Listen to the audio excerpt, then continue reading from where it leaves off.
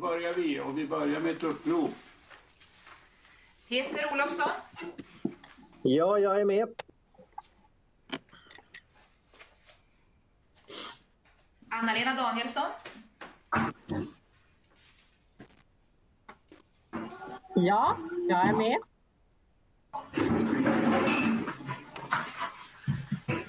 Försvann ljudet? Ni måste stänga av era mikrofoner ni övriga. Det är jag som...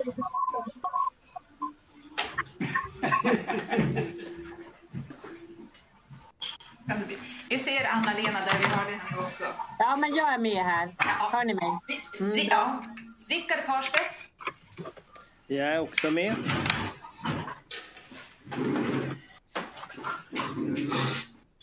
Jag är Peter får stänga av sin mikrofon. Ja, det är han som Ja. Och vi har Rickard där nere ja, till vänster. Ja. ja. Bra. Fortsätter vi. Niklas Sandström. Ja.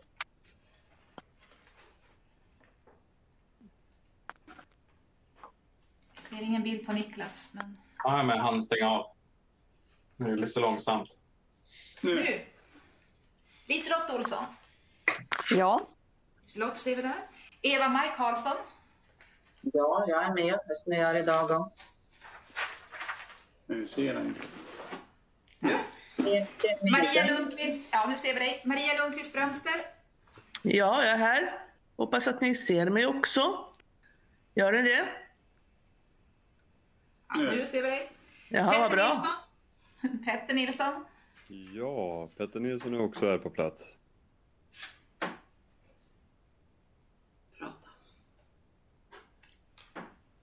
Nu. Hans-Inge Smetana. Jajamensan, här är jag. Eh, Maria Kristoffersson. Ja, här finns Emma jag, Vilmina. Ska vi se om vi ser dig. Där. Och så råkade jag hoppa över Emma Lindqvist. Ja, jag är här. Hoppas ni ser mig och hör mig. Nu. Urban Lindström. Han är också här. Ska vi se om vi kan prata igång kameran idag också. Där har vi Urban. Olle Wernick. Jag finns här. Hoppas det går fram. Där har vi Olle. Betty Ann Nilsson.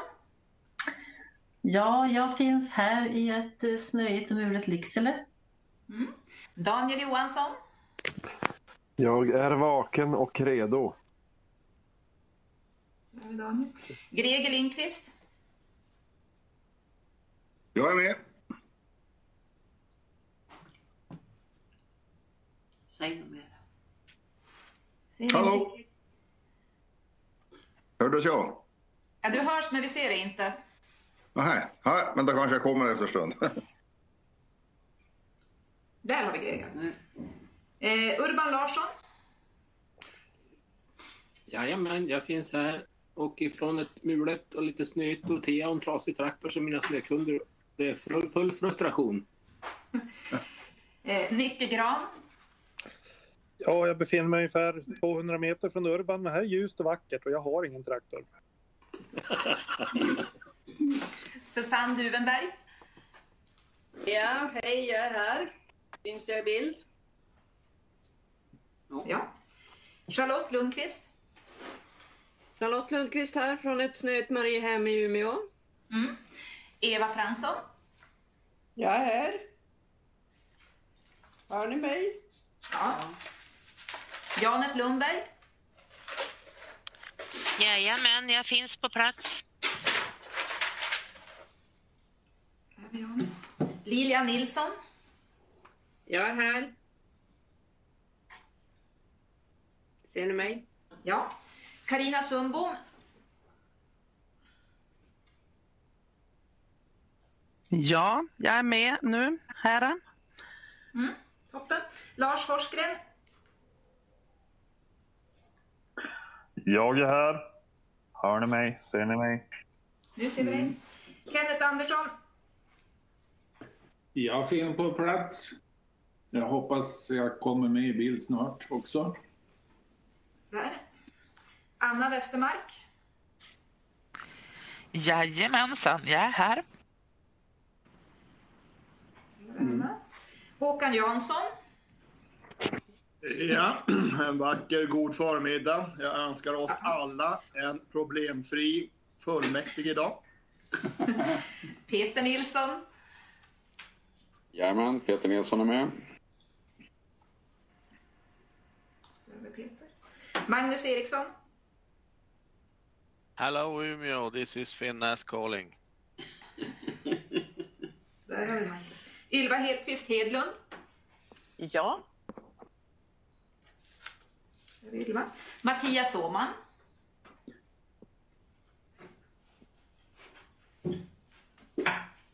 Ja, jag är med. Jag hoppas jag inte får något strömavbrott idag. Där har Mattias. Håkan Andersson. Ja, jag är här med här i KG. Och börjar väl kanske synas snart. Ja. Jeanette Berggren. Ja, jag är med här. Om jag syns. Ja, nu ser vi dig. Victoria Sundin. Ja då, jag är här. God morgon alla. Syns jag icket? Nej. Nej. Ja, ja vad bra. Ja. Ni- Nina Björby. Ja, jag är här. Där är vi Nina. Eh, Mikaela Björnebäck. God morgon, jag är också här. Jonas Karlberg. Jajamän, jag är här.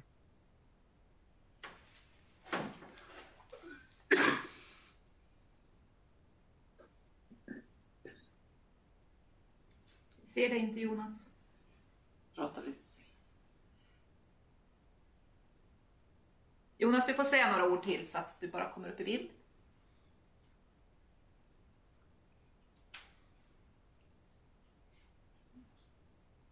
Hör du oss Jonas?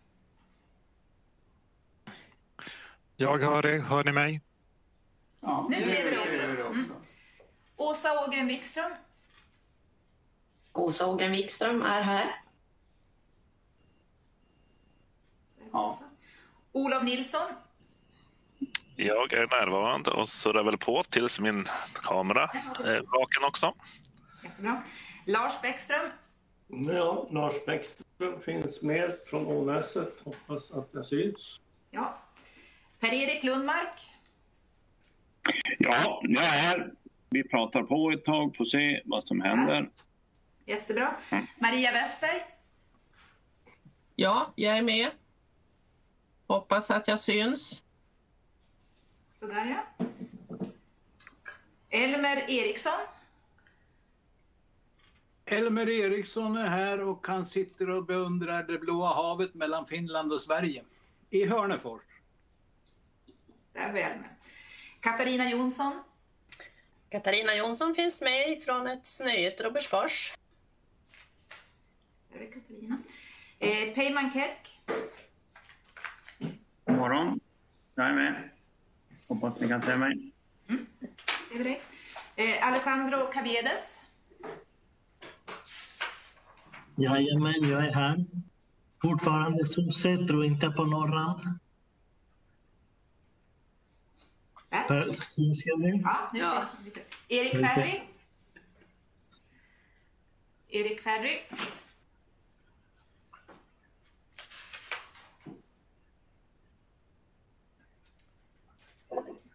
Erik Ferry. Nej. Då noterar vi att han är frånvarande.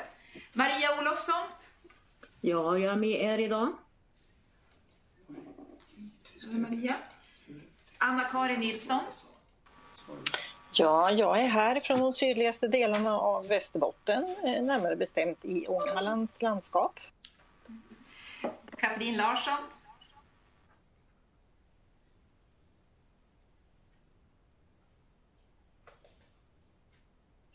Katrin Larsson. ska se nu. God morgon, här är jag. Nu ser vi dig. Ulf Björk. Ulf Björk är med ifrån Umeå. Ingen bild. Jo. Va? Nu ser vi dig. Eh, Ja. Ahmed Herzi. Jag är, jag är med. Jag syns här. Nu ser vi dig. Eh, Anna-Karin Lundberg.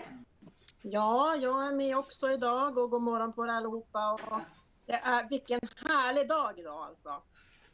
Där har vi Anna-Karin. Eh, Anton Bergström. Jag är också på plats från ett snöigt Umeå.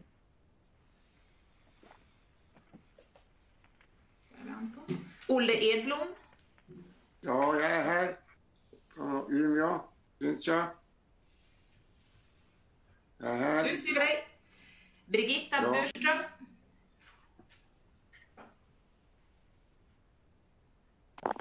Jag snöar mycket i Skellefteå. Ser ni mig? Nu ser vi dig. Ja. Lars Lilja. Jo, jag är här från Nedre Haga. Snöar väl lika mycket här som det gör på andra delar i stan. Mm. Kjell Bäckman. Ja, jag är med. Jag ser och hör er. Hej, hej. Hej. Margareta Gustafsson. Margareta här, syns jag? Hallå! Eh, vi hör dig. Nu ser vi dig också. Ja, bra. Eh, Zacharias Tjäder.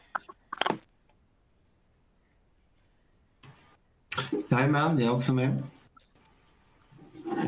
Har fortfarande ett Z i chatten. Men Ja. Eh, Gunnar det går bra Wiklund. för mig. Jag är härifrån Obbola. Jag är från Obbola. Hej. Hej, hej.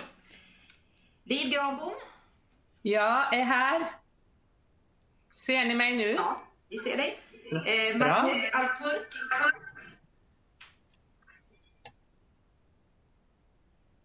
Mahmoud Alturk.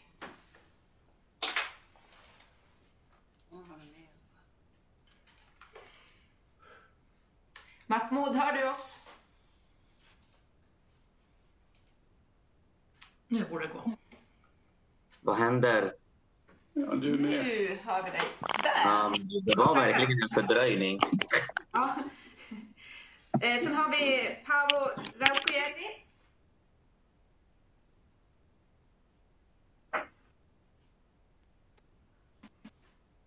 Raukojärvi. Paavo Raukojärvi är här. Hallå, hallå, hallå, hallå. Hallå. Sådär, tackar. Ja. Nu ser vi dig. Linda Berglund. Yes, jag är här.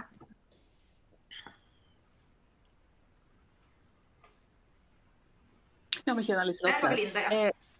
Kan du försöka få kontakt med Erik? För han har ju inte kommit in och han svarade inte på uppropet. Liselott, Eh. du har mikrofonen på. Jag meddelade precis, men jag vet inte om det gick fram heller. Men ja, jag skrev. Ja, ja men jättebra. jättebra. Så, jag mute. Ja, bra. Andre vice ordförande Jens Wennberg. Ja. Förste vice ordförande Harriet Hedlund. Ja. Och ordförande Roger Marklund. Ja. Så var det färdigt. Då vill jag påminna er om att det är ni som har makten över mickarna. Slå av dem om ni inte har ordet, så vi slipper surret runt om. Sen var det en ordningsfråga som kom upp när vi träffade gruppledarna igår och det var replikskiften. Och då har vi kollat regelverket för regionfullmäktige och det säger att om en ledamot tidigare deltagit i ärendet kan man begära replik. Man kan även begära replik om man inte har deltagit i ärendet men nämns av någon som har ordet. Är det klart? Hoppas jag. Sen är det så att tyvärr så måste vi backa till punkten 10. Vi måste göra om punkterna 10 till 12 av den anledningen att det är osäkert om alla kunde vara med om de besluten igår. Och efter det går vi till tilläggsbudgeten. Så om ni bläddrar tillbaks till ärende 10. Re, reinvestering för reservkraft, värme vid Norrlands universitetssjukhus. Och där var regionstyrelsens förslag till beslut att projektet re, reservkraftvärme i byggnad 19C genomförs för 78,2 miljoner i enlighet med investeringsplanen. Och ingen har begärt ordet. Då finner jag att fullmäktige fattar beslut i enlighet med regionstyrelsens förslag. Någon däremot? Då går vi till punkten 11, uppförande av tillbyggnad vid Lycksele lasarett, byggnad 120. Och där är regionstyrelsens förslag till beslut att projektets uppförande av byggnad 120 genomförs för 132 miljoner kronor i enlighet med investeringsplanen. Eventuell avvikelse från beräknad investeringsram vid upphandlingsförfarandet ska återrapporteras för vidare hantering i regionstyrelsen. Övriga driftskostnader hanteras i budgetarbetet för 2023. Ingen talare anmäld. Då finner jag att fullmäktige har fattat beslut i enlighet med regionstyrelsens förslag till beslut. Någon däremot? Går vi till ärende 12. Beslut om kostnadsfri vaccination mot covid-19. Och där är regionstyrelsens förslag till beslut att Region Västerbotten beslutar att erbjuda alla som bor eller stadigvarande vistas i Västerbotten avgiftsfritt vaccin mot covid-19 enligt Folkhälsomyndighetens rekommendation. Region Västerbotten beslutar att godkänna och tillämpa Sveriges kommuner och regioners förbundsstyrelses rekommendation om kostnadsfrihet för vaccinering mot covid-19. Ingen talar anmäld. Det finner jag. Ordet Eva-Maj. Eva-Maj har begärt ordet. Varsågod. Tack presidium och övriga. Där hade ju vi från allianspartierna yrkande, visst var det så?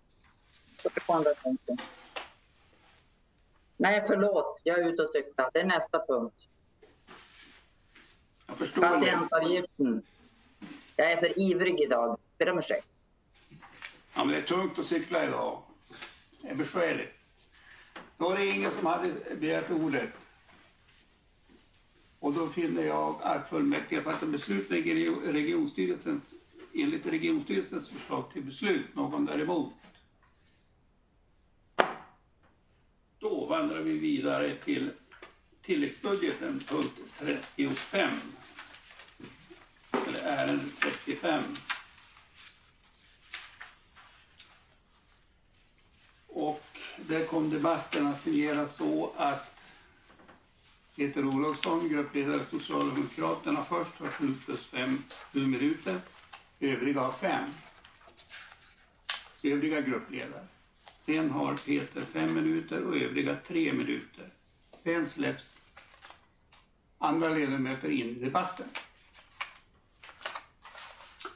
Och förslaget till beslut från regionstyrelsen det är att regionstyrelsen får i uppdrag att stärka regionplanens målområde. Västerbotten är det barnvänligaste landet genom att organisationsövergripande utarbeta en avsiktsförklaring i syfte att överbrygga organisationsgränser och stärka insatserna för barns och ungas psykiska hälsa mellan Region Västerbotten och länets kommuner.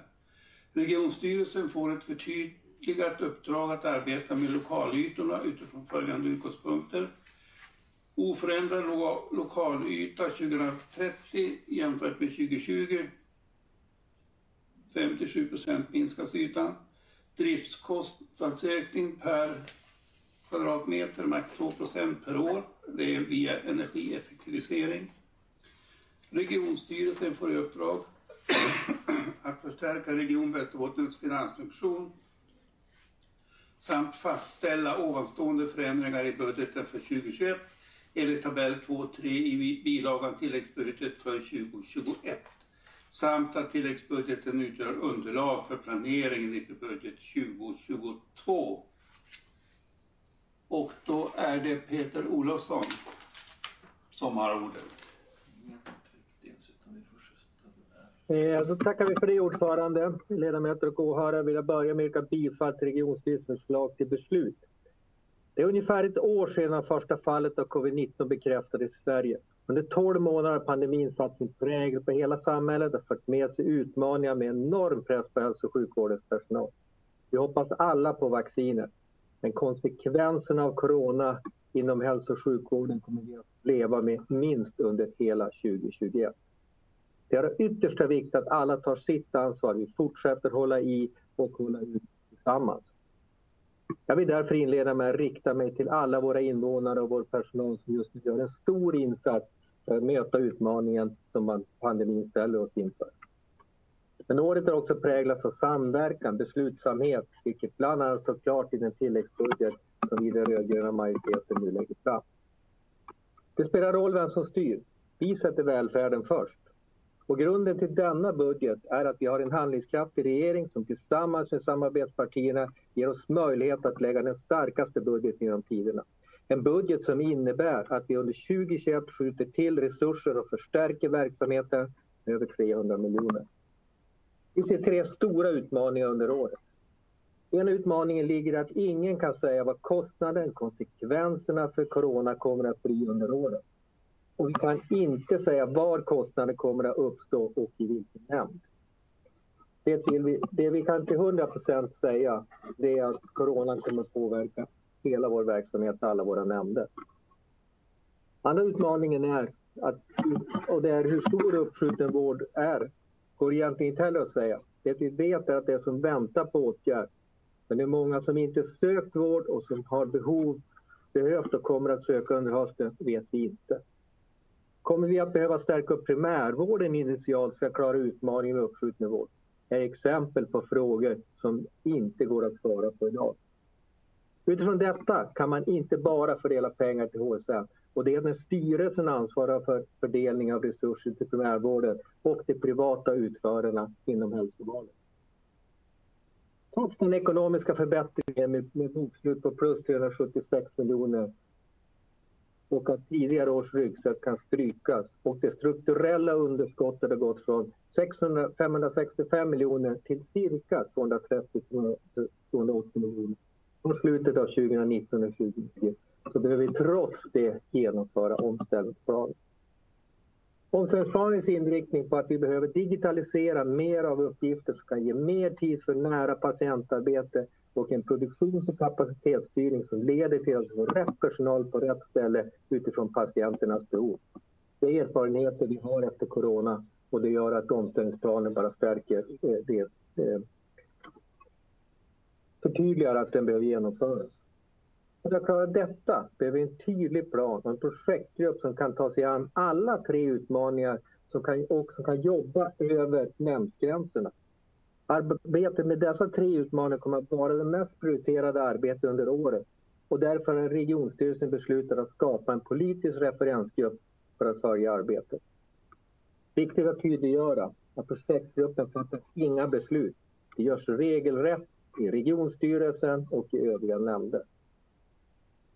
För vårt agerande att ta ansvar för både pandemins effekter, uppskjuten vård och genomföra omställningsplaner är att ta ansvar och kan ställas mot Niklas och Moderaternas tro att man kan fatta beslut när coronapandemins effekter är över.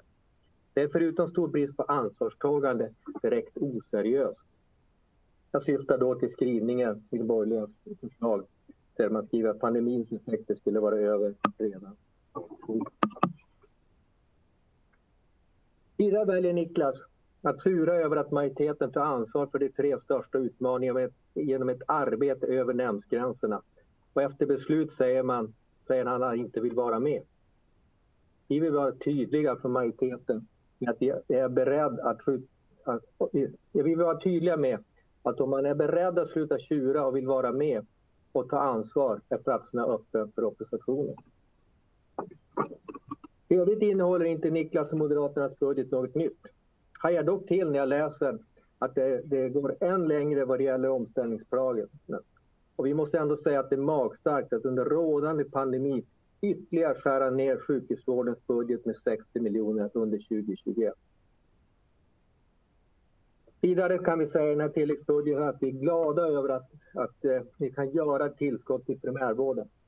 Pågående pandemin har också visat sitt behov av att säkerställa att äldre får bästa möjliga vård. Därför gör vi en satsning på primärvården där vi stärker tryggheten för våra mest sköra äldre genom ökad närvaro av läkare i våra särskilda boenden. Men pandemin har redan idag gett oss mycket lärdomar. Trots att vi är mitt inne i pandemin och utifrån Västerbottens perspektiv den tuffaste perioden. Men lärdomarna och effekterna kan vi också se idag på, att, på den psykiska hälsan.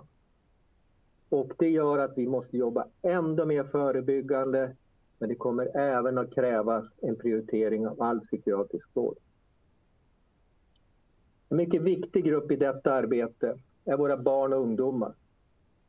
Och vi kan med denna tilläggsbudget gå ett steg närmare vårt långsiktiga mål om det barnvänligaste länet i landet genom att vi tar nästa steg genom att tillsätta en koordinator och krokar arm med kommunerna för att skapa det samhälle vi vill ge våra barn. Vi vill vara tydliga med att vi kan inte acceptera att vi ökar antalet barn som söker specialistpsykiatrivård.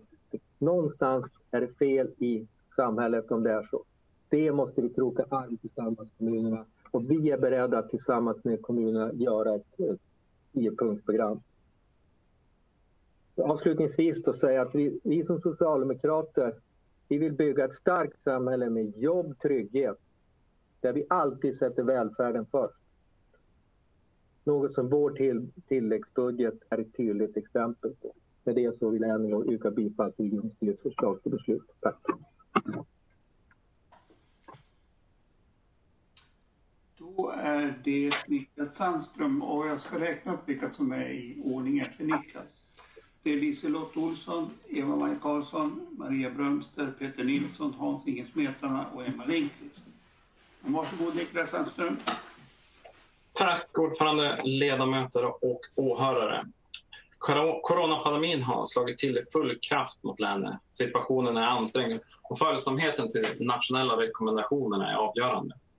De medarbetare som jobbar direkt eller indirekt med pandemin förtjänar all heder och uppskattning som bara går att uppbringa. Ett ljus i mörkret är att vaccineringen har påbörjats. Om bara Västerbotten får de vaccinleveranser som blivit utlovade från regeringen och de nationella myndigheterna är jag övertygad om att vi kommer klara av målet att vaccinera innan halvårsskiftet. Pandemin påverkar givetvis budgetförutsättningarna dramatiskt för regionen. Det är exempelvis trötta och slutkörda medarbetare, ökade vårdköer, minskade intäkter i regionvård och kollektivtrafik, men även färre arbetade timmar i ekonomin, vilket blir att det blir lägre skatteintäkter för regionen. Varje pandemimånad beräknas påverka regionen negativt med 27 miljoner kronor. Det är viktigt att slå fast att Region Västerbotten hade riktigt stora utmanande problem innan pandemin dessa problem har förvärrats i och med en lång och utdragen pandemi. Vårdköerna har inte kunnat arbetas bort utan är fortsatt alldeles för långa. Arbetsmiljö och regionens förmåga att jobba för att bli en bättre och mer attraktiv arbetsgivare har inte kunnat prioriteras. Men framför allt har inte omställningen till en ekonomi i balans har försvårats. Det strukturella underskottet bedöms vara mellan 220 till 280 miljoner kronor.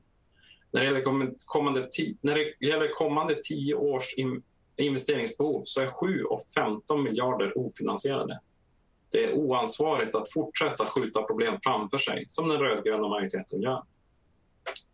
Herr ordförande, omställningsplanen som alla partier i fullmäktige står bakom är i grunden lovvärd. Men planen innehåller minskade sjukresor, effektiviseringar av administration, produktion och kapacitetsstyrning, ökad digitalisering förbättrade bemanningsmål samt minskade kostnader för hyrpersonal.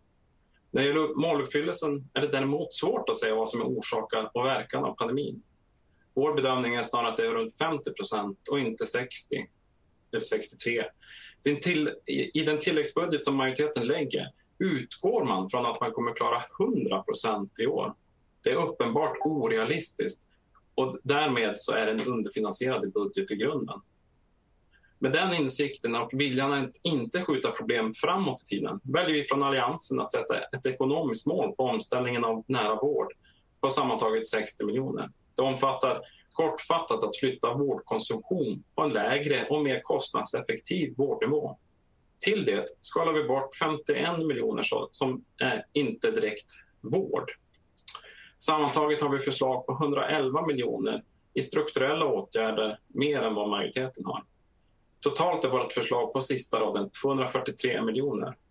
Och med det gör vi en prognos med lägre effekt på omställningsplan och pandemiinfekter, vilket eh, egentligen är helt kritiskt att, att eh, i och med den prognosen att vi måste göra en omställning till en ekonomi i balans.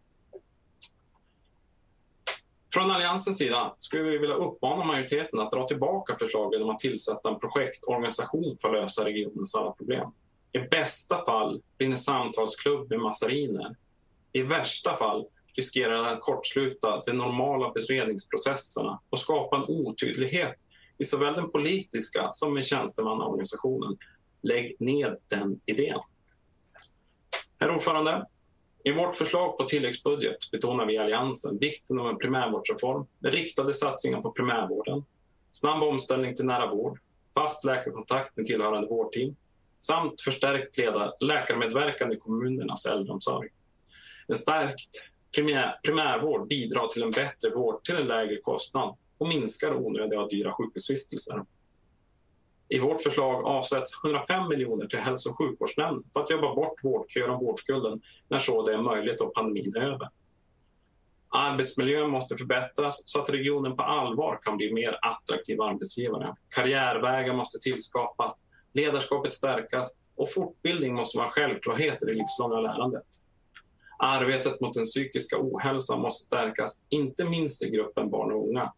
Valfriheten för såväl patienter som personal måste öka.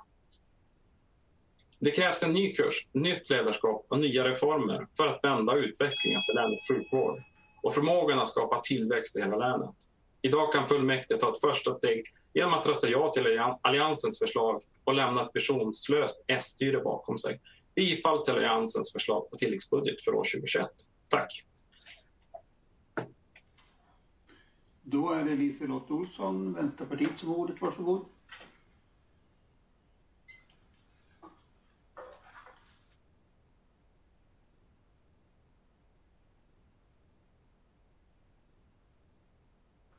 Liselott, du har ingen mikrofon.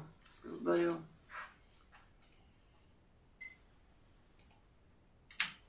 Du stängde av henne.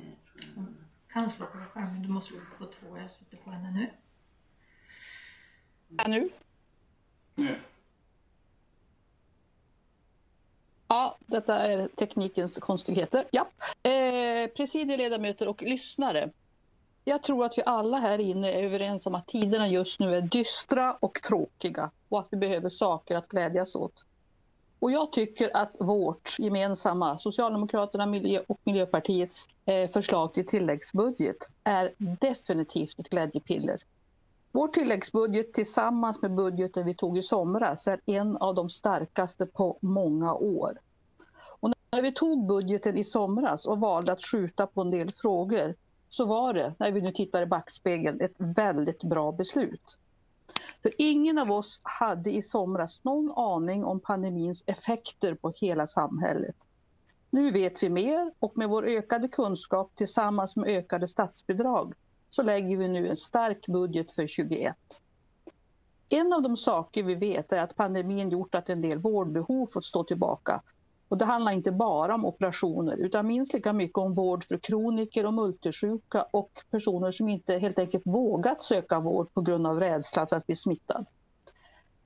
Vi avsätter drygt 100 miljoner för att hantera pandemins effekter, den uppskjutna vården och fortsätta arbetet med omställningsplanen och vi genomför arbet, arbetet i projektform, precis som ni hörde Peter berättade om. Och det gör vi för att kunna hålla det åtskilt från den vanliga driftbudgeten och möjliggöra riktade insatser.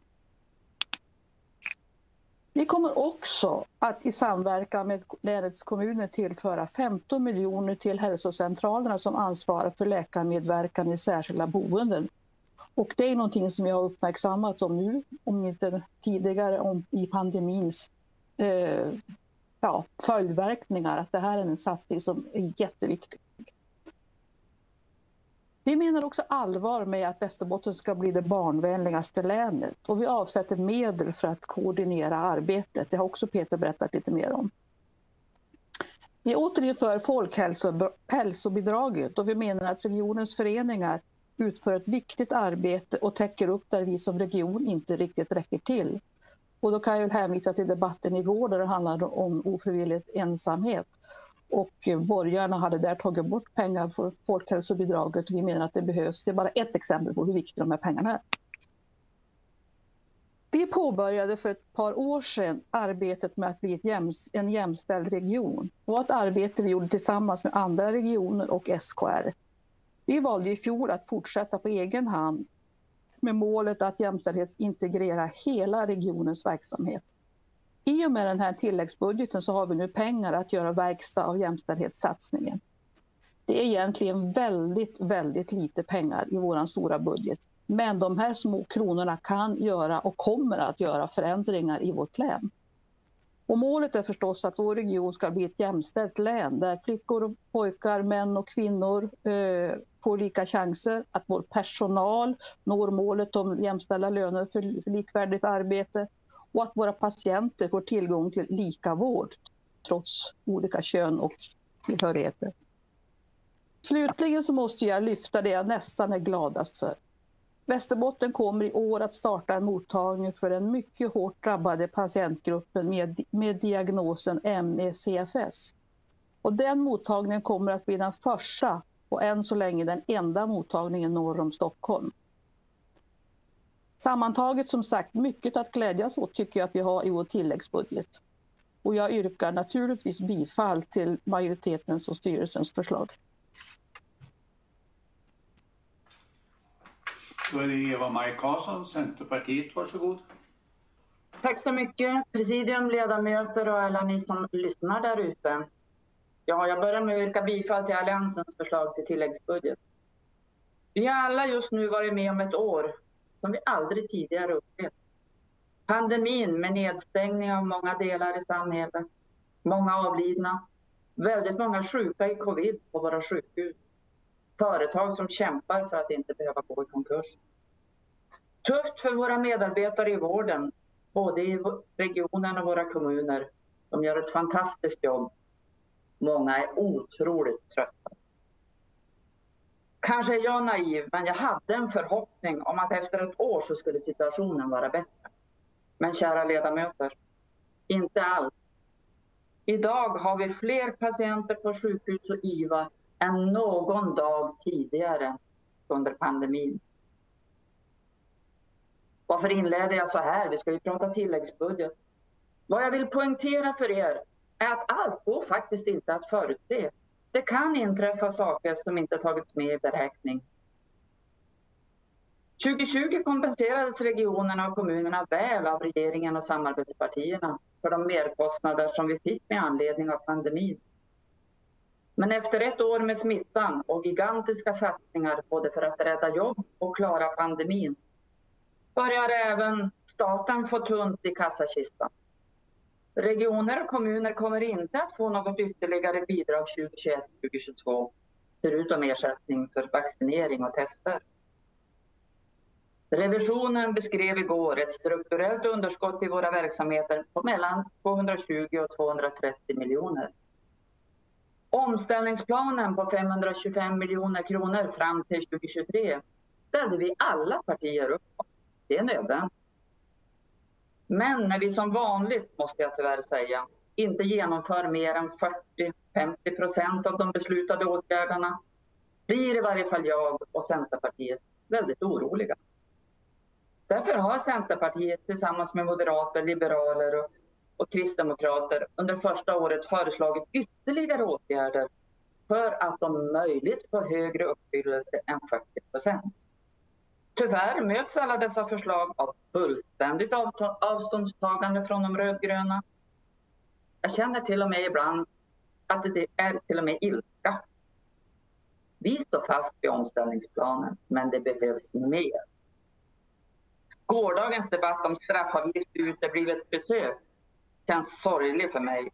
Visst måste vi väl alla vara överens om att vi måste lyfta på varje sten för att klara det viktiga vårduppdraget.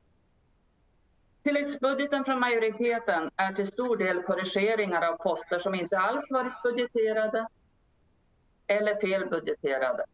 Det är ju naturligtvis rätt att göra så. Budget bör vara så rätt som möjligt. Det man känner till eller planerar för ska vara i budget. Centerpartiet föreslår tillsammans med våra samarbetspartier ytterligare åtgärder i enlighet med vår tidigare budget för 2021 och vår tillväxtbudget. Jag är övertygad om att ytterligare åtgärder behövs. Det ekar för mig. Är det någon som har... Det är jättekonstigt. Vi kan inte fortsätta lita på att 100 procent uppfylls av de 525 miljonerna när vi vet att vi i bästa fall kan bli 50 procent, det vill säga 260 miljoner. Inte alls 525. Kära kollegor, vi måste erkänna att det här räcker inte. Läget är allvarligt. Åtgärderna är tyvärr inte tillräckliga i majoritetens förslag. Dessutom har vi en pandemi som vi idag vet tar ny fart, inte minskar i omfattning utan blir värre. Ekonomerna har räknat ut att det kostar 27 miljoner i månaden med en pandemi.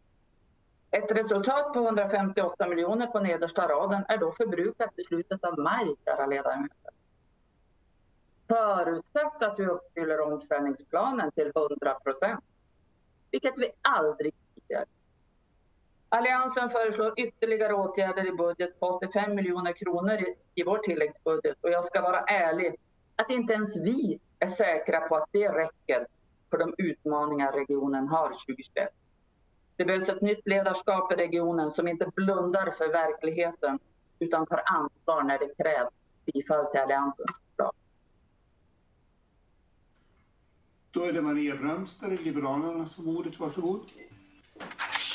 Tack ordförande, presidiet, ledamöter, åhörare och press. Jag vill börja med att yrka bifall till Alliansens förslag till tilläggsbudget. Vi har under ganska precis ett år levt under en pandemi som drabbat och omkullkastat men också för samhället i stort. Botten är läget allvarligt och återigen så vårdas fler på våra sjukhus i länet. Rikta ett stort tack till vår fantastiska personal som under årets alla dagar och dygnets alla timmar utför ett fantastiskt arbete, både innan pandemin och även under det senaste året. Ett års tid så har sjukvårdspersonal satts under stora prövningar på grund av den här pandemin. Ni gör ett ovärderligt arbete och min och Liberalernas förhoppning är att ni kommer att se resultat av vår uppskattning, inte bara i fina ord. Effekterna av den här pandemin har satt och kommer att sätta sina spår i vår region under en lång tid framöver. Inte bara i sjukvården utan även hos regionens företagare och andra samhällsaktörer. Sjukvårdens viktigaste resurs är ju personalen. Att kunna rekrytera ny personal och behålla nuvarande är en av de största utmaningarna regionen står inför. Och därför ser vi en satsning på utbildning, fortbildning, forskning och att vara en god arbetsgivare som viktiga förutsättningar för att säkerställa en god och tillgänglig hälso och sjukvård. Karriärvägar måste tillskapas, ledarskapet ska stärkas och fortbildning ska vara en självklarhet. Och därför så satsar vi i Alliansen 6 miljoner kronor i tilläggsbudgeten och prioriterar bland annat karriärtjänster, allmän specialisttjänstgöring för sjuksköterskor och fler AT och ST-platser. Den psykiska ohälsan ökar ju i samhället och inte minst hos barn och unga. Remisser till BUP har ökat med frågeställningar MPF, ångestsyndrom, depressioner och vi vet också att BRIS ser en stor ökning av samtal under pandemin. Barn och unga uttrycker oro, otrygghet och det är mer våld i hemmet och alkoholkonsumtionen har ökat. Tillgängligheten till barn och ungdomspsykiatrin i Region Västerbotten är bland den sämsta i landet, vilket är oacceptabelt. För en första bedömning till BUP i december så är det endast 32 procent som fått vård i tid. Och när det gäller fördjupad utredning eller behandling så är det endast 19 procents måluppfyllelse. Barns psykiska ohälsa kan inte vänta. Och därför känns det viktigt att vi i Alliansen har förstärkt BUP med 3 miljoner kronor. Västerbotten är ett stort län med långa avstånd och när vi drabbas av sjukdom eller en olycka är det en trygghet att veta att ambulans kommer på plats. Länets kompetenta ambulanspersonal arbetar långa pass och befinner sig på vägarna i alla väder. Och därför känns det bra att vi liberaler och Alliansen vill förstärka ambulanssjukvården med 8 miljoner kronor. Vi vill satsa på primärvården och ställa om till en nära och tillgänglig sjukvård. I tilläggsbudgeten satsar vi därför 5 miljoner kronor för genomförande av en primärvårdsreform med införandet av fast läkarkontakt. Tillgängligheten till primärvården måste öka genom att förlänga öppettider på hälsocentralerna. Vi måste få till en fungerande samverkan i regionen kring vård och hälsa. Allianspartierna har lagt fram flera förslag på genomdrivandet av en primärvårdsreform. Under pandemin så har vi tydligt kunnat se att samverkan mellan regionen och kommunerna måste stärkas. Och det gäller framför allt vikten av att ha en kontinuerlig läkarmedverkan på våra särskilda boenden. Det medicinska uppdraget och vad det ska innehålla för de som bor på särskilda boenden har varit alltför oklart. Regionens ansvar är viktigt och därför satsar Alliansen också för att stärka just läkarmedverkan på äldreboenden. Till sist ordförande och presidiet och åhörare. Statsbidraget på 105 miljoner kronor för finansiering av uppskjuten vård. Det vill vi lägga direkt hos hälso och sjukvårdsnämnden istället för att som majoriteten bygga upp en projektorganisation under styrelsen. För oss liberaler är det en självklarhet att ta ansvar för hälso och sjukvården. Tack för ordet. Nilsson, Sverigedemokraterna, varsågod. Tack så mycket för ordet ordförande. Ja, Sverigedemokraterna vill ju också med vårt förslag till tilläggsbudget dels be om fullmäktiges uppmärksamhet men också befogenhet för att göra en omfördelning mellan nämnderna. Och det är ju inget som egentligen tillhör varken god ton eller för den delen något som brukar vara standard under en tilläggsbudget. Och det är heller inget som Sverigedemokraterna hade föreslagit om det inte vore för just det självklara behovet. Att vi måste kunna sörja för mer medel till vården. Och nu är det ju dels det som tidigare omtalats också, de 105 miljoner kronorna. Det är ju en stor del av det som vi diskuterar och det kommer jag återkomma till senare. Men sen har vi också en omfördelning om ungefär 40 miljoner kronor där vi satsar 20 miljoner kronor på en personalsatsning och 20 miljoner kronor på strukturellt belastade kliniker. Eh, det finns goda skäl att i så tidigt skede som möjligt stärka de klinikerna som är strukturellt mer belastade under pandemin. Och det bör, återigen, det bör ske skyndsamt. Vi vet till exempel att IVA kommer att belastas i större omfattning och redan gör det idag. Lycksele sjukhus har rapporterat bekymmer i samma veva som tilläggsbudgeten togs i regionstyrelsen och rimligen bör också fullmäktige kunna sörja för att frigöra ytterligare medel så vi bättre kan hantera befintlig situation. Region Västerbotten behöver också belöna personalen som gick på knäna väl innan corona. Och därmed så föreslår vi även att medel behöver gå till en väl avvägd satsning som vi gärna ser att arbetsmarknadens parter också preciserar ytterligare. Men då naturligtvis med målsättningen att det ska medföra så stort mervärde som möjligt. Sammanfattningsvis, vi menar alltså att vi behöver stärka belastade kliniker i ett så tidigt skede som möjligt. Därtill också göra en ordentlig personalsatsning snarast. Socialdemokraternas budget innebär ju en mellannivå. Och Alliansen vet jag inte riktigt hur de tänkte fel. Eh, för de skriver ju också, om ni läser budgetförslaget sidan 12, att de vill att de 105 miljoner kronorna läggs på HSN centralt och betalas ut till kliniker, vad jag förstår, efter uppnådd köreduktion. Eh, och det innebär ju i sådana fall, om jag nu också tolkar det rätt, vilket de jättegärna får svara på, huruvida det rör först då det andra halvåret i år. Så det innebär det att det blir en fördröjning istället för det vi föreslår, att man så snart som möjligt ser till att de strukturellt belastade klinikerna får medel nu. Och då innebär det att det får ganska stora konsekvenser. Det innebär ju att kliniker får ju medel först i efterhand. Det dröjer ett halvår innan de får pengar.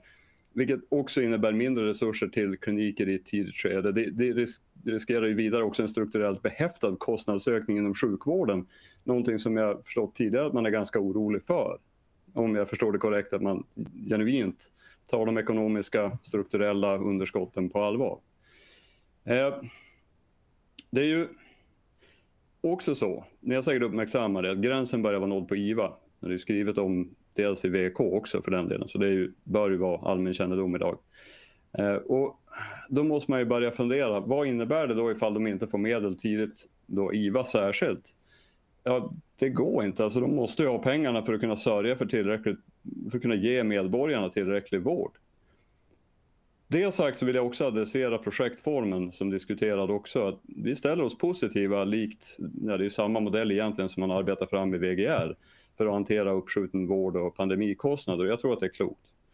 Eh, men det ska ju särskilt sägas att Socialdemokraterna när vi hanterade det här i styret, valde då, styrelsen så valde de att öppna upp tre platser avseende en referensgrupp som skulle då hantera eh, ja, egentligen hur man skulle arbeta med vårdskulden. Hur man skulle kunna göra, du skulle kunna arbeta och få lite utsida perspektiv då från andra, så inte bara sig själv. Och då öppnar man ju upp de platserna, tre platser till oppositionen.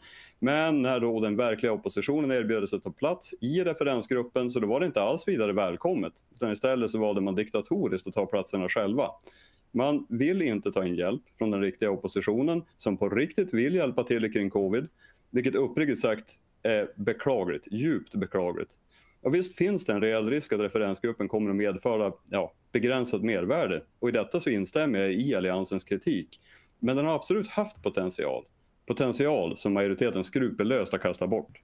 Bifall till Sverigedemokraternas förslag till tilläggsbudget. Tack för ordet. Då är det Hans-Inge Smetana, Kristdemokraterna. Varsågod. Eh, Tack för ordet ordförande, fullmäktige och ledamö- äh, äh, åhörare. Ja, jag vill börja med att yrka bifall då till Alliansens budgetförslag. Och jag är glad att vi tillsammans i allianspartierna har en gemensam progressiv och framåtsyftande budget. Men vi inser också att den svåra tid vi befinner oss i och därför har vi en talande rubrik, politiskt ansvarstagande i en svår tid.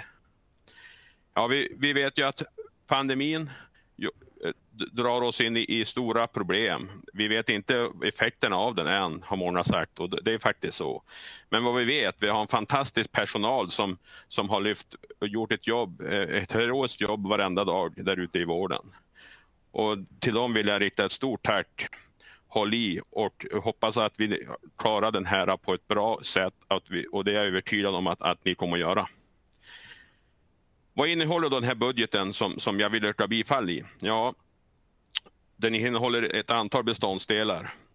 En god och sammanhållen nära vård oavsett huvudman med ökad valfrihet där personen är centrum. Det är precis det vi vill göra, personen i centrum. Och jag är övertygad om att får vi detta att fungera fullt ut så är det fler än jag som känner mig nöjd. Det kommer nog alla de dryga 280 000 medborgare också göra. Sen måste regionen bli bättre arbetsgivare. Eh, vi måste ha bättre styrning och ledning och vi måste ha en ekonomi i balans. Det är något av grundbultarna i vad vi kallar politiskt ansvarstagande i en svår tid. Ni den styrande rödgröna bygger er budget på ett antal faktorer. Till exempel att omställningsplanens effekter är 100 procent. Och det har vi sett, den är det inte. Utfallet är närmare kanske 50 procent. Inte undra på att ni snabbt vill få till en lite mysig politisk grupp som ska sitta och klura på fortsättningen och ta hand om de 108 miljoner vi får i statsbidrag att lösa uppskjuten vård. Medan vi andra anser att arbetet ska ske där det hör hemma och besluten går genom den redan upparbetade vägen. Ni kommer aldrig att lyckas omst- få omställningsplanens nivå till 100 procent eller den uppskjutna vården med att sitta och fika med varandra i en liten grupp. Regionen eller dåvarande landstinget har aldrig kommit upp i den nivån någonsin i sparpaketen. Jo, jag kan se att nu sitter Peter Olofsson och funderar på ett inlägg att KD tar avstånd från redan fattade beslut gällande omställningsplanen. Men det är helt fel. Det jag och KD ifrågasätter är just utfallet av omställningsplanen. Och det är jag inte ensam om. Revisorerna har riktat skarp kritik att omställningsplanen inte är förankrad som den borde vara. Det var tok för lågt att, att ha ett utfall på cirka 50 procent. Och ännu mer galet att räkna med 100 procents utfall. Det är lite att bygga luftslott. Det är logiskt att man lägger medel för uppskjuten vård i en eget projekt om man inte har förtroende för verksamheten. Så min fråga till dig Peter Olsson, vem är det ni inte har förtroende för? Är det HSN? Verksamheterna? Personalen på ledningsnivå? Är det den politiska ledningen ni vill samla inom fyra väggar? Vi talar om att vi behöver stärka ledning och styrning. Då kan man inte fortsätta låta ekonomin rulla på med, med fortsatt strukturella underskott. Det är nästan 250 miljoner vi redan har är nog tungt ryggsäck att bära. Ni har hört mig säga det förr och ni kommer att höra det flera gånger till. Kommunalordningen är tydlig. Varje generation ska bära sina egna kostnader. Men med ett strukturellt underskott skjuter man över kostnaden till våra barn och barnbarn. Regionen har ambition att vara det barnvänligaste länet. Och jag kan tycka att det är en bra ambition. Jag gillar den faktiskt. Vi kristdemokrater vi är lite barnsliga och vill stå på barnens sida. Men om man ska lyckas, då måste man också visa det i handling. Och vi blir aldrig det barnvänligaste länet med sådana presenter till barn och barnbarn. Ni vet att vi dessutom har mer än 350 miljoner höga strukturella kostnader än rikssnittet. Någonting som västerbottningarna får betala som man slipper i andra län. Omställningen till god och nära vård måste speedas upp. Vi har alltså inte bara strukturella underskott utan också skenande strukturella kostnader i större utsträckning än många andra regioner i vårt land.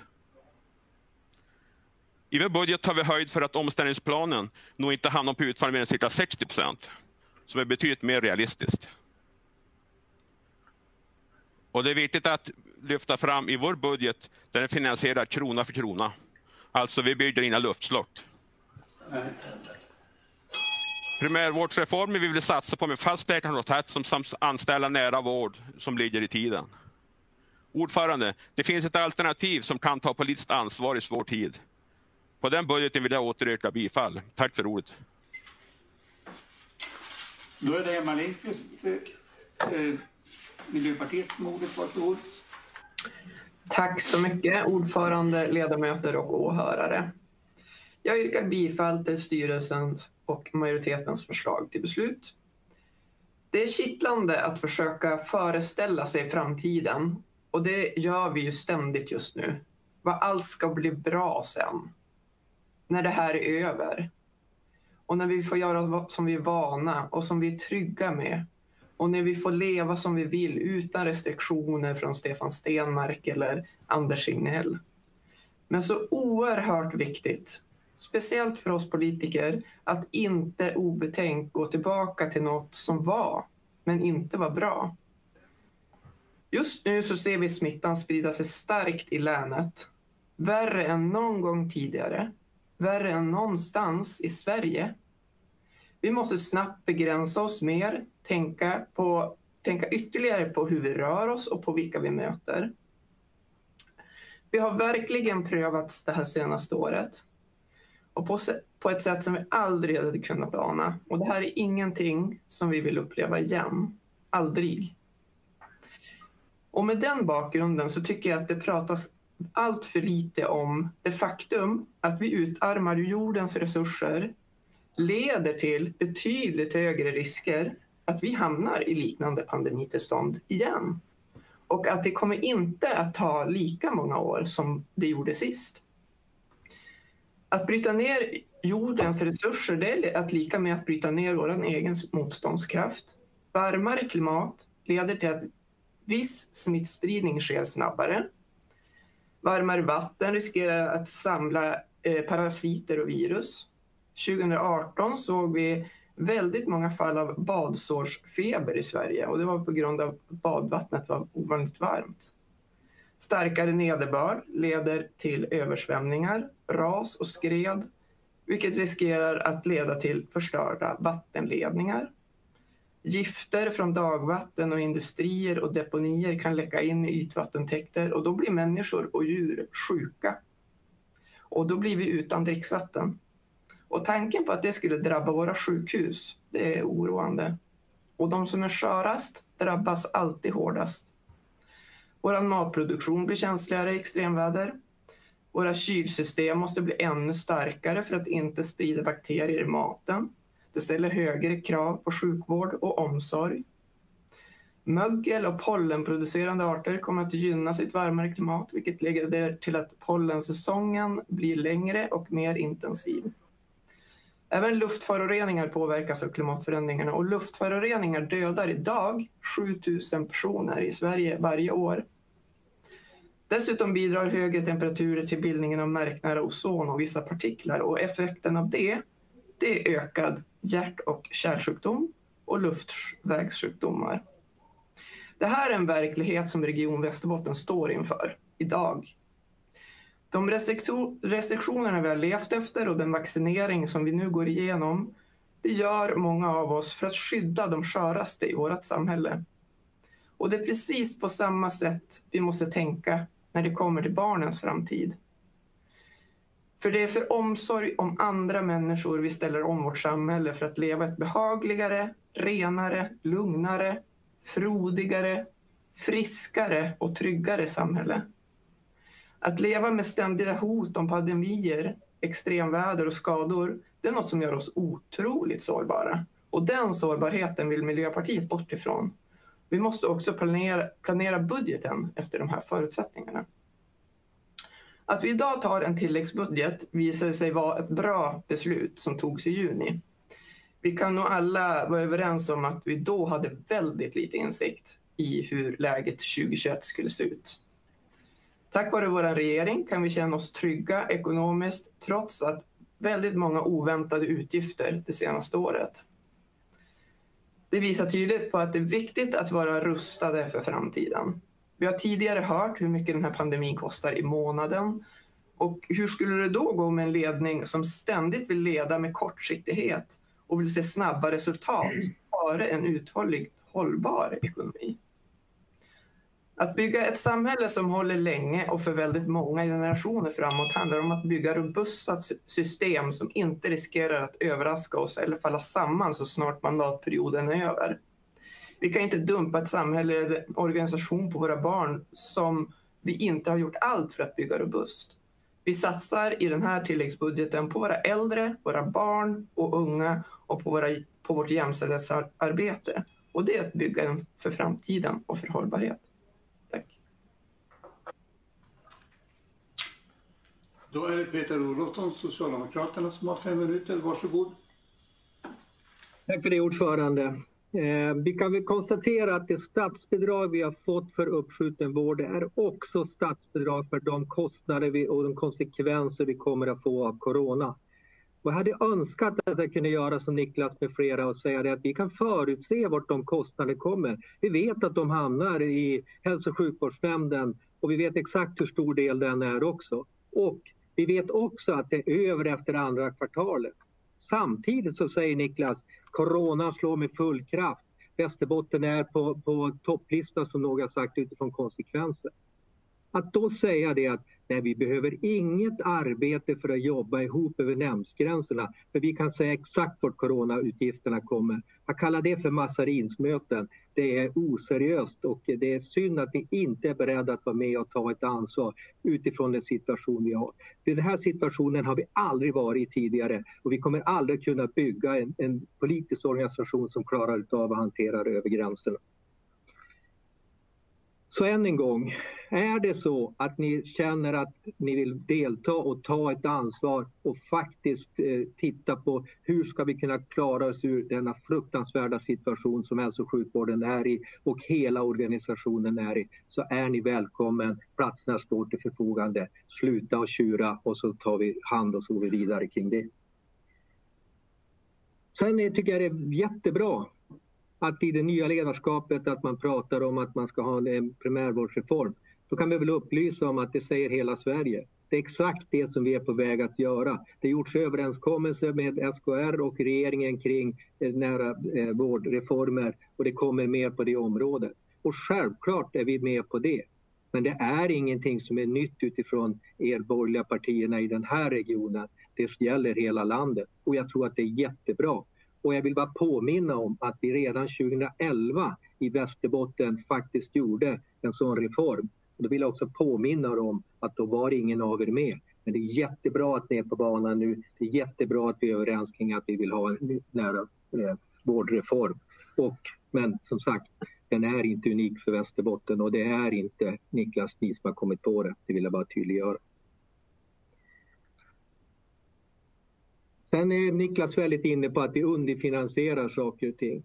Och det är klart att jag måste ändå säga om vi har klarat 50 procent av en omställningsplan mitt under en pandemi som har slagit i hela världen där sjukvården går och gått på knäna som många har beskrivit så måste jag väl ändå säga att det är nog inte det sämsta resultatet. Vi kunde ha slutat det här året på helt andra sätt utifrån den där. Och vi kan väl konstatera, när vi hade förra krisen 2008 så gick kommuner och regioner på knäna. Vi hade massarbetslöshet. Nu kan vi lämna det här året med plusresultat. Självklart boostat utifrån att vi har satsat på välfärden och inte skattesänkningar. Och det kan jag stå upp för, för det är det som har hänt. Men att säga då att eh, det är vi som underfinansierar och så säger man att vi tar bort alla eh, medel, eller vi tar bort medel vad det gäller det som är ej förutsägbara medel, ej förutsatta medel.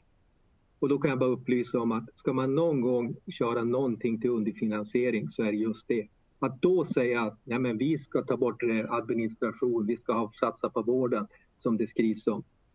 Eh, som Niklas också är tydlig att säga. Om det skulle vara att man underfinansierar ej, för, ej förutsatta utgifter så, så är det väldigt klent. Ni hade faktiskt chansen i senaste styrelsemötet att säga vilken administration vill ni ta bort? Då, då hörde vi ingenting. Och det visar ju bara att det här ledarskapet som man pratar med nytt är ju utan innehåll och det är tråkigt. Sen blir jag väl lite konfunderad när man ena sekunden säger att vi har 565 miljoner i, i ett strukturellt underskott och nästa sekund så säger man att vi har mellan eh, 220 till 280 miljoner. Låt oss vara tydliga och säga trots pandemin, trots den situation vi har haft så har vi faktiskt halverat eh, det strukturella underskottet. Men jag vill vara väldigt tydlig med att det är ett väldigt hårt arbete med att försöka göra den andra delen också. Vi har två år kvar, 21 och 22, att lösa det. Men det är inget som kommer lösas av sig själv. Och självklart har det varit statsbidrag, det har varit ett nytt kostnadsutjämningssystem som Socialdemokraterna stått bakom som har hjälpt till i det. Det är jag fullt medveten om. Men för mig är det inget problem att vi satsar faktiskt på välfärden och inte på skattesänkningar. Tack.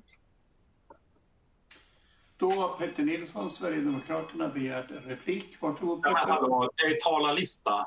Vi har ju samma turordning på gruppledarna. Ja, men replik. Rätten finns Nej, men jag har ingen, det är ingen replik på den här tal... Nej, det är inte det. Nej. Nej. Nej. Har rätt igen. Tack. Då är det Niklas Sandström nu då. Ja, tack herr ordförande. Så provar vi igen. Ja, herr ordförande, ledamöter och åhörare. Den socialistiska majoriteten menar att det satsar 300 miljoner ytterligare på vården. Men det glömmer berätta att det ska spara 565. Och jag vill påminna fullmäktigeförsamlingen och åhörare att regionen redan har lånat 2600 miljoner. Och förklaringen att den summan inte har behövt ökas ytterligare är de tillfälliga extra pengarna från staten. Regionens ekonomiavdelning gör bedömningen att varje år används 220 till 280 miljoner kronor mer än vad det finns intäkter för. Självklart är inte pandemin över vid halvårsskiftet, det menar vi inte. Men det är tydligt hur otillräckligt den socialistiska majoritetens budgetförslag är givet historiken av en låg uppfyllandegrad på runt 40 till 50 procent. Nu ska man klara 175 miljoner i år och 90 som är kvar från förra året. Så även om regeringen räddar Region Västerbottens ekonomi i, även i år med ytterligare statsbidrag så har vi ändå trots allt ett ansvar att klara ekonomin långsiktigt. Peter Olofsson menar att det strukturella underskottet har förbättrats. Analysen, om man gör den, så är ju intäktssidan som har förbättrats i och med ett nytt skatteutjämningssystem. Väldigt lite har hänt på utgiftssidan. Det kan vi fördjupa oss i ett senare tillfälle. Påståenden om att eh, vi i Alliansen vill skära ner i hälso och sjukvårdsnämndens budget. Vi tillför 40 miljoner kronor mer än vad majoriteten gör. En annan reflektion, hur, hur barnvänligaste länet är det med att ha längst vårdköer för BUP eh, i hela landet? Och jag förstår att Peter Olofsson försvarar sin fikaklubb till projektorganisation. Om vi hade haft ett fysiskt fullmäktige hade jag haft en med en låda massariner som ni hade haft, kunnat haft med till att första, första träff. Vi har eh, redan befintliga strukturer för att hantera beslut. Vi behöver inte fikaklubbar. Det krävs kraftfulla reformer för att ta regionen ur sin dikeskörning från som den socialistiska majoriteten har satt oss i. Från Moderaterna och Alliansen föreslår vi en primärvårdsreform med fast läkarkontakt med tillhörande vårdlag. Öka läkarmedverkan i den kommunala äldreomsorgen, stärk primärvård, förbättrad arbetsmiljö för vårdens medarbetare med fler karriärvägar, aktivt arbete för att förbättra den psykiska ohälsan samt åtgärder för att minska vårdköerna. Tomma löften om satsningar måste ersättas med eh, kraftfull politisk handling och nytt ledarskap. Tack. Jag vill påminna Petter om att du har redan ordet. Du behöver inte begära det. Detsamma är alltså även när du begärde replik. Men nu är det ändå så att det är Liselott Olsson som är i tur. Tack ordförande, presidium och lyssnare. Eh, när jag lyssnar på företrädaren från borgarsidan så slås jag av och förundras över att era förslag och det ni säger i debatten inte går ihop. Att vi i majoriteten saknar idéer och är dåliga ledare. Och när vi nu kommer med en ny idé och ett sätt att visa att vi som ledare tar ansvar för den uppskjutna vården till exempel, pandemins effekter och att klara av omställningsplanen. Då säger ni nej och börjar raljera och prata massariner och fika. Jag tycker att det är respektlöst. Ni pratar också om vård och personal som går på knäna. Och där håller jag med er att personalen sliter och gör ett fantastiskt arbete. ändå gör de ett fantastiskt arbete och det ska vi vara evinnerligt tacksamma över.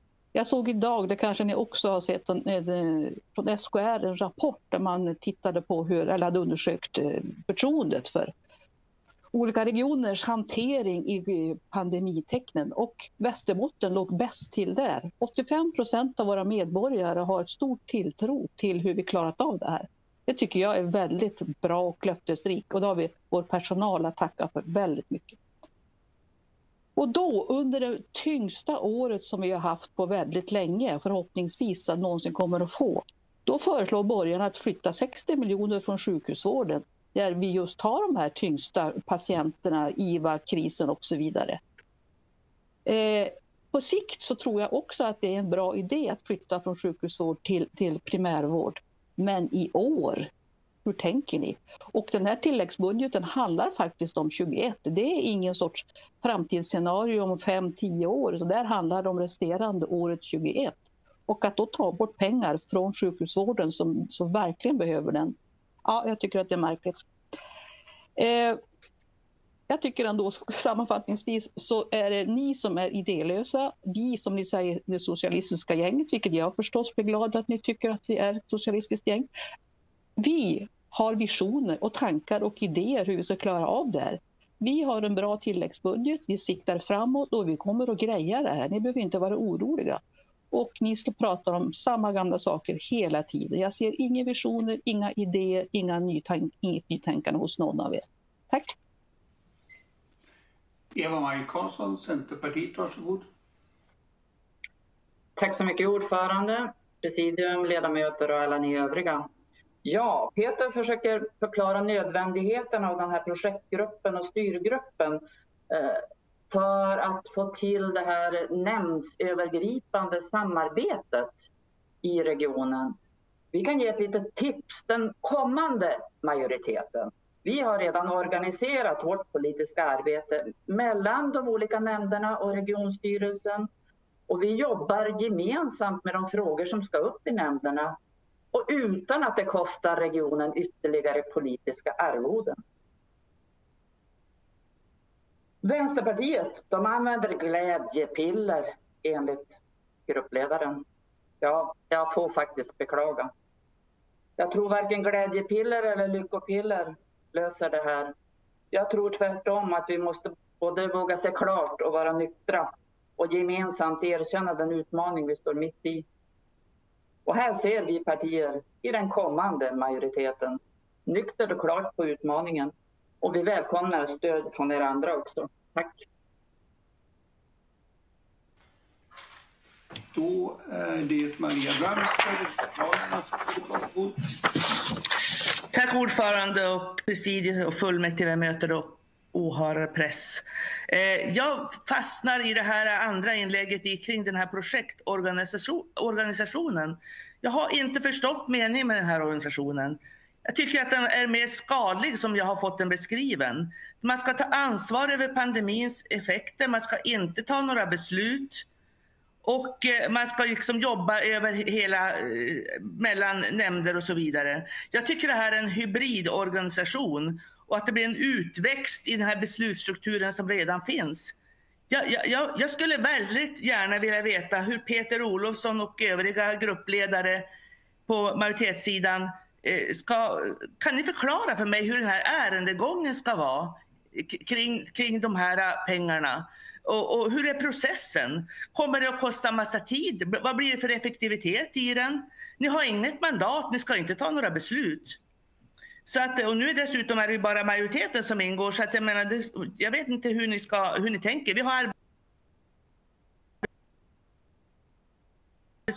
Sen kan man ju naturligtvis bli lite fundersam när man läser i tidningen en rubrik Stark budget som möter pandemins utmaningar. i Västerbottningen. Och då, då, då eh, säger man att man satsar ju då väldigt mycket på vården, 300 miljoner kronor. Men man talar inte om i det här inlägget att man har fått statsbidrag för att liksom jobba med uppskjuten vård och pandemins effekter med mera. Eh, det känns som att, att eh, det är andra saker som är luddiga i, i ert förslag. Alltså jämställdhetsintegrering 120 000. Hur ska ni jobba med det? Jag menar, det är något som ska finnas i organisationen. Det ska finnas tydliga, tydliga strukturer kring hur man jobbar med jämställdhetsintegrering. Att ett barnvänligt Västerbotten, jättebra. Vi har en lag, lagstiftning, barnkonventionen finns där. Vi har HLT ute i kommunerna i samarbete med regionen. Vi har samverkansavtal mellan kommuner och region kring barn och ungas psykiska hälsa. Ja, ja, hur, hur tänker ni kring det? Vore det inte bättre då, som vi gör i Alliansen, att vi satsar 3 miljoner kronor på barn och ungdomspsykiatrin och på ungdomshälsan? Jag stannar där, tack. Innan Peter Nilsson får ordet ska jag säga det att när gruppledarna har, har fått sin andra omgång på tal, som talare så kommer vi att ta en paus. Nu är det Petter Nilsson, Sverigedemokraterna, varsågod. Tack så mycket för ordet ordförande. Ja, nu har vi ju talat lite grann om fikaklubben i referensgruppen, men jag skulle vilja bredda det där lite grann.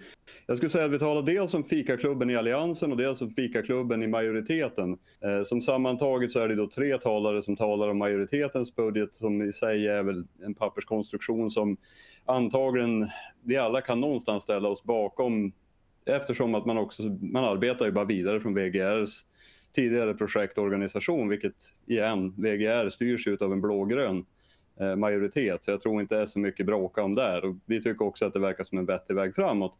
Eh, men sen har vi också fikaklubben Alliansen och det framförallt anmärkningsvärda här är ju, ja, alltså senast igår så diskuterade vi en av de här besparingarna ni ska göra Eh, då, då säger ni att ni ska spara 2 miljoner kronor på slopade patientavgifter som ni ändå säger att de här ja, men, slopade besöken, ja, men vi, vi måste naturligtvis eh, se till att, och just under pandemin och hålla oss i samma riktlinje. Så där, där yrkar man ju faktiskt för regionstyrelsens beslut. Plus att 60 miljoner kronor också, då säger man ja, men vi ska göra precis som vi gör nu och vi ska spara 60 miljoner kronor på det. Så 75 procent av era besparingar som ni också omprioriterar är ju bara luft. Det är sanningen.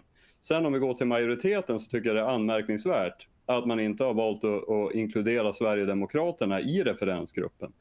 Och det är just för att ni, både majoritet och allians, är en fikaklubb. Då kan man ju tycka vad man vill om det. Men alltså vi, vi hade dels en beredskapsmotion eh, som hanterades i fullmäktige i februari 2020. Sen hade vi också, vi var de första att höja frågan om covid i ett initiativ till regionstyrelsen som hanterades 5 februari Eh, 2020 också det. Där alla övriga gruppledare valde att avslå att uppdatera rutiner och beredskap för en eventuell pandemi. Det är alltså ingen speciellt avancerad interpellation utan det är liksom, ja men se till så att vi har sakerna i ordning. Och ni alla övriga partier sa nej till det. Nu har, nu har Socialdemokraterna haft möjlighet att inkludera Sverigedemokraterna som dessutom har inkommit med 2030 initiativ under 2020 kring covid. Betydligt fler än övriga partier tillsammans. Och, och man väljer då att inte göra det. Man väljer att säga nej men Nej, det, det vore nog bättre om vi får den här andra oppositionen som är lite snällare och, de, och de är lite trevligare att fika med också. Men då säger de nej och då har de möjlighet att ta in en reell opposition, men man gör inte det. Och då tycker jag det är ganska anmärkningsvärt att man inte väljer att göra det. Ja, jag upplever att det är diktatoriskt och jag upplever att det inte är för våra regionmedborgares bästa. Utan här har man haft möjlighet att ta ansvar, men man har inte gjort det. Eh, avseende våra satsningar så är det väldigt behövligt. Alltså vi måste seriöst satsa på strukturellt belastade kliniker. Vi alla vet om det här. Det, det, är ingen här som inte vet om att IVA är strukturellt belastad. Och samma sak, personalsatsning behövs. Vårdpersonalen har gått på knäna långt innan covid och det här behöver ske snarast. Tack. Då är det Hans Ingesmetarna som har ordet. Varsågod. Tack för ordet ordförande. Eh, ja, primärvårdsreform. Peter Olofsson säger att det här är inget nytt för, för, för, för hela Sverige. Ja, det är kanske att hela Sverige bara inser att vad, vad allianspartierna har hävdat och sagt i många, många år. Min företrädare före mig och även företrädare före henne har, har lyft fram vikten av primärvårdssatsningar och primärvårdsreformer.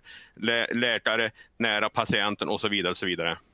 Eh, så det är ingen nytt Olofsson, nej. Men, men, men eh, även den rådande sittande majoriteten här i, i, i, i vår region eh, får, får köpa det som kommer från nationell nivå eh, och har vaknat till sans. Det tycker vi är bra.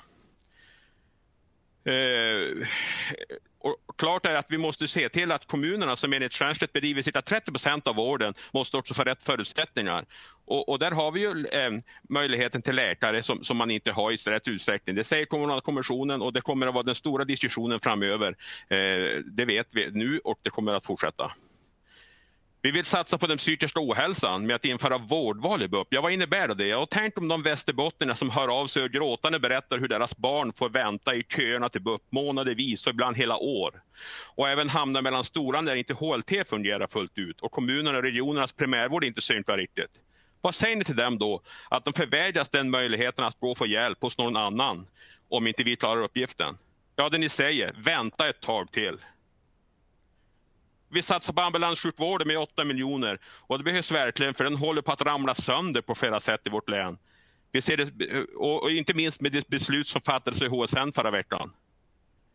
Jag hoppas att en utredning som KD fick bifall till i HSN ska visa på vad som verkligen behöver göras för att räta upp ambulanssjukvården i Västerbotten. Sen till SD, att liksom yra på att säga att de är enda oppositionen. Eh, när, de, när de lägger en budget eh, utan resultatbudget. Det, det är liksom eh, att, att komma över målet. Att, att påstå att, att Alliansen har någon fikaklubb bara för att vi har myntat ordet. Men det handlar ju faktiskt om att vi menar att det ska jobbas i den strukturella eh, ordning det vi redan har. Där jobbet ska utföras och där vi har politisk styrning i de grupperingarna. Att sätta till en, en, en, en politisk grupp utan att ha beslutsmakt det är, anser vi är fullständigt onödigt. Och det handlar inte om, som Peter Olsson säger, att inte ta ansvar, utan det handlar om att vi tar ansvar för det vi har byggt upp och den organisation och den struktur vi har och vi litar på att, att jobbet sker på ett korrekt och bra sätt i den ordinarie strukturen. Tack för ordet. Då är det Emma Lindqvist, Miljöpartiet. Varsågod. Tack så mycket ordförande. Eh, vi i majoriteten är väldigt stolta och glada över att trots pandemin och de, den besparingsplan som vi lever med och inte har tummat på trots eh, pandemisituationen hittar utrymme att förstärka den här verksam vår verksamhet med över 300 miljoner. Det är något som vi ser avsaknad av i borgarnas förslag till tilläggsbudget. Högeroppositionen vill skära i sjukvården med 60 miljoner genom att på olika sätt ge sken av att effektivisera arbetssätt. De vill också ta bort hälften av det folkhälsobidrag som vi nu återinför som är så otroligt viktigt, inte bara för de föreningar som får det här stödet utan för, för våra medarbetare som kan söka sig till de här föreningarna eh, och få en förhöjd livskvalitet. Något som vi debatterade igår, men som ingen av er borgerliga partier riktigt ville ta i. Samtidigt föreslår ni en rad satsningar, inte minst på en lokal kömiljard. Eh, det är så oerhört tydligt att de här kortsiktiga satsningarna trots, tros vara lösningen när det egentligen leder till en otrygg verksamhet. De svåraste och mest vårdkrävande patienterna de får vänta snällt på sin vård medan de övriga pigga och snabbbehandlade patienterna behandlas snabbt. Det här är svårt att få ihop resonemanget när jag läser den här under, ert underlag. Eh, för det är inte på det här sättet vi bygger en långsiktigt hållbar och trygg vård i Västerbotten. Västerbottningarna har det största förtroendet i landet för regionens sätt att hantera corona enligt SKRs sammanställning. Det hyllar vår personal som vi ständigt för dialog med. Och med siktet på målet att bygga den ekonomiska stabila verksamheten som våra medborgare är värda, det kommer vi att nå i rimligt, inom en rimlig framtid. Var så säker.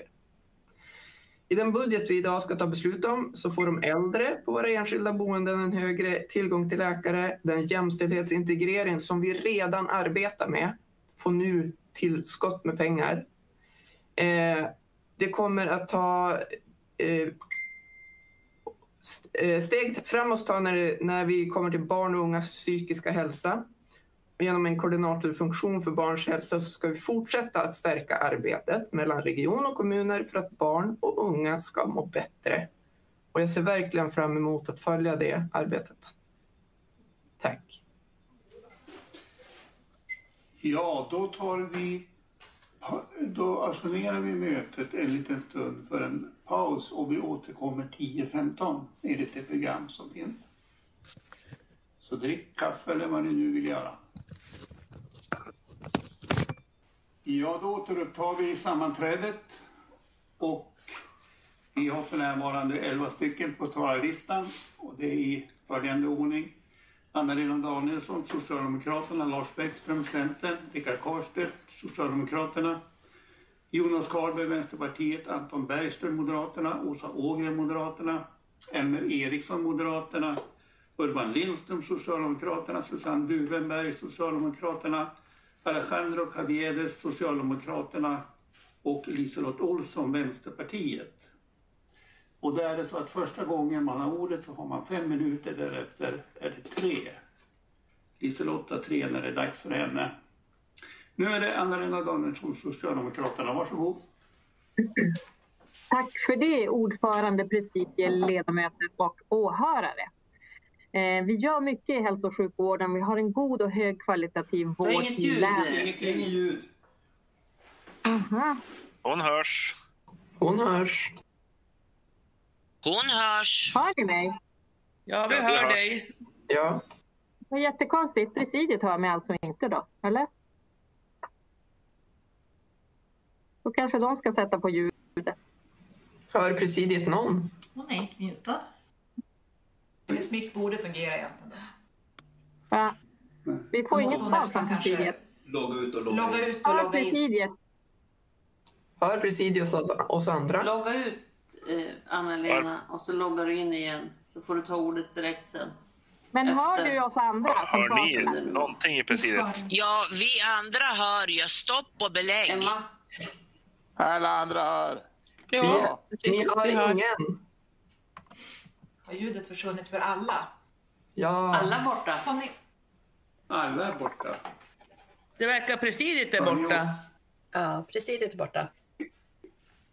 Ja, precis. Är borta. inte. Katarina Alltså, hörs vi- inte heller. Så det är något som är galet just nu. Vi hör presidiet, vi andra. Men presidiet måste ju logga in sig på något vis. Det är ni som är, vi som är borta. Ni, vi hörs i streamen och alla hör er och de hör varandra. Ja, så är det. Vi hör alla och vi hör Ledamöterna presidiet. hör Anna-Lena, men vi hör hon inte. Nej. Presidiet är borta, vi hör presidiet. Vi hör presidiet men, hör in, men vi hör inte dem.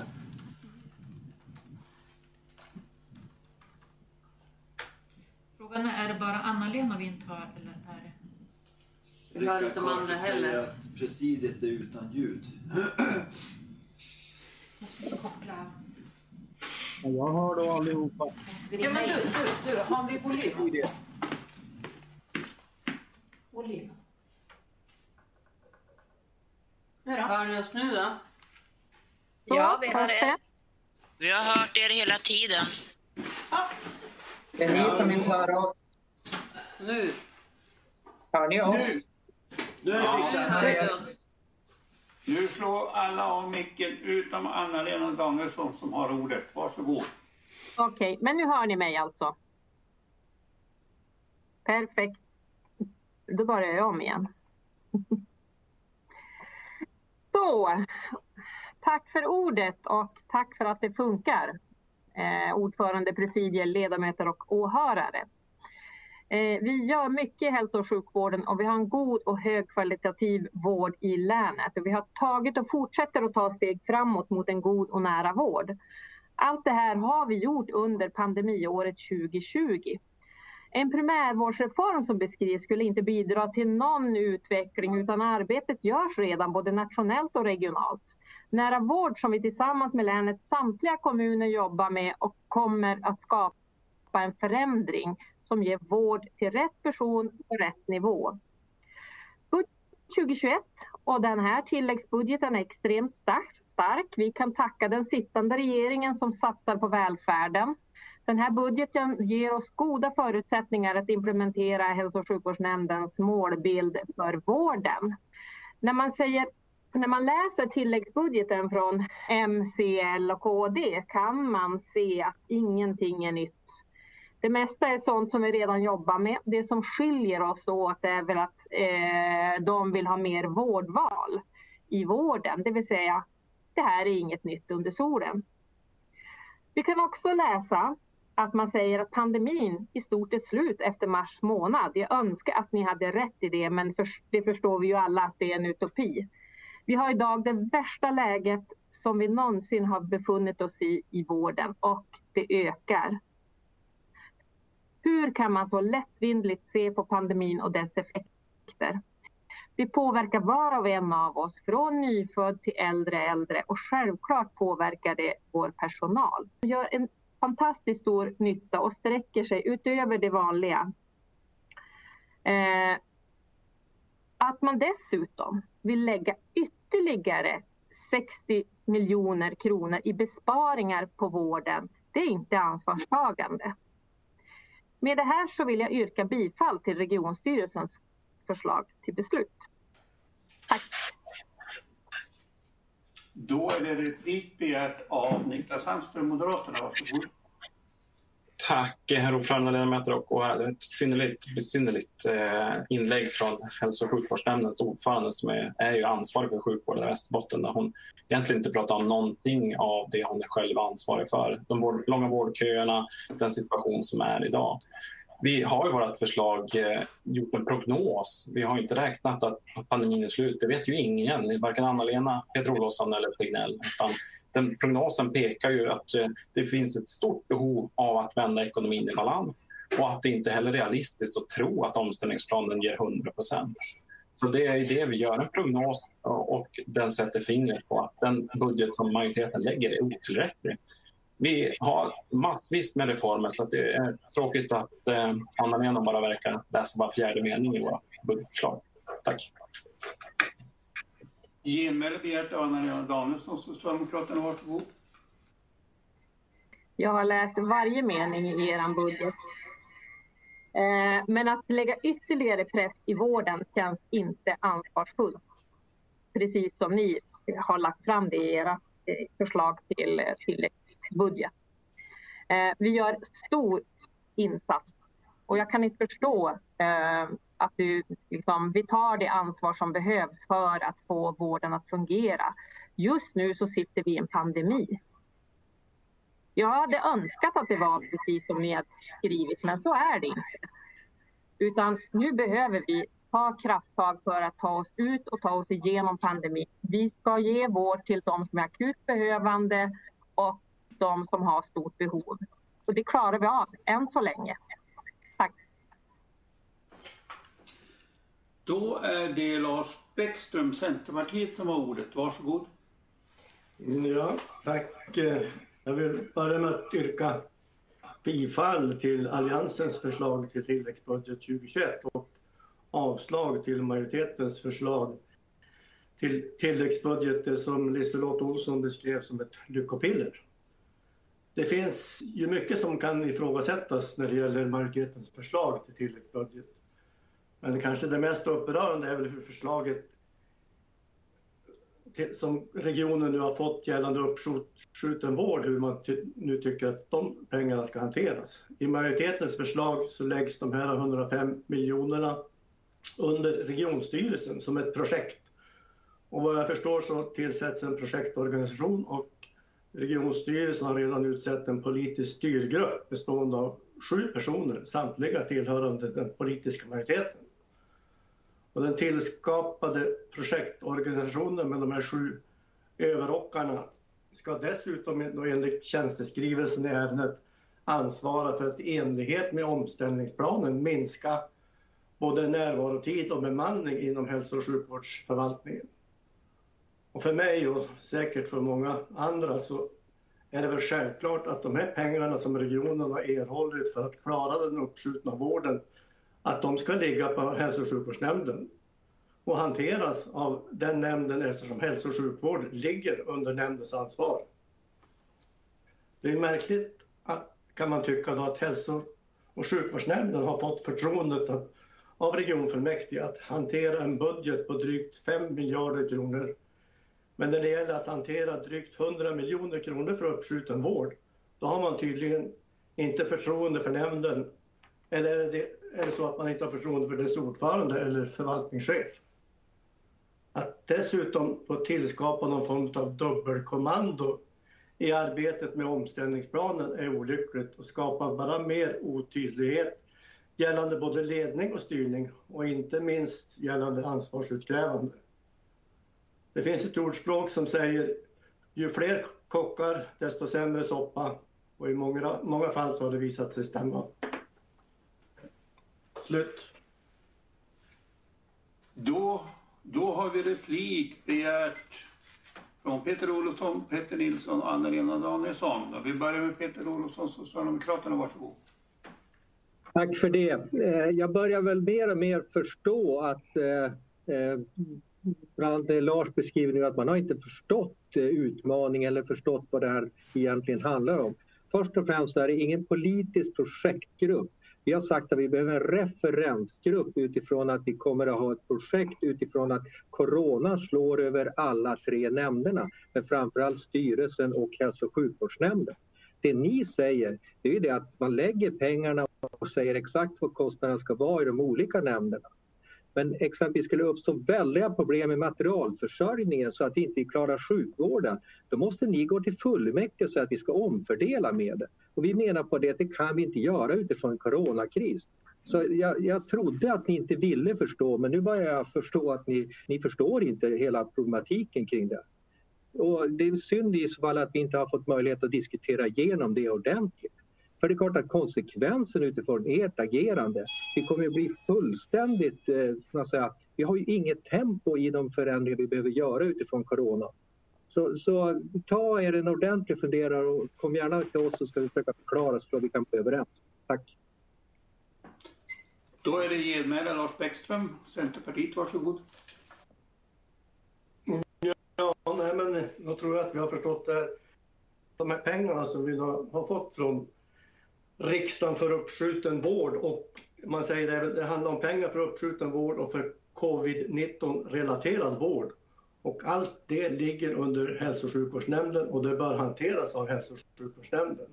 Och risken med att, att tillsätta en grupp som ska hantera det här som inte är tillsatt av fullmäktige, det är ju vem, vem ska man i, slut, i slutändan, om det här inte går riktigt så bra, vem, vars ska ansvarsutkrävande utkrävas? Det här, jag tycker, vi måste vara försiktiga, vi får för guds skull inte informera revisionen om det här för de, de kommer att bli väldigt upprörda. Då är det replik Peter Nilsson på Lars Bäckströms inlägg. Varsågod. Tack så mycket för ordet. Nej, jag kan ju tycka det är lite märkligt Lars, eller väldigt märkligt. Jag, jag förstår inte, ni vill ju ha en lokal kömiljard och jag tog ju upp det inledningsvis också i de här gruppledaranförandena. Det innebär ju i sådana fall att om ni använder nu idag som en fast referenspunkt då när ni vill betala ut de här först om ett halvår så kommer ju de här klinikerna att inte få tillskott förrän om ett halvår. Och säkert har du också följt med det och sett ungefär hur illa det ser ut idag. Vi har strukturellt belastade kliniker. Och då är ju frågan då, om ni nu, fördröjningen om ett halvår är i sig problematisk. Men visst måste väl också Alliansen förstå att vissa kliniker är särskilt strukturellt belastade? Så kommer det verkligen att slå rätt ut ifall ni har en lokal eh, kömiljard? Vad, vad kommer att hända med IVA? Alltså, jag, jag, jag förstår uppriktigt sagt, alltså jag, jag förstår inte hur ni tänkt där. För det, det, hela grejen blir ju bara konstig. Tack. Genmäle Lars Bäckström, Centerpartiet. Varsågod. Nej, men jag har full förståelse för att du Peter Nilsson inte förstår hur vi tänker och jag menar jag förstår inte alls hur du, hur du tänker heller och att jag är övertygad om att eh, om hälso och sjukvårdsnämnden får hantera de här pengarna som vi har fått för att hantera uppskjuten vård och covid-relaterad vård som kommer vi utifrån de, den tjänstemannaledning som vi har med våran förvaltningschef så kommer de här pengarna att hanteras på bästa sätt och det kommer inte att bli någon halvårsfördröjning så du behöver inte alls vara orolig för det Peter Nilsson. Då är det Anna-Lena Danielsson som har replik på Lars Bäckströms första anförande. Varsågod.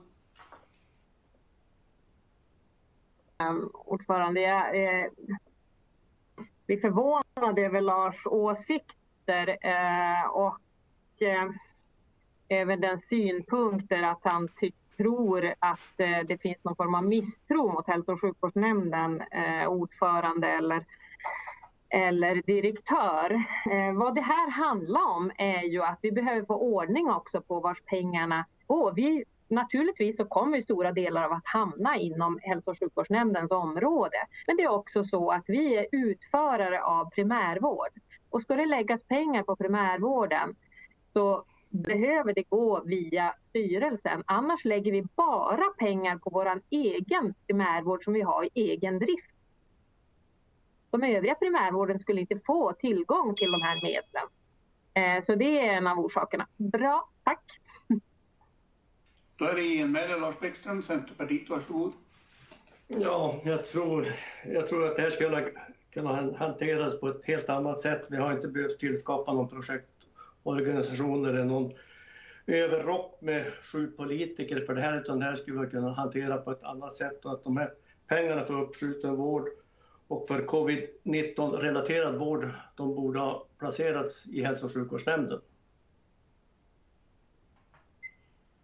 Slut. Då är det Rickard Karlstedt, Socialdemokraterna. Varsågod. Tack ordförande, ledamöter och åhörare. Eh, jag vill börja att yrka bifall till styrelsens förslag. Vi i majoriteten tar ansvar och vi vill fortsätta att ta ansvar för en helhet. Vi är mitt i en pandemin där vi ser att olika mutationer sprids. Eh, och jag tror inte att vi har sett den sista mutationen än, så att börja prata om slutet anser jag vara alldeles för tidigt. Att i det här allvarliga läget som vi befinner oss i och Anna-Lena var väldigt tydligt på att, att vi har ett otroligt allvarligt läge i Västerbotten.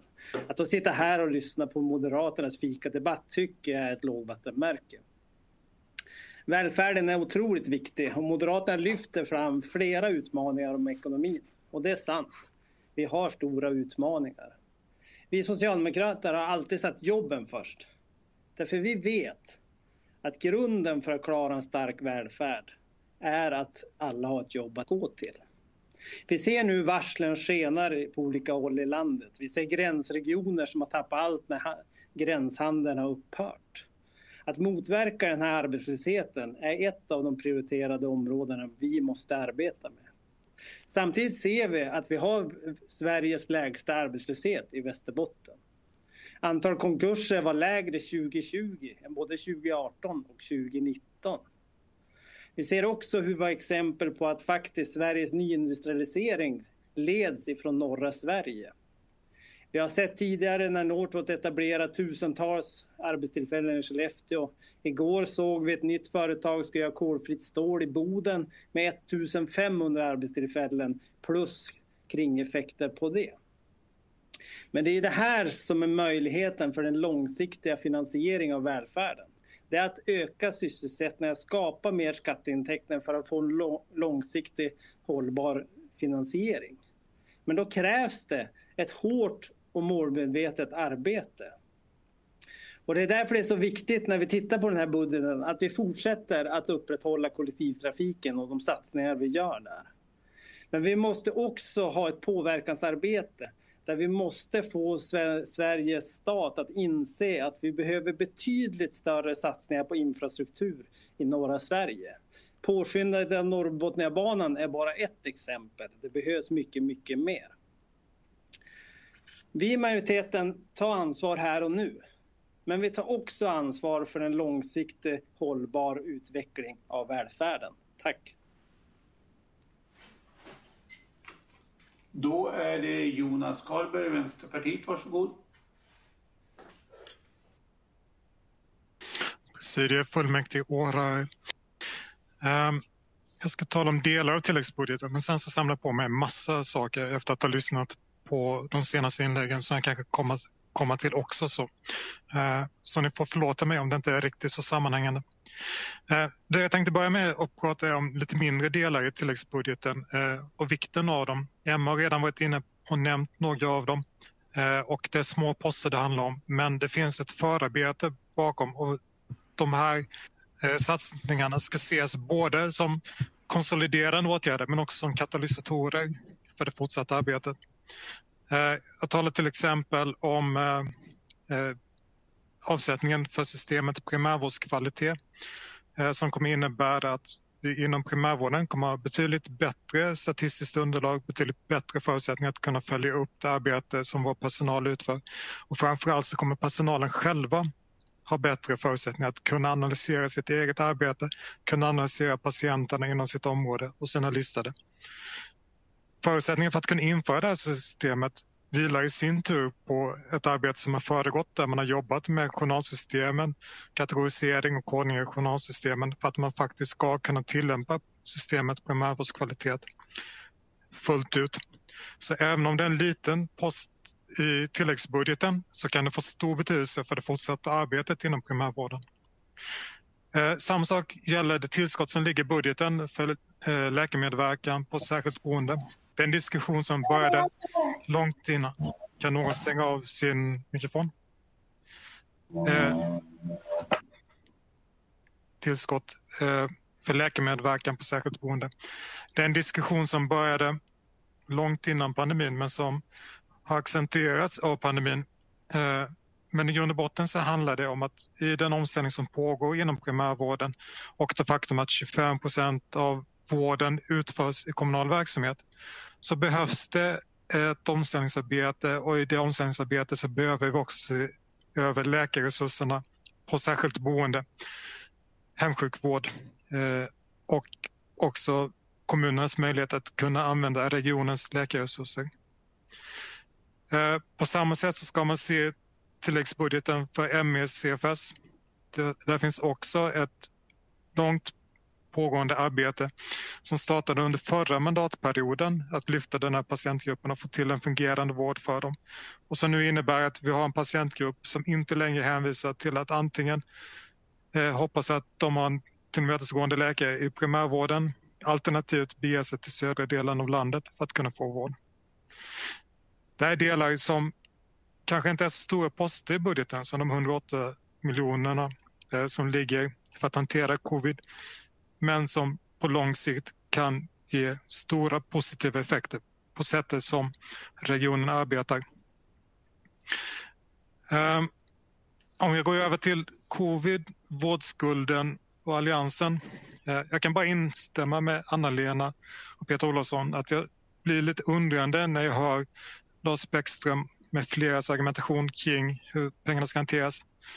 Eh, alltså Alliansen är för ett vårdvalssystem ni har genomfört ett obligatoriskt vårdvalssystem och nu har vi en organisation där vi har en beställa-utföra-organisation i Västerbotten, precis som vi har i alla andra regioner. Eh, ni pratar om uppskjuten vård. Lars har ju också hört redogörelserna för hur vården har fungerat under pandemin.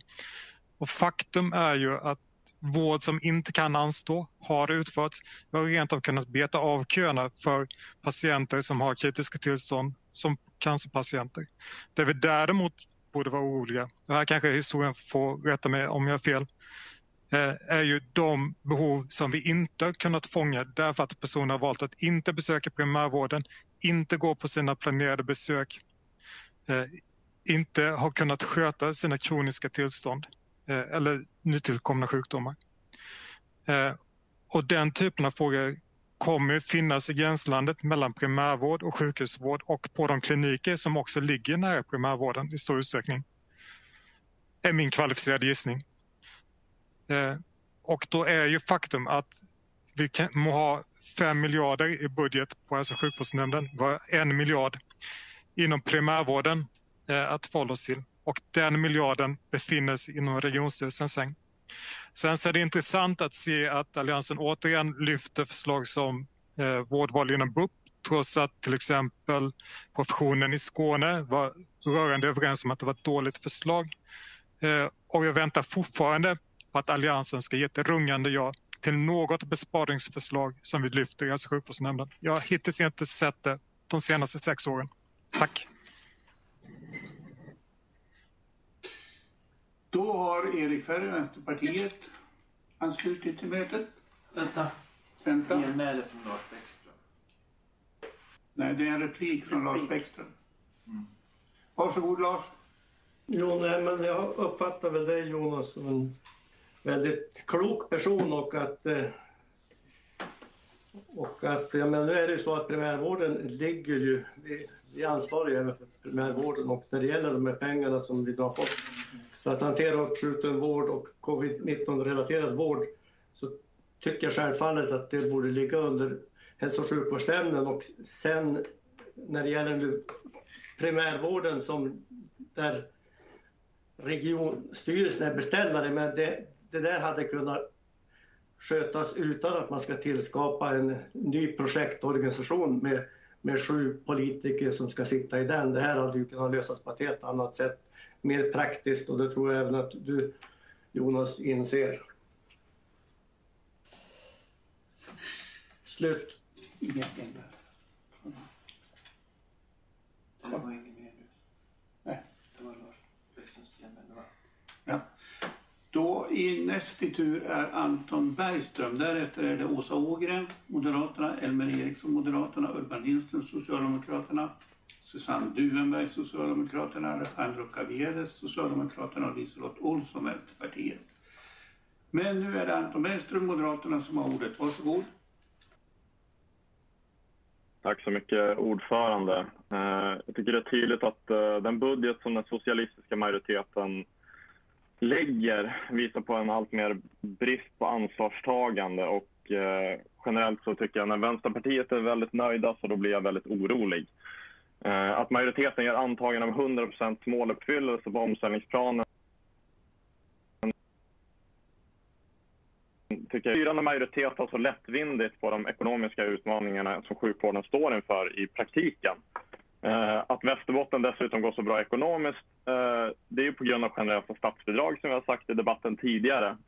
Men det är lite spännande historieskrivning från Socialdemokraterna som tackar sin regering. Men det i själva verket är Moderaterna som har samlat majoritet i riksdagens finans mer pengar till regionerna i strid med Socialdemokraternas vilja. Så att, att skriva om historien verkar vara en paradgren från Socialdemokraterna som vi ska räkna med fram till valet när man skriver om historien på olika sätt. Och dessutom om vi kollar på resultatet om vi jämför med många övriga län så ligger vi väldigt lågt. Och det beror ju på att vi har ett strukturellt underskott på över 200 miljoner. Och när det gäller de kommande eh, tioårsinvesteringarna så är 7 av 15 miljarder ofinansierade. Eh, så att jag menar på att med, med Alliansens budget så väljer vi att på allvar ta tag eh, i de här eh, ekonomiska utmaningarna för att få den här skutan på rätt köl. För att i mindre utsträckning eh, skuldsätta framtidens generationer. Det tycker jag är, det är liksom det, det, tycker, det tycker jag är väldigt viktigt. Men det här tycker tydligen Vänsterpartiets gruppledare är respektlöst, som man uttryckte det. Eh, det är inte särskilt roligt att behöva göra de här besparingarna som, som vi presenterar i Alliansens förslag. Det är såklart roligt att bara satsa pengar hela tiden. Men det är ju den verklighet som regionen står inför efter 40 år av socialdemokratiskt styre. Och jag tycker det är allt mer uppenbart att man börjar tappa greppet om det här styret. Den här projektgruppen är ett uppenbart exempel på när idéerna är ett slut och istället för att presentera riktiga reformer för att ta tag i de här problemen. Så det behövs ett nytt styre och en ny ekonomisk kurs för Region Västerbotten. Eh, när det kommer till SDs förslag till ändringsbudget så kan jag bara konstatera att eh, det är väldigt mycket prat om fika i andra grupperingar men när förslaget från SD är knappt en sida lång så är det svårt att ta ställning till det. Särskilt när man inte ens har delat upp resultatbudgeten på, per nämnd så att säga. Och I SDs grupp verkar det ha fikats väldigt mycket men det har jobbats väldigt lite med ett riktigt alternativ. Jag kan tycka att man kan vänta sig mer av ett parti som kallar sig den riktiga oppositionen än det eh, ja, servettskiss som eh, SD ändå har presenterat som tilläggsbudget budget här eh, till det här fullmäktige. Eh, så bifall till Alliansens förslag till tilläggsbudget. Då är det replik begärt av Peter Nilsson, Sverigedemokraterna. Varsågod. Tack liksom så mycket för ordet ordförande. Jag tror att Jonas Karlström var före mig. Eller Karlberg, ursäkta mig. Förstod jag det riktigt att eh, Jonas Karlberg var före mig i repliklistan? Ja, jag drog tillbaka det. Det var för specifikt att replikera på. Ja, tack så mycket. Tack för ordet. Nej, Anton, vi kan väl börja och säga så att ert förslag har alltså 75 procent av era besparingar är ofinansierade. Eh, och det är ju ganska imponerande att börja kritisera då Sverigedemokraternas förslag till en tilläggsbudget. Eh, vilket i princip, jag, jag räknar egentligen med att alla kan räkna ut en resultatbudget utifrån det. Ska vi gå till själva budgetförslagen så tycker jag väl snarast att det är intressant att se ert lite mer begränsade, jag tror den hade 30 sidor eller något sådant medan vi hade motsvarande 80. Så att eh, det är tappert men eh, rimligen så bör ni ju först och främst se till att finansiera er tilläggsbudget, vilket är det vi diskuterar idag. Se till att finansieringen är där så kan jag nog klara mig utan även en resultatbudget från er sida. Tack. Vänta, genmäle Anton. Genmäle Anton Böjsen, Moderaterna, varsågod. Tack så mycket. Nej, det är svårt att bedöma SDs eh, budget för att det, det är svårt att veta vad, vad SD vill så att säga. Det, det läggs ju liksom inga, inga uppdrag, det, det är svårt att ta ställning till det. Men eh, Petter får gärna specificera vad han menar som är ofinansierat i vår budget. Eh, det, han menar på att 75 procent är ofinansierat. Det, det tycker jag låter väldigt märkligt. Du får gärna specificera vad du menar. Petter Nilsson. Nej. Petter, du får begära ordet. Du, du är kör i den här. Det är så. Ordet. That's the, the rules. Då går vi till Åsa Ågren, Moderaterna. Varsågod.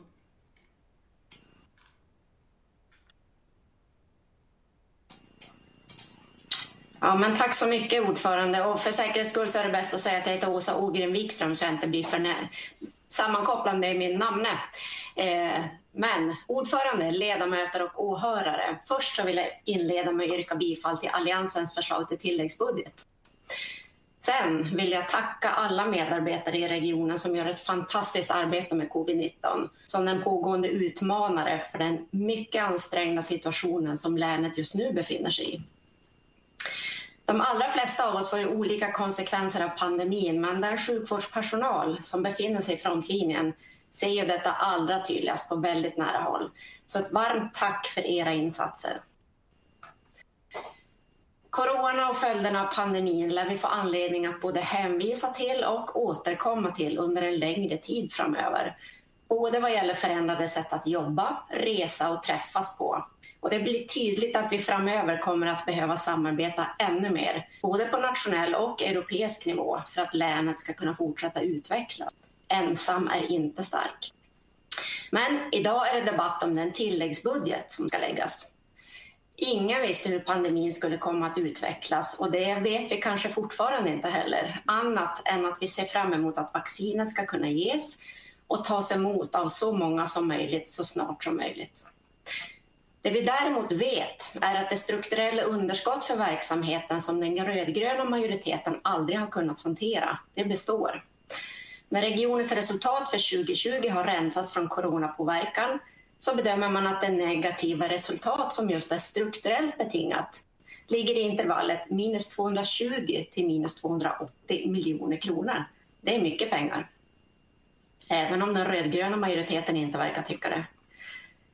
När vi debatterade regionplanen i juni förra året så sa jag att jag torde säga att i stort sett alla av oss här är överens om en sak. Och det är att vi vill kunna erbjuda den absolut bästa vården och omsorgen till alla som har behov av det. Jag sa också att det inte går att använda pengar som inte finns eller säga allt åt alla, vilket helt enkelt inte är att ta ansvar.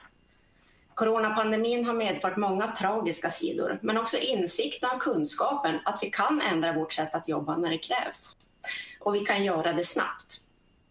Inom loppet av en vecka var de allra flesta av oss inne i digitala möten, något som bevisligen här är mer regel än undantag. Vården var föredömligt snabb på att ställa om, vilket vi alla är tacksamma för. Och när vi så småningom börjar återgå till ett någorlunda mer normalt läge med förhoppningsvis mer kontroll på smittspridningen framför allt, så kommer däremot de strukturella problemen i ekonomin att kvarstå. Och då krävs det att vi också orkar ta ansvar för ekonomin i regionen. Med de statliga bidrag som regionen har fått på grund av corona så ser vi att det för första gången är svarta siffror och inte röda och det är bra för länets skattebetalare. Men det betyder ju inte att man kan låta bli att fortsätta med omställningsplanen mot en hållbar ekonomi när den akuta fasen är över. Det räcker helt enkelt inte med att den knappt uppnås till hälften av det planerade. För det är inte kommande generationer som ska belastas för vad den rödgröna majoriteten inte mäktar med att göra. Så bifall till Alliansens förslag till tilläggsbudget. Tack! Då är det replik på Åsa Ågren Wikströms inlägg begärt från Peter Nilsson och Ahmed Farsi och vi börjar med Peter Nilsson. Vem begär ordet? Tack så mycket. Ja, Ahmed begär ordet, ursäkta. Då är det en replik och det är Peter Nilsson. Varsågod. Tack så mycket för ordet ordförande. Eh, ja, jag tar ju egentligen nu, Åsa tar ju upp samma bekymmer egentligen som Alliansens företrädare har gjort återkommande, att man inte ska använda pengar som inte finns för att lova saker som inte går att genomföra. Men återigen, 75 procent av era besparingar är ju inte genomförbara. Punkt 13 beslutade vi tidigare under eh, eller under gårdagen, slopad patientavgift för sent avbokat besök, i vilken ni valde också att bifalla regionstyrelsens förslag till beslut samt tillsätta en, en utredning. Eh, vilket innebär väl mer kostnader egentligen. Och där har ni tänkt bespara 2 miljoner kronor. Sen har ni 60 miljoner kronor av era 82 miljoner kronors besparingar som ni säger att ni ska eh, ja, gå igenom primärvårdsreformen, vilket alla regioner och alla partier är eniga om. Så det är ju inga besparingar. Då har ni ju 62 miljoner utav 82, vilket är ungefär 75 procent som är helt ofinansierat. Sen när jag då också diskuterade tidigare med Lars Bäckström så har det kommit fram att er lokala kömiljard är ju ingenting som ni egentligen vill göra, utan ni ska ju låta tjänstemännen besluta om det här nu helt plötsligt. Så ni har ju redan frångått er budget, alltså det är, det är inte allvar. Tack. Inget genmäle. Nej, ingenting. Då är det Elver Elmer Eriksson, Moderaterna, som har begärt ordet. Varsågod. Tack för ordet ordförande, ledamöter, åhörare. Eh, det här är en väldigt intressant debatt och då man sitter så här på avstånd och lyssnar så blir man ibland skrämd och ibland blir man glad. Eh, men jag ska börja med att yrka bifall till Alliansens tilläggsbudget för år 2021 politiskt ansvarstagande är mycket svår och prövande tid. Och det är inte skämmigt för majoriteten heller att ta den här budgeten för att eh, den håller något bättre än vad majoritetens budget håller. Eh, eh, det är märkligt egentligen. Peter var inne på att det här var en ordentlig budget, men den är ju underfinansierad på många håll och det tycker jag inte är bra för att det har, vi, har ju alltid majoriteten gjort underfinansierat sina budgetar och inte fått ekonomin att gå ihop. Och man har inga lösningar på hur man ska göra besparingar på den här kvarts miljonen som vi ligger efter med idag. Jag har många gånger ställt frågan, både i HSN och i andra sammanhang. Vad har ni för plan? Vad har ni gjort? Vad är resultatet? Och ingenting har kommit. Det enda resultat jag har fått det är varje månad där de har haft ekonomisk redovisning, någon ekonom från regionen. Nu har vi fått statsbidrag så mycket för det här och det, då blir ju underskottet betydligt mindre än vad det var förväntat. Och det är där omställningspengarna kommer in hela tiden. För jag hoppas att Peter och hans gäng har väldigt bra kontakter med Stockholm så att vi får ännu mera pengar för att klara av omställningspengarna som vi behöver dra in storleksordningen en kvarts miljard. För att det enda sättet för Peter och hans kamrater att lösa problemet, för de har inte hittat någon rak linje vad man ska spara på, hur man ska lägga upp det och visa resultat vad man har gjort. Och det får jag också eh, lite guldkant på när man läser på vad revisorerna skriver. De har ju samma åsikt som jag har i det här fallet.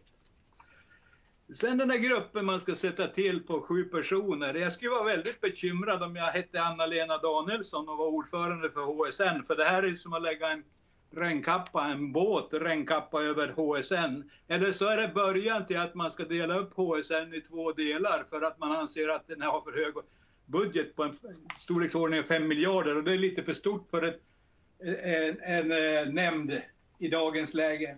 Vi har ett stort arbetsområde och det gör det att eh, jag kan tänka mig att man är inne på det bara för att börja med det här. Det här är första steget. Och så jag, som Anna-Lenas situation är, tycker jag är konstig.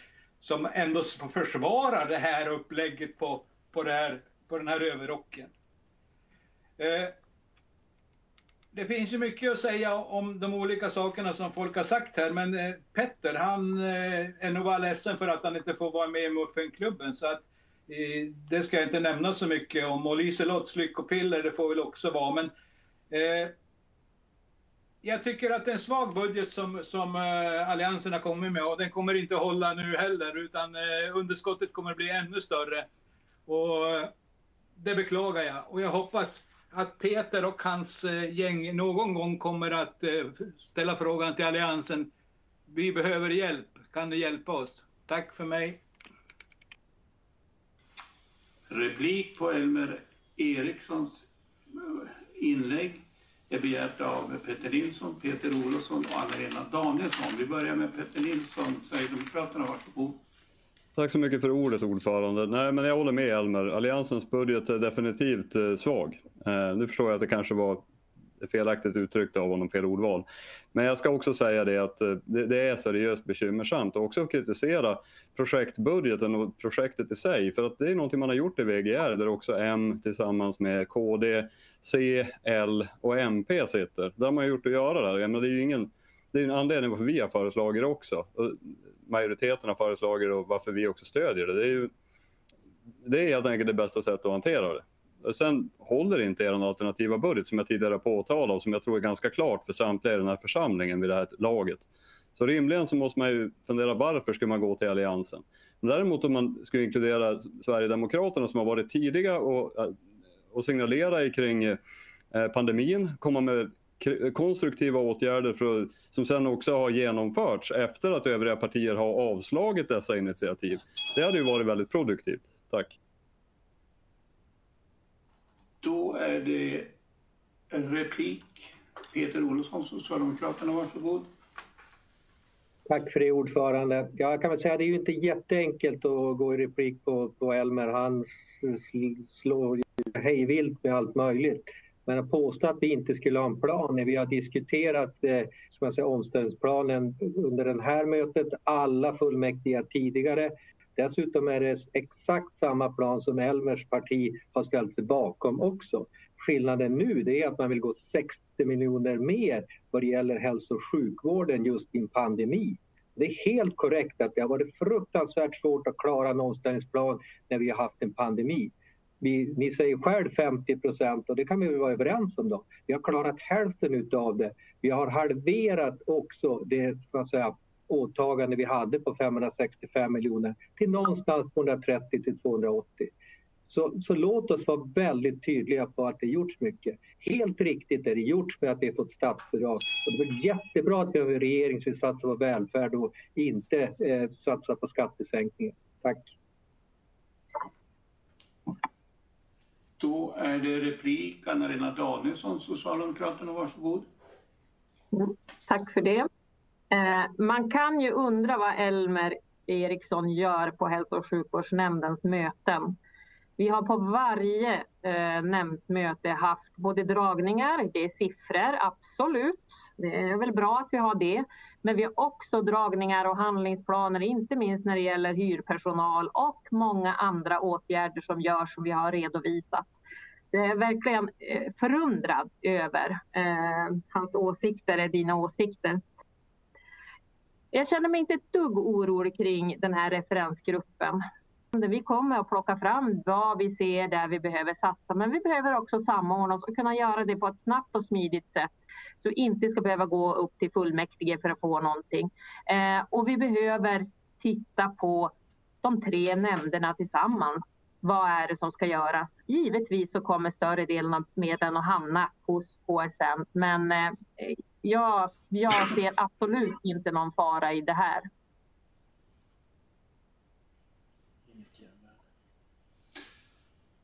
Då går vi vidare i talarlistan och jag räknar upp, det är sju stycken som har begärt ordet och det börjar med Urban Lindström, Socialdemokraterna, Susanne Duvenberg, Socialdemokraterna, Alejandro Caviedes, Socialdemokraterna, Liselott Olsson, Vänsterpartiet, Maria Brönster, Liberalerna, Ahmed Herzi, Vänsterpartiet och Anton Bergström, Moderaterna.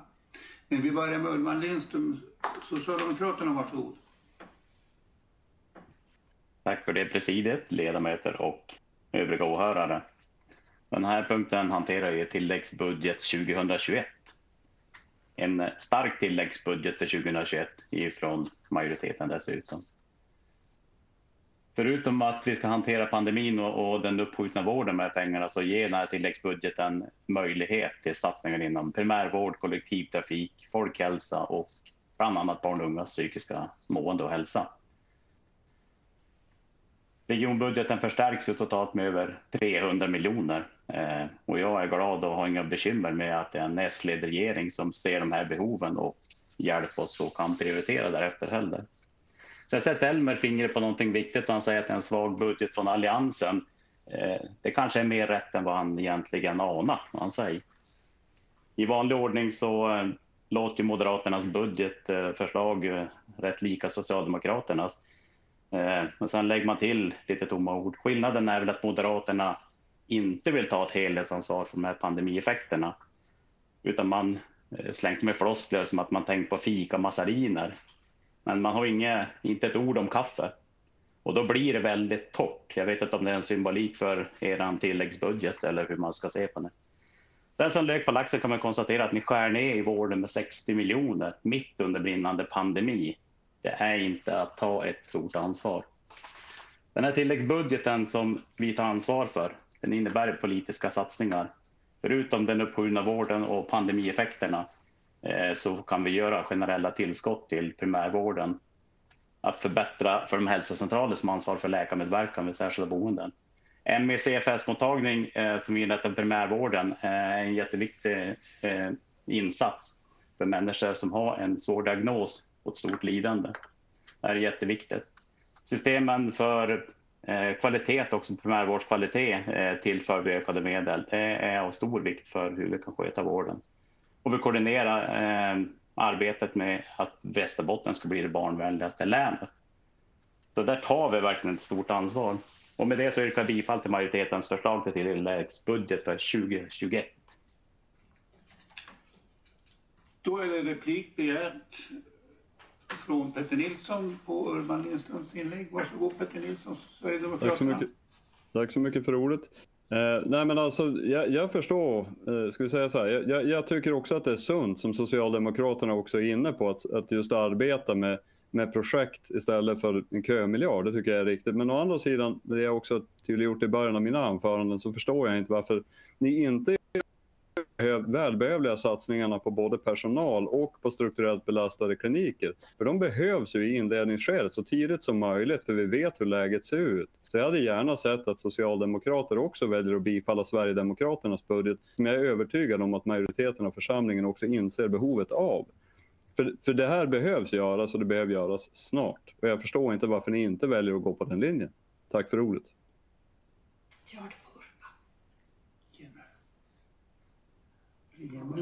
Frågar Elmer om han begär... Nej. Har du begärt genmäle, Urban? Nej. Nej, men det är Elmer Eriksson. Uh, Elmer Eriksson, har du begärt, du begärde inte replik så därför kan du inte få det nu. Jo. Nej, det kan du inte. Den frågan är överstökad. Nej. Men däremot kan du få det på det inlägg som har varit nu. Tack, då tar jag det nu. Ja, då är det replik. Elmer Eriksson på Urban Lindströms inlägg. Tack. Tack för det.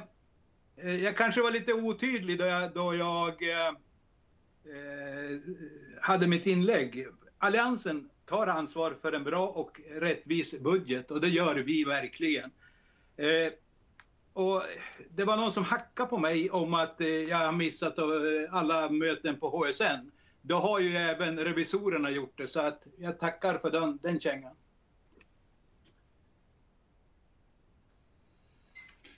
Då är det Susanne Duveberg, Socialdemokraterna, som har ordet. Varsågod.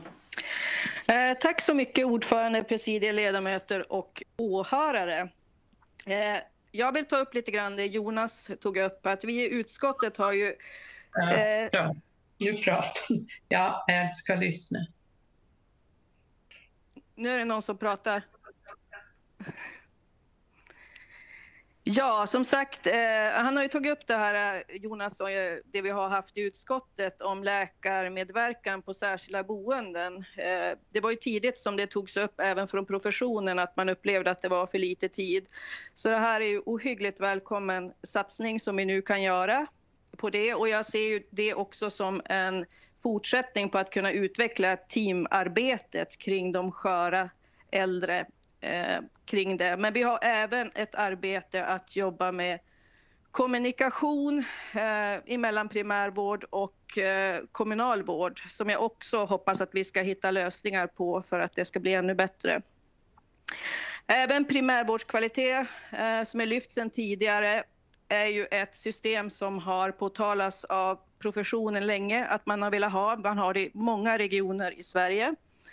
Och jag tänkte att jag kan beskriva lite grann att det innehåller då eh, kvalitetsindikatorer för akuta och kroniska tillstånd, psykisk ohälsa, rehabilitering samt kärnområden som kontinuitet, samsjuklighet och levnadsvanor. Vi har ju många gånger haft diskussioner att primärvården behöver möta upp psykisk ohälsa. Eh, vi kommer också få en stor bit rehabilitering efter coviden, eh, tror jag. Och så jag tror att det här systemet kommer att göra att man kan få en mer helhetsbild kring patienten och sätta in insatser i rätt tid. Eh, jag skulle också vilja lyfta någonting som gör att man tänker på helheten. När vi har en sån här smittspridning så är det väldigt viktigt också att vi satsar på städ, att vi verkligen kan eh, hålla borta alla virus. Och det gör vi också i det här och vi ska även se över det inför 2022. Eh, så jag tycker verkligen att majoriteten har lyft fram de rätta frågorna för att vi ska komma vidare. Tack.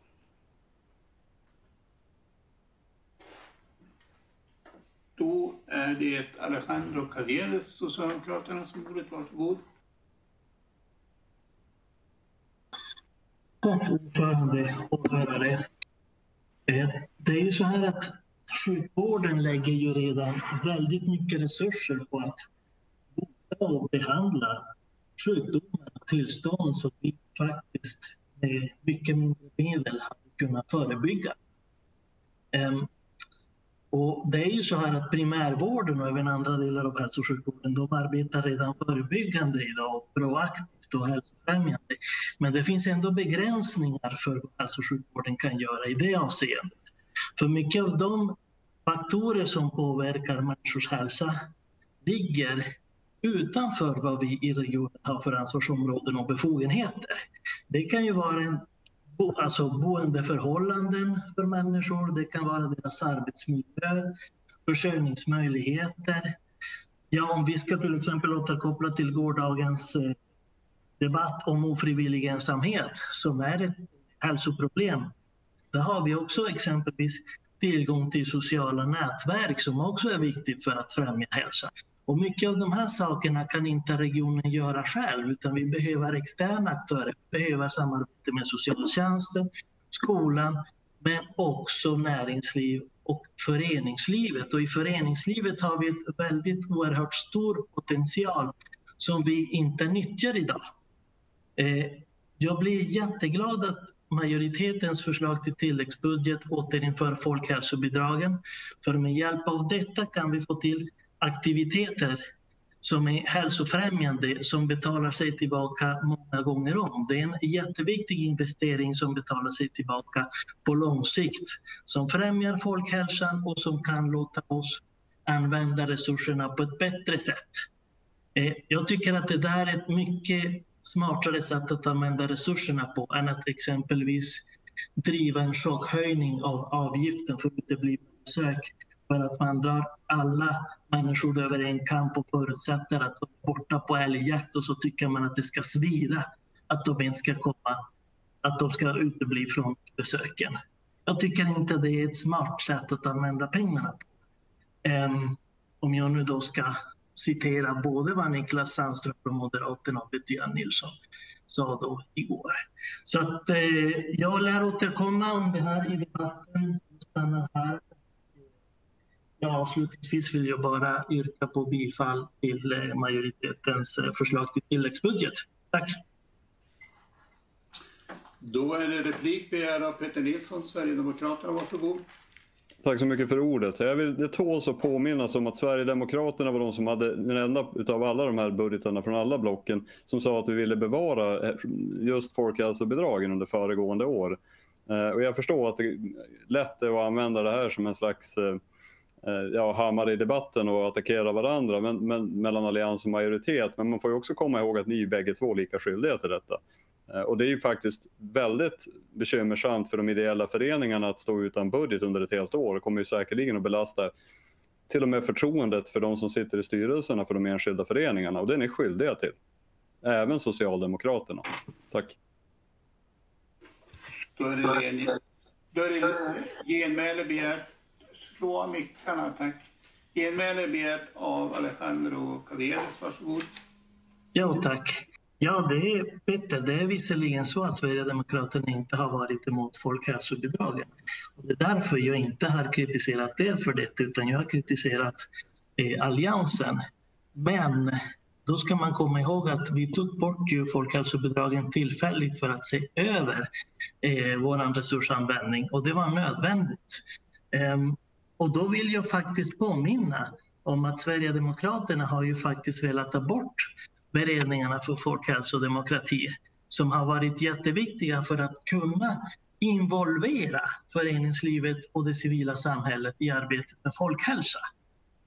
Som, vi, som jag sa tidigare, vi behöver dem för att kunna ha ett omfattande arbete som är förebyggande. Så att, eh, att Sverigedemokraterna nu kommer hit och ska framställa sig som att de vill främja folkhälsan, det låter inte rimligt för mig. Tack. Då är det Liselott Olsson, Vänsterpartiet, som har ordet. Varsågod.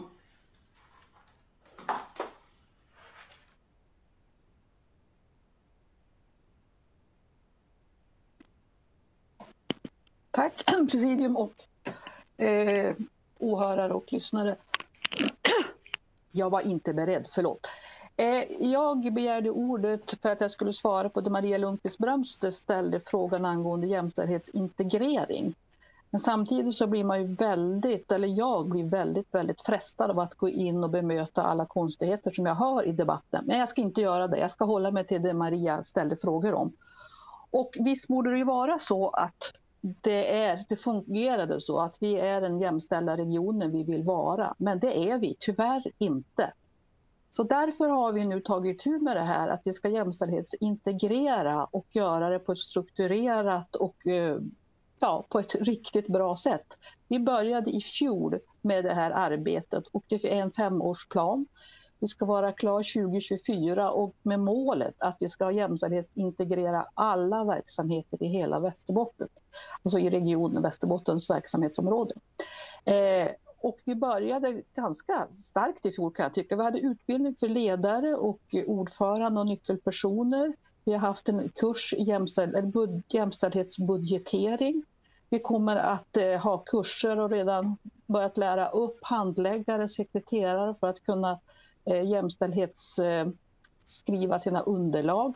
Det pågår väldigt mycket arbete och vi betar av område för område. Vi har en verksamhet i regionhuset som är, ingår som försöksområde om vi säger. Det är beställarenheten som du kommer att ta itu med det här arbetet men sen ska det smitta av sig och spridas över all verksamhet vi har hos oss. Så att, eh, eftersom det inte fungerar jämställt hos oss så har vi tagit itu med det här. Därför lägger vi 120 000 per år.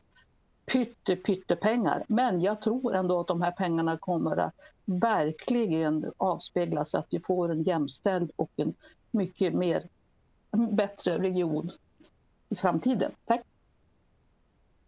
Då är det, då är det replik begärt av Peter Nilsson, Sverigedemokraterna. Varsågod. Tack så mycket för ordet. Jag kan väl börja och säga det att Sverigedemokraterna var ju enda partiet som ställde sig emot både gender budgeting och jämställdhetsintegrering i styrelsen. Så även Liberalerna var ju för att införa detta. Eh, trots att det kommer innebära både direkta och indirekta kostnader för administration som rimligen också måste sättas eh, mot mer medel till vårdpersonal. Där återigen, om vi nu ska vara sådana, är mest kvinnor som arbetar inom. Så det blir ju lite märkligt att påstå att det egentligen skulle vara en satsning på jämställdhet i något avseende, i alla fall reell betydelse. Tack. Mm.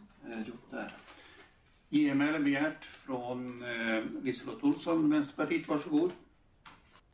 Det är sant att ni var de enda som var emot jämställdhetssatsningen och vi andra har varit överens eh, över partilinjen. Men jag vill ändå förtydliga eftersom Maria ställer frågan om vad det här egentligen handlade om. Och nu har jag förtydligat och berättat för er om satsningen. Eh, och alltså det här är jättelite pengar och jag tror att vi tittar på det här om fem år så har det här, eh, vi har tjänat in de här pengarna fullt ut. Sen att det, eh, ditt parti inte tror på jämställdhet på det här sättet, det får ju stå för dig.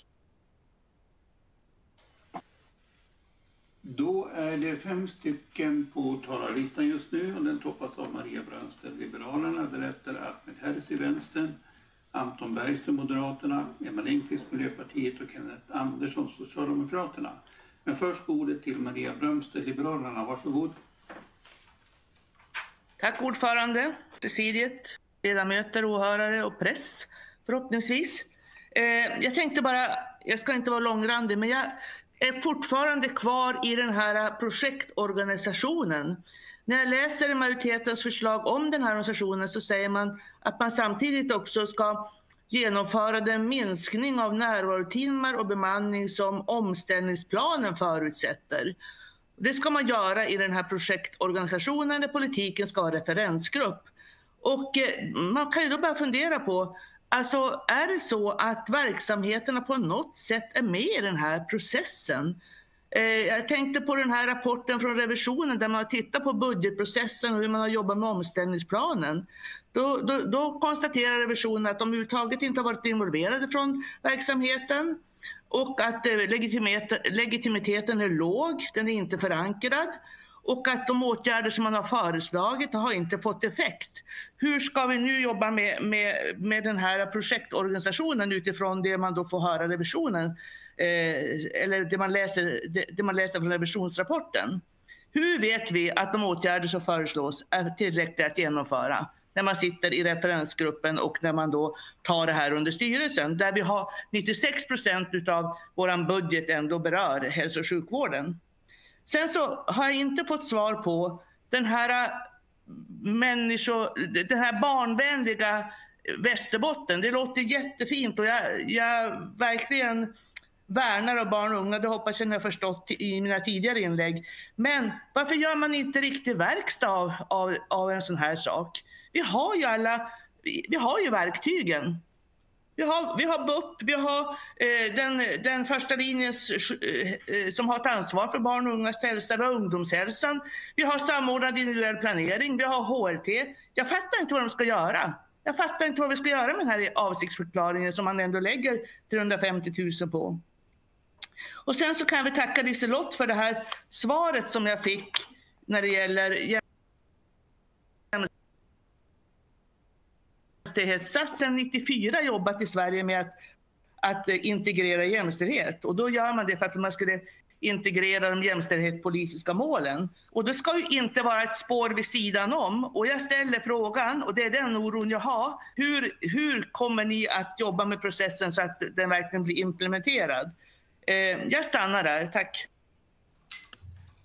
Då är det replik begärt i turordning från Peter Olofsson, Socialdemokraterna, därefter Peter Nilsson, Sverigedemokraterna. Men vi börjar med repliken från Peter Olofsson, Socialdemokraterna. Varsågod.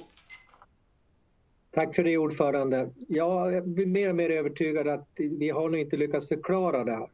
Men jag tycker Lars beskrivning tidigare, han säger att ja, men vi i hälso och sjukvårdsnämnden, vi kan ju fördela till primärvården. Men det kan man faktiskt inte göra. Om vi ska fördela till primärvården, så till även de privata, då är det styrelsen som fördelar de medlen. Och det gör att vi kan inte säga hur corona slår. Exempelvis om materialförsörjningen skulle ha, ha, ska säga, haverera och vi har lagt pengarna i hälso och sjukvårdsnämnden och ansvaret för materialförsörjningen ligger under styrelsen. Det är det som är utmaningen i det här. Och än en gång, och det beskrev du väl, några har missuppfattat det kanske med flit också. Det är ingen politisk eh, projektgrupp utan vi gör en referensgrupp för att det är väldigt avgörande för vår situation under 2021 och då behöver vi politiskt följa det. Och ni är absolut välkomna när ni inser vad, vad den här utmaningen står inför. Så jag, jag, tror att ni har missförstått det helt enkelt, så jag tror vi ska kunna lösa det. Sen det förebyggande arbetet, jo visst, vi ska absolut göra vår verkstad. Vi kommer aldrig att eh, säga att vi inte ska göra det. Men det här handlar om att vi tillsammans med kommunerna och även har i beredningar, jobbar med föreningar och annat och säga hur kan vi jobba mer förebyggande? Det är det vi ska satsa på och det tror jag du också kommer att kunna vara med på Maria. Tack! Då är det genmäle begärt av Maria Brönster, Liberalerna. Varsågod. Ja, tack ordförande. Ja, Peter, jag förstår att det här är alltså en referensgrupp och det sa jag i mitt inlägg också. Eh, men jag känner ändå att jag, det jag oroar mig för i det här, det är att jag förstår, jag förstår vad du säger, men jag är, det kanske blir en ny byråkratisk eh, verksamhet, en ny byråkratisk log, alltså en logistik som kommer att göra att det här kommer att ta ännu längre tid. Och eh, jag, jag, har ändå inte förstått hur, hur, man ska nå ut till verksamheterna med, med just att vidta åtgärder utan att behöva gå upp till fullmäktige. Det kan man ju göra ändå om man lägger pengarna på rätt ställe. Här argumentationen, och det stryker jag verkligen under. Ni tar helt plötsligt upp de privata rollerna. Det tycker jag känns oerhört bra faktiskt. Nu har det helt plötsligt blivit argument för den här projektorganisationen. Sen satsning materialförsörjning på grund av pandemi, där har vi faktiskt i Alliansens tilläggsbudget satsat 7 miljoner kronor. Eh, men jag är gärna med och diskuterar barn och ungas hälsa, det vet du Peter. Då har vi repliken från Peter Nilsson, Sverigedemokraterna. Varsågod. Tack så mycket för ordet ordförande. Jag ska väl säga det också så, så Maria är med på det. Ni har ju föreslagit nu i, i VGR förvisso, men det är ju samma idé och de var ju också före Västerbotten i det avseendet att föreslå just en projek eh, projektlösning. Eh, och det finns ju mycket dokumentation där hur de tänkte och lämpligen så kan ni också ta del av det materialet. Fullmäktige är väl lite fel forum. Men Sverigedemokraterna föreslår ju att lägga medel särskilt till strukturellt belastade kliniker och vårdpersonal. Och det är ju någonting man kan göra separat från det genom omfördelningar mellan nämnder, vilket jag tror är helt rätt väg att gå. Men då ska man ju också komma ihåg att ni föreslår en kömiljard som ni nu helt plötsligt inte längre tror på utan vill att tjänstemännen ska lösa i HSN. Det är alltså eran lösning på problematiken. Det är ju ingen rejäl satsning och det är för pengar ni inte har, vilket också har framkommit i debatten. Det är alltså ni saknar 75 procent av er finansiering. Tack.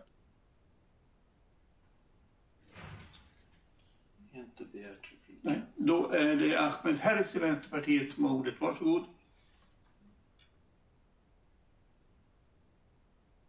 Ja, eh, tack ordförande, eh, presidiet.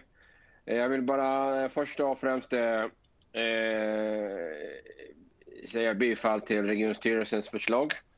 Eh, och sen eh, vill jag bara kort säga att eh, den svåra ekonomin, det är väl känt för alla. både vi som är styrande och i, i, i, i Alliansen. Eh, och det jag tänker på det är alltså på att det vi alltid har eh, alltid velat är ju på en vilja, en dialog, en st eh, att sträcka ut handen för att kunna se hur ska Region Västerbotten kunna leva bra och ha en bra välfärd vad gäller både eh, regionens ansvar i övrigt. Och det är jätteviktigt på att, eh, att, att övriga politiker eh, att kunna visa en vilja att där man vill ha den här dialogen och att man vill se att ekonomin ser ut som den gör men vi alltid gör vårt bästa för att kunna se till att det här kommer att bli så småningom en, en lösning i framöver. Tack!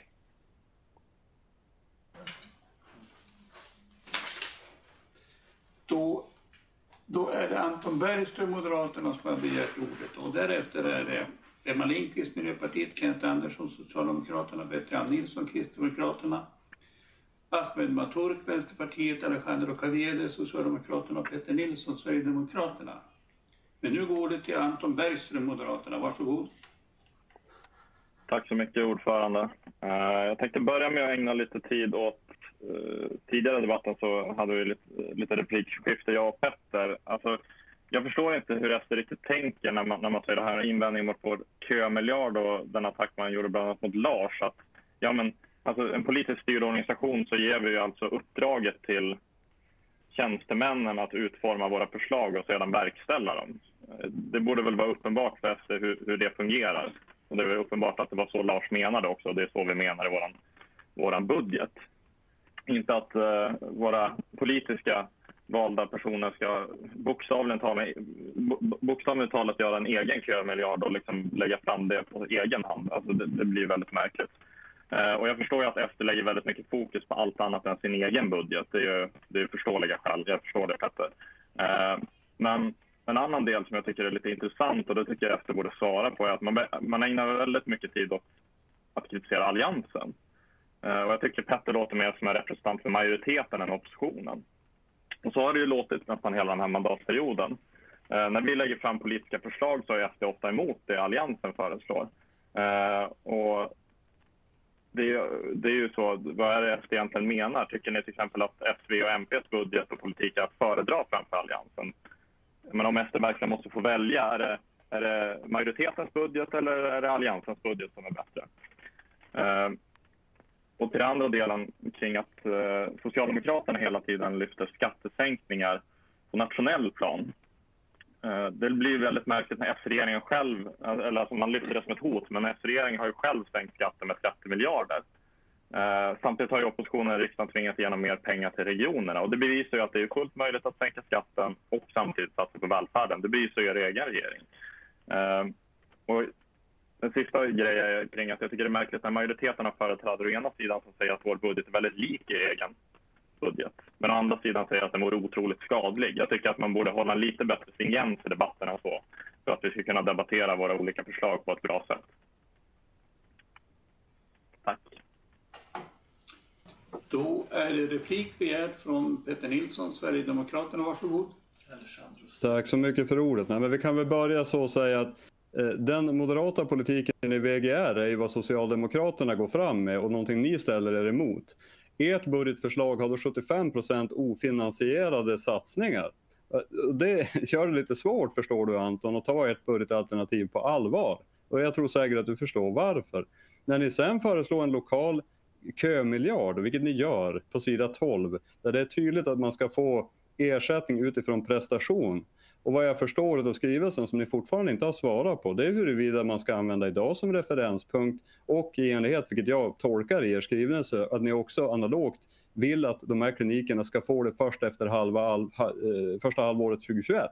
Det innebär i sådana fall att de här strukturella behövliga satsningarna som vi föreslår, Eh, och absolut försöker vara tydlig med att de behövs, och lägger absolut, försöker lägga absolut fokus på att vi ska diskutera just de strukturella satsningarna som behövs på kliniker och vårdpersonal, men som ingen annan vill diskutera av någon anledning. Eh, det, det är bara att beklaga. Utan därför så skulle jag säga att ni väljer ju heller inte moderat politik, utan ni har kommit med ett förslag som ja, är klandervärt kan vi säga, generöst. Tack.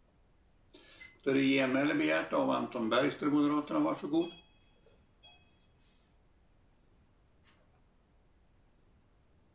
Han skriver att han har tekniska problem. Okej, vi väntar väl en stund för att se.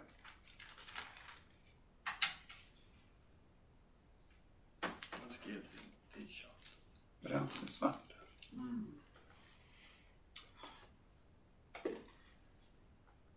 Får pröva logga ut och logga in. Har gått ut och gått in igen. Han behöver göra det. Logga ut och logga in igen. Ja, man får göra det. Men du ser, det, det är fler, tror jag, som har det. Vad? Svart. Eh, Och det är han då. Jag har det, jag har sett det, det är fler som har haft svart. Ja. Han kan logga ut och logga in igen. Jag ser inte att han har gjort det. An Anton, du hör Nu ska han vara med. Nu Nu, är han med. med Anton, sägs det. Är du med Anton? Hör ni mig nu? Nu, nu får Ja, du jag, min dator dog så att uh, Ja, okej. därför jag loggades ut. Ja. Ja, nej men genmäle på, på, på Petter är vi på va? Ja, jag hann inte höra hela eh, ditt, eh, din replik Petter, men, men jag kan väl konstatera att det är, det är väl tydligt att, att eh, SD föredrar eh, den socialistiska majoritetens politik framför alliansens. Eh, men sen stämmer det helt enkelt inte att, eh, att vi har 75 procents ofinansierad budget. Det är ju, du, du hävdar det här med att, att de besparingar vi gör inte skulle gå att realisera, men vi hävdar såklart motsatsen, att det inte alls är på det sättet.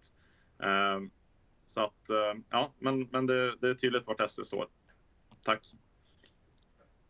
Då är det Emma Lindqvist, Miljöpartiet, som har ordet. Varsågod. Tack ordförande och hörare och ledamöter. Eh, jag hade inte tänkt gå in mer i den här debatten, men jag, men jag tycker att det är så otroligt lätt, lättköpta poäng när, det, när oppositionen kritiserar eh, pågående arbete för förbättringar som med att men pågår, finns inte det här redan? Borde inte det här vara, vara på plats? Vi vet ju alla här inne att det här är ett, ett arbete inom väldigt många eh, områden som är hela tiden, hela tiden ett förbättringsarbete. Och vad vi prioriterar, ja det beror ju på från vilket parti vi kommer. Eh, i Sveriges enda rödgröna regionmajoritet så prioriterar vi jämställdhet, vi prioriterar barn och unga, vi prioriterar äldre som bor på eh, särskilda boenden. Och det här är någonting som vi ständigt anser att vi måste, måste jobba med. En annan fråga som vi, ständigt, som, vi, som vi ständigt måste jobba med det är våra klimat och miljöarbete. Det syns inte i den här tilläggsbudgeten. Det kommer att synas i kommande budgetar i, efter det, den eh, miljö och klimatstrategi som vi kommer att ta i, i fullmäktige i april. Eh, och det kan man, skulle man också kunna ställa sig många frågor. Varför gör vi inte det här redan? Har vi inte kommit längre? Nej, men om vi inte har det så är det, så är det också det vi prioriterar. Tack.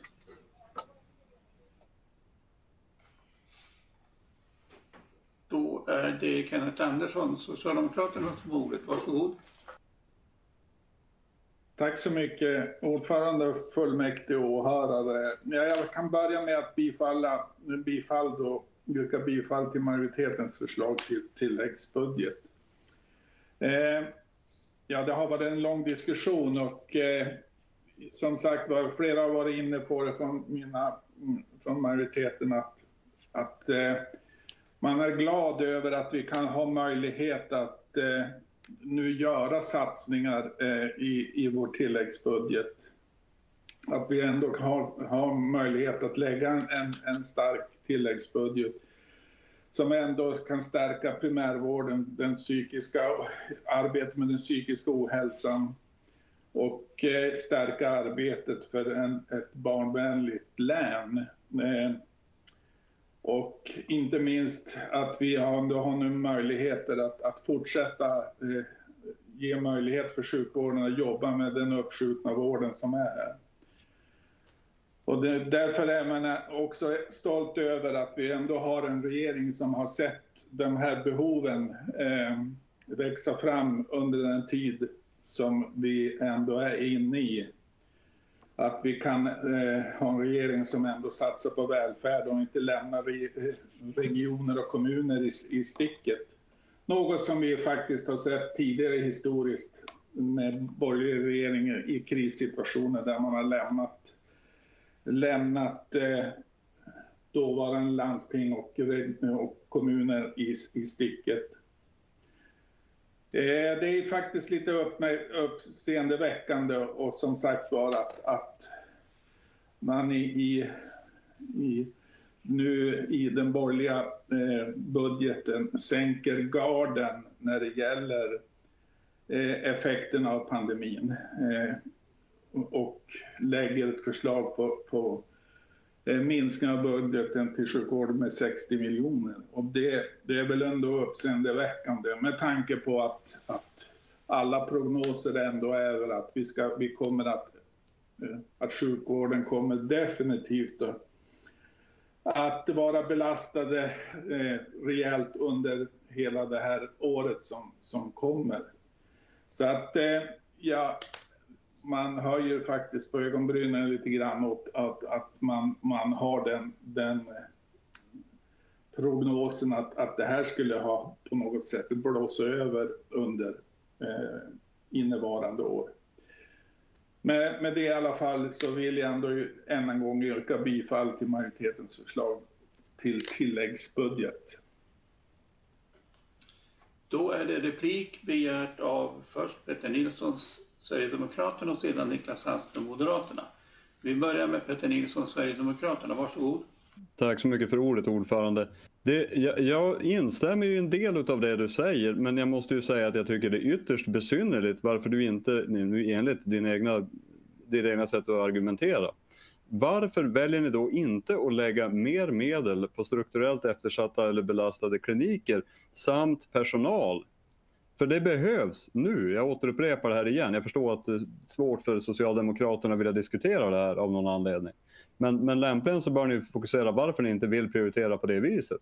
För annars finns ju Sverigedemokraternas förslag till budget, vilket är absolut det bästa förslaget idag. Och det vet vi om. Tack. Då är det replik från Niklas Sandström. Moderaterna, varsågod. Tack, ordförande, ledamöter och åhörare. Jag ska bara påminna Kenneth Andersson om att eh, i majoritetens förslag så väljer ni att minska budgeten med 265 miljoner kronor i omställningsplanen. Och det är det ni räknar med att ni ska kunna hinna med i år för att få ihop er budget. Så att det, ni måste sätta siffran lite i proportion till vad ni faktiskt föreslår när ni anklagar oss. Vi ser ju att eh, givet pandemin, givet att eh, ni inte lyckas med omställningsplanen med 100% så behöver vi gå fram med ett eh, förslag som säkerställer att vi klarar ekonomin både på kort och på lång sikt. Eh, för ingen vet när pandemin är över och eh, när vi kan återgå till det normala. Tack. Då är det Betty Nilsson, Kristdemokraterna, som har ordet. Varsågod. Eh, Eh, tack så mycket ordförande, åhörare och ledamöter. Nu ska vi se om jag kom på rätt ställe här. Det är väldigt mycket som har sagts, eh, men jag vill ändå eh, tillägga lite grann. Covid-19 det har ju som alla sagt haft en väldigt stor påverkan på oss som region, även vårt land och hela vår värld. Och framförallt när det gäller oss, då, vården, näringslivet med mera. Och vi hade ingen aning om att det kunde bli så här katastrofalt. Vi har en allvarlig situation, precis som Anna-Lena säger.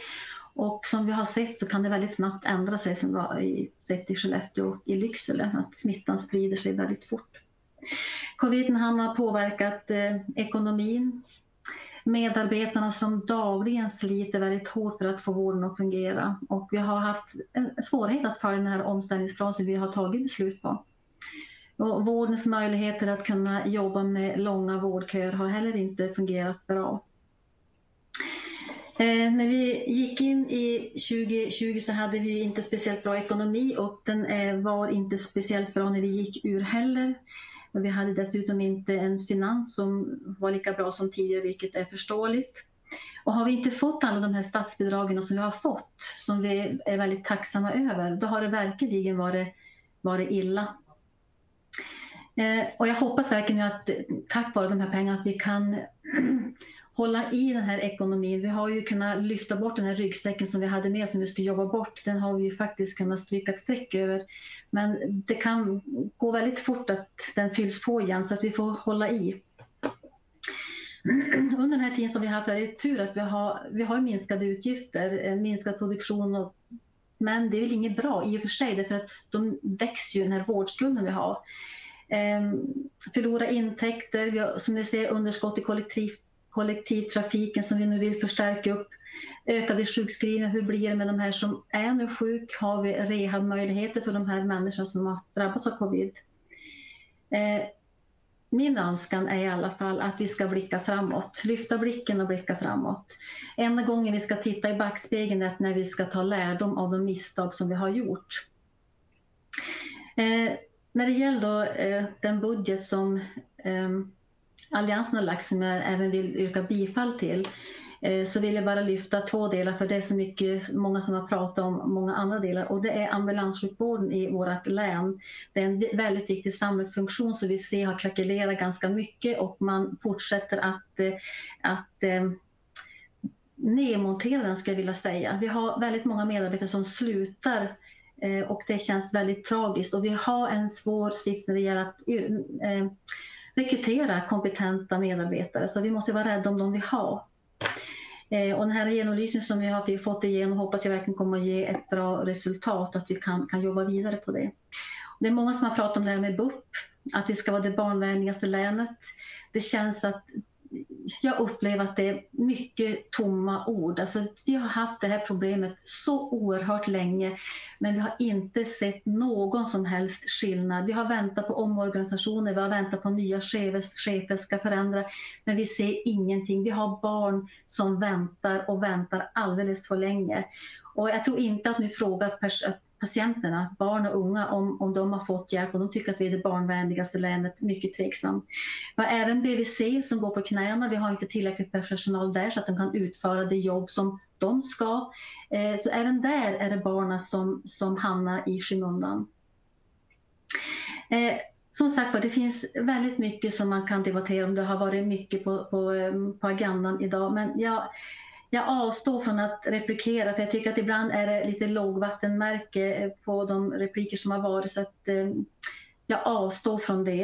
Eh, tills vidare i alla fall. Eh, jag hoppas att vi kan blicka framåt och verkligen ta armkroken då att, att kunna jobba vidare med, med den ekonomin som är och att vi kan eh, utifrån att vi ska stå medborgarna till tjänst. Att vi ser deras bästa för och deras bästa för ögonen. Det är faktiskt det viktigaste. Vi är folkvalda.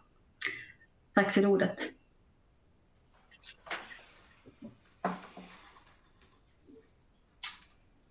Då är det Ahmed Maturk, om jag uppfattar det rätt, som har begärt ordet. Det finns ju ingen sån. Mahmoud al-Turk kanske? Mahmoud al-Turk. Ja, han har skrivit konstigt i chatten. Jag tror Ahmed Hersi. Ja. Ahmed Hersi, han har haft en gång förut. Men Ahmed Hersi, har du begärt ordet igen? Ja, det där var något gammalt tror jag. Ursäkta. Okej, ja. Då är det, då är det en kvar på talarlistan och det är Petter Nilsson, Sverigedemokraterna. Varsågod. Tack så mycket för ordet ordförande. Nej, men precis som jag varit inne på innan så Sverigedemokraternas budgetförslag är det enda som är rimligt att anta idag. Eh, som jag också tydliggjort så Socialdemokraterna har ju förstås eh, byggt mycket av sitt på det gamla eh, beslutet som fattades i VGR kring att ha just en projektorganisation och hantera detta. Och det är ju som sagt det är ju Moderaterna, Center, KD, Liberalerna och MP som har kommit överens i VGR. Och kan man ju läsa lite ur det underlaget också om man vill ha en bild över ungefär hur man har planerat från Socialdemokraterna. Men de, naturligtvis Socialdemokraterna vet väl ännu inte heller själva hur det riktigt kommer att implementeras. Men oavsett så tycker jag att det ser förhållandevis klokt ut utifrån VGR och även utifrån de tjänstemannabeslut som, eller tjänstemannaunderlag som vi har tagit del av från Region Västerbotten. Ehm, det, det är klokt. Men sen är det ju ytterst så är det ju en fråga som jag ännu har fått, eh, jag har inte fått svar på från Socialdemokraterna. Det är ju uttryckligen vad är det för någonting som diskvalificerar Sverigedemokraterna från att vara med i referensgruppen? Det är väldigt oklart. Återigen, Sverigedemokraterna har varit absolut först att problematisera eh, pandemin i, eh, i Region Västerbotten, i styrelsen. Eh, vi har varit väldigt flitiga och problematiserat och försöka hitta lösningar. Eh, jag har ytterst svårt att förstå vad det är för någonting som ni menar skulle diskvalificera oss eh, ifrån en plats i referensgruppen.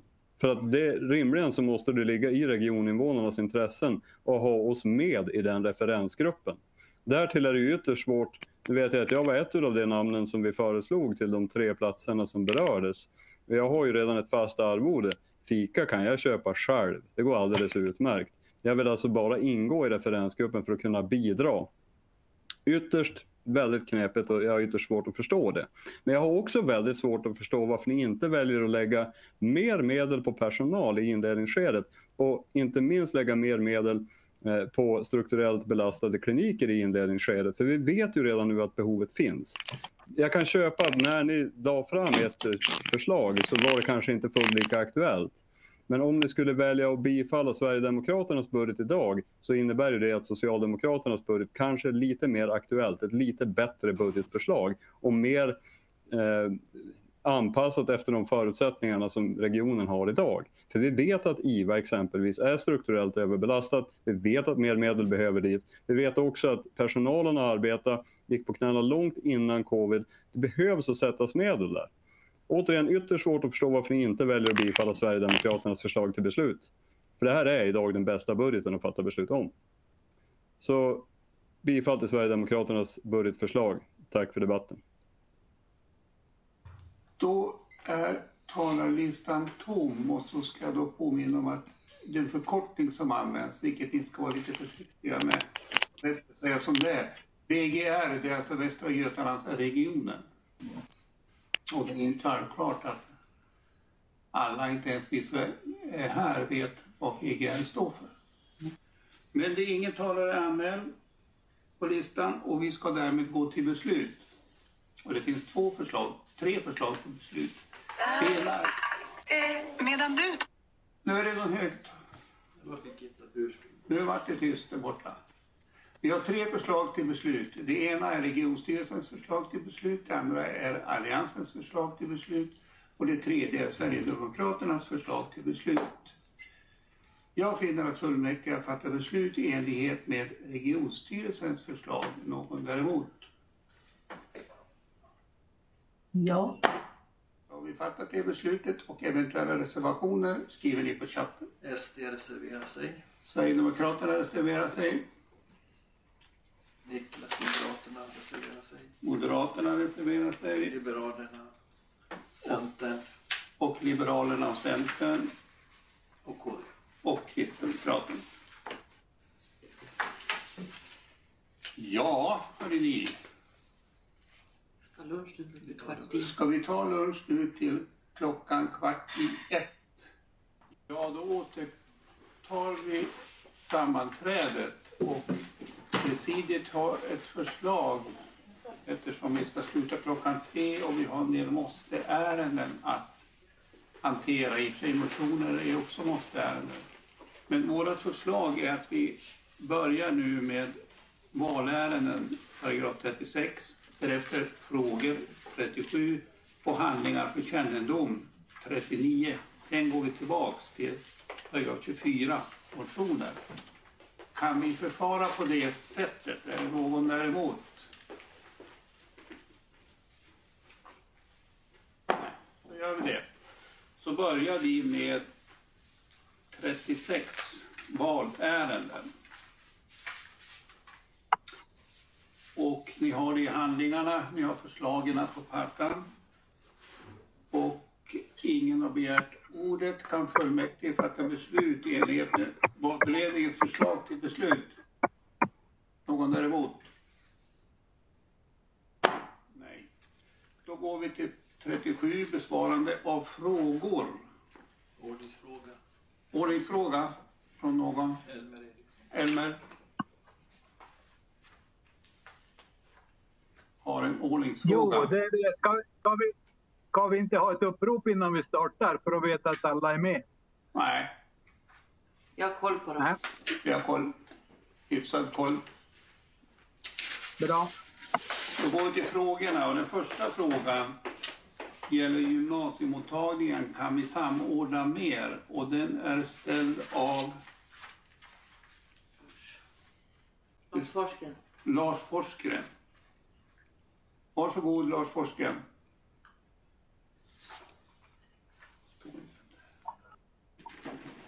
Ja, tack för ordet ordförande. Eh, hörs jag?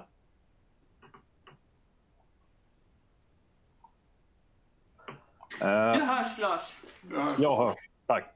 Eh, jag har ställt en enkel fråga till Rickard Karlstedt, eh, regionala utvecklingsnämndens ordförande.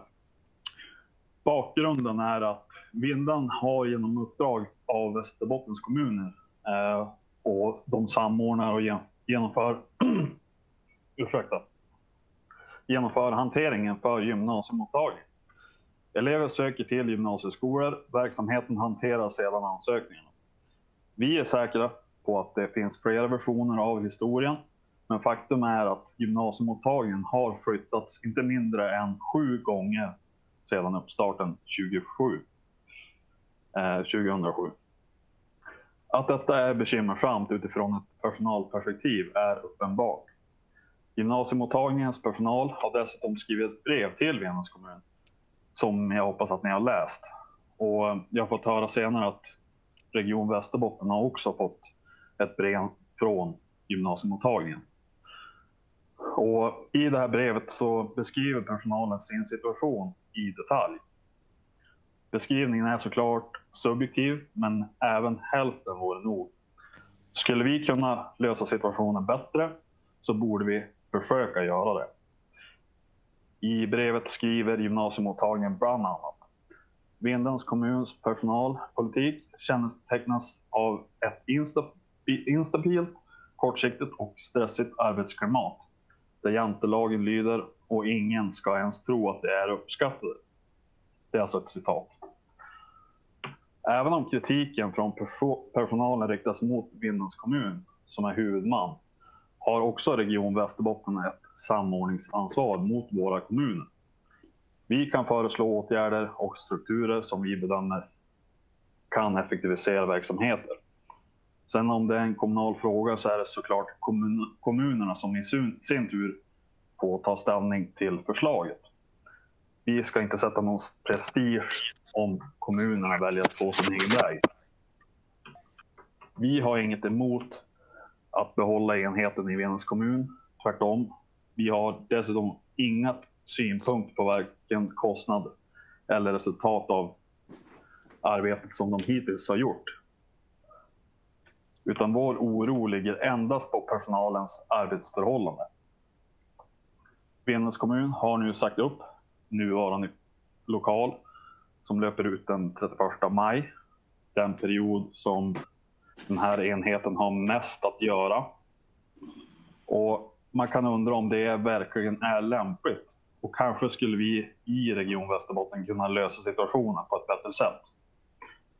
Därför vill jag fråga, har ni majoriteten undersökt möjligheten att, eller för att Region Västerbotten, för att vi ska kunna ta över huvudmannaskapet för den här enheten? Tack. Svaras av Rickard Karlstedt, Socialdemokraterna. Varsågod. Tack ordförande, ledamöter och åhörare. Ja, svaret på den här frågan är ett tydligt nej. Vindens kommun är huvudman för gymnasieantagningen och Region Västerbotten kan inte lägga sig i kommunernas sätt att leda verksamhet. Region Västerbotten har kommunernas uppdrag att avtala med huvudman om gymnasieantagningen. Länsbes länsgemensamma beslut för att gymnasieantagningen ska kunna fullgöra sitt uppdrag fattas av skolchefsgruppen. Alltså kommunernas skolchefsgrupp och fastställs respektive huvudman, det vill säga det är skolhuvudmän som anlitar gymnasieantagningen för att genomföra antagning till utbildningsanordnare gymnasieutbildningar. Respektive kommun ersätter huvudmannen årligen vid köp av tjänst från gymnasieantagningen. Vindens kommun gör separata avtal med fristående gymnasieskolor i länet för antagningsarbetet. Tack.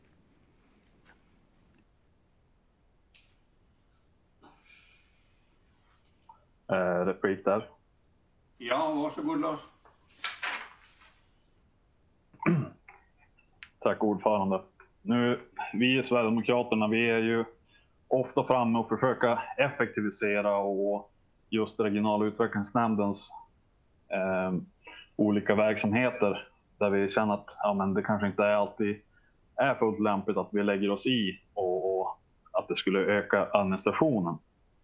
Men det finns väldigt många områden där vi faktiskt kan göra skillnad och där det blir en effektivare, verksam, eh, effektivare verksamhet.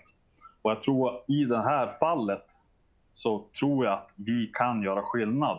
Om vi pitchar en idé där vi kan samordna det här så tror jag kommunen också kommer nappa på det. Eh, jag vet inte om ni har hängt med i media. Det har varit mycket skriverier om det här.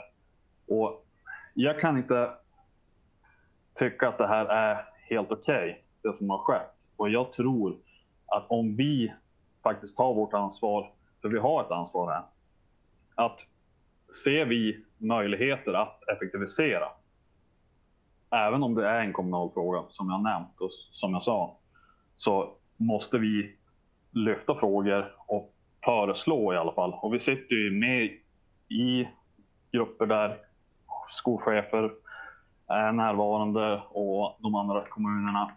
Och jag tror att vi bör i den här frågan lyfta ett pitcha en idé om att faktiskt ta över det här ansvaret. Tack.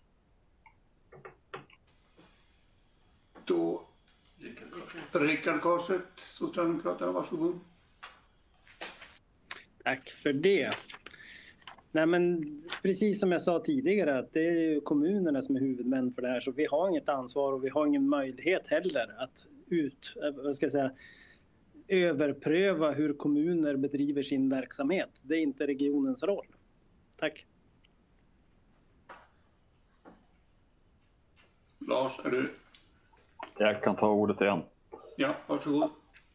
Ja, men vi är ju inne och pillar i kommunerna och föreslår andra samverkansmodeller eh, där kommunerna är huvudmän, men där vi stöttar upp. Så jag ser inte varför vi inte skulle kunna göra det i det här fallet. Eh, och som sagt, vi är ju ofta emot mycket administrativa grejer som händer i regionala utvecklingsnämnden. Men i sådana här fall där vi faktiskt ser effektiv, effektiviseringsåtgärder och möjligheter, ja men då måste vi i alla fall pitcha. Sen då är det alltid, det är kommunerna återigen som har beslutande ansvaret här. Det är de som äger frågan. Men vi kan faktiskt lyfta den här frågan när vi ser att den, ja, vi, vi ser i media och, och det som har hänt. Tack.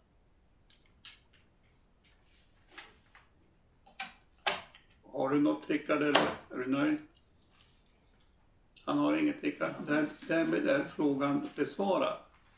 Då går vi till den andra frågan som är ställd och sista. Och den är från Betty Nilsson, Kristdemokraterna med rubriken Datainspektions Datainspektionsbetalningen. Och frågan besvaras av Anna-Lena Danielsson, Socialdemokraterna. Men varsågod Betty Ann. Tack så mycket ordförande, ledamöter och åhörare. På grund av brister i hur personal ges tillgång till patienternas journal tvingades Region Västerbotten i fjol betala en avgift på 2,5 miljoner till Datainspektionen. Datainspektionen konstaterade då att regionen inte gjort behov och riskbedömningsanalyser i enlighet med gällande rekommendationer. Att regionen inte begränsat användarnas behörigheter för åtkomst till journalsystemet samt att regionen inte kunde visa lämplig säkerhet för personuppgifter. Redan 2015 uppmärksammade Datainspektionen att det fanns brister i regionens hantering av behörighetstilldelning. Åtgärder vidtogs, men det var inte tillräckliga. Den här gången förutsätter vi kristdemokrater att tillräckliga åtgärder har vidtagits och att det går att återkoppla vad som gjorts. Min fråga till Anna-Lena Danielsson är då, eh, har Region Västerbotten vidtagit åtgärder för att säkerställa att inga fler uppgifter, nej, avgifter måste betalas i framtiden på grund av brister kring åtkomst till journalsystemet och dess eh, personuppgifter? Svarande Betty nej, Anna-Lena Danielsson, Socialdemokraterna har.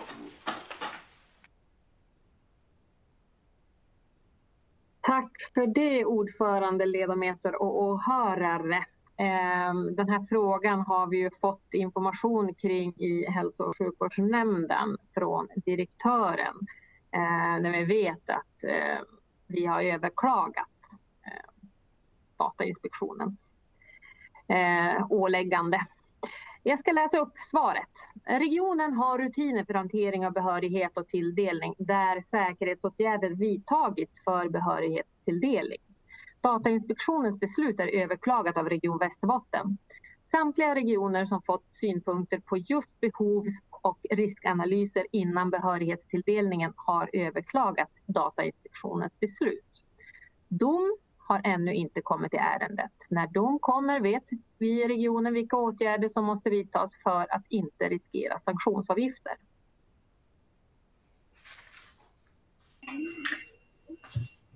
Får jag ordet igen? Ja, det har du. Tack. Eh, Ja, men det, det vet ju faktiskt om att, att den här domen är överklagad. Men det som gör mig lite bekymrad också att eh, när vi hade nu ut eh, hälso och den 18 så tog vi vår eh, plan för intern och kontroll. Och där är ju bland annat det här med risk att personuppgifter behandlas i strid med dataskyddsförordningen. Jag lyfte den här frågan att, att ibland gör det ju för, eh, det är för långt mellan gångerna på, för kontroll.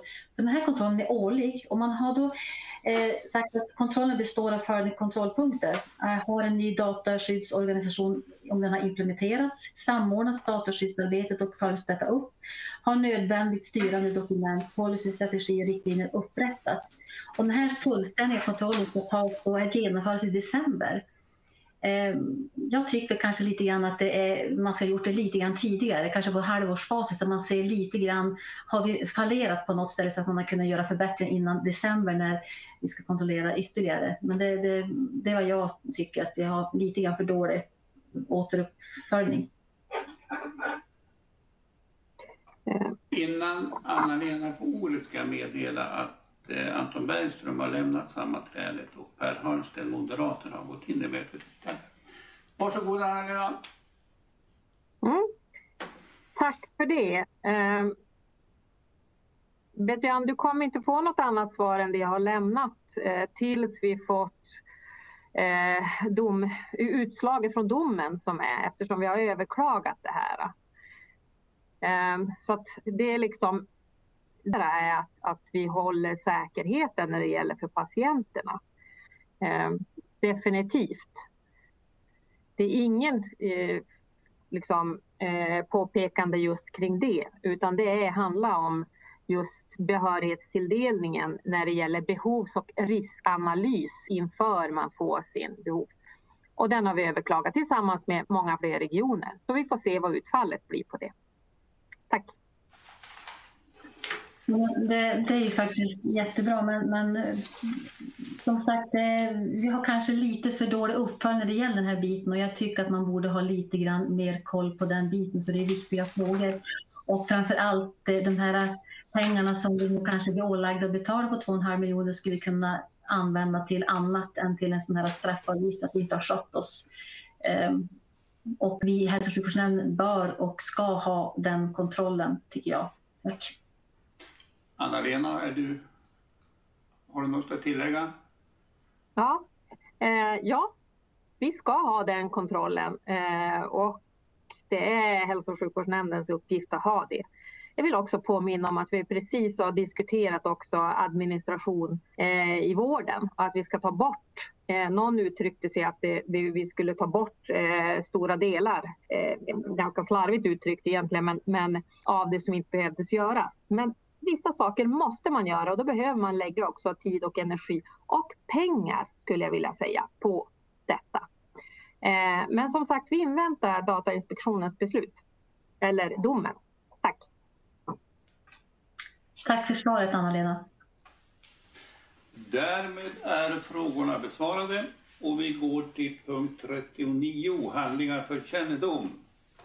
Och jag finner att fullmäktige noterar att vi mottagit de uppräknade handlingarna. Är det någon som är däremot? Nej, då har vi gjort det. Då går vi till motionsbehandlingen, punkt 24.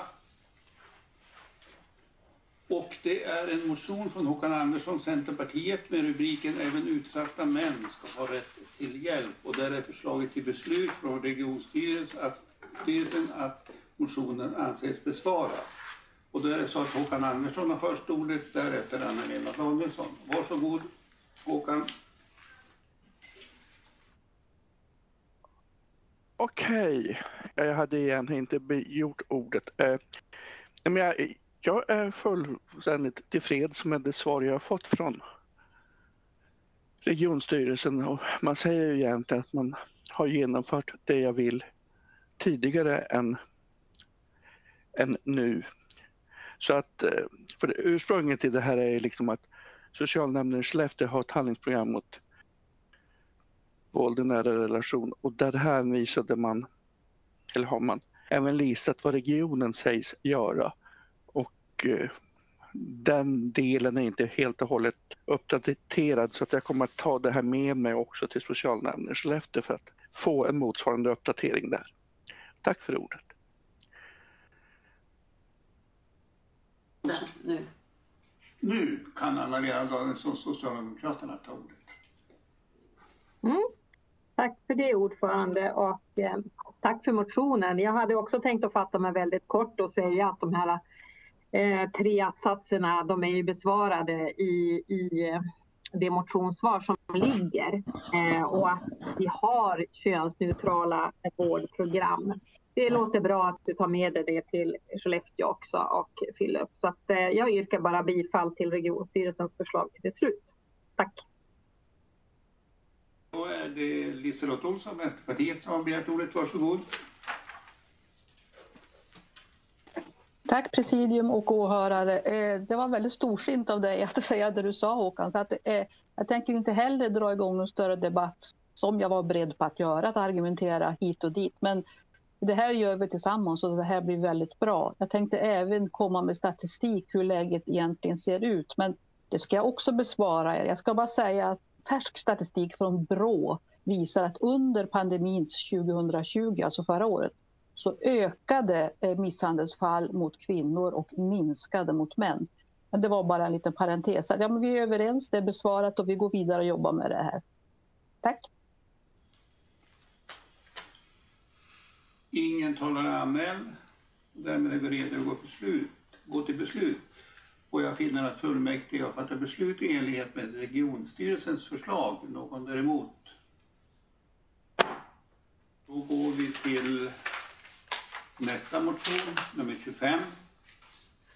Möjligheten att jobba efter 68 år från Liv Gram och Moderaterna.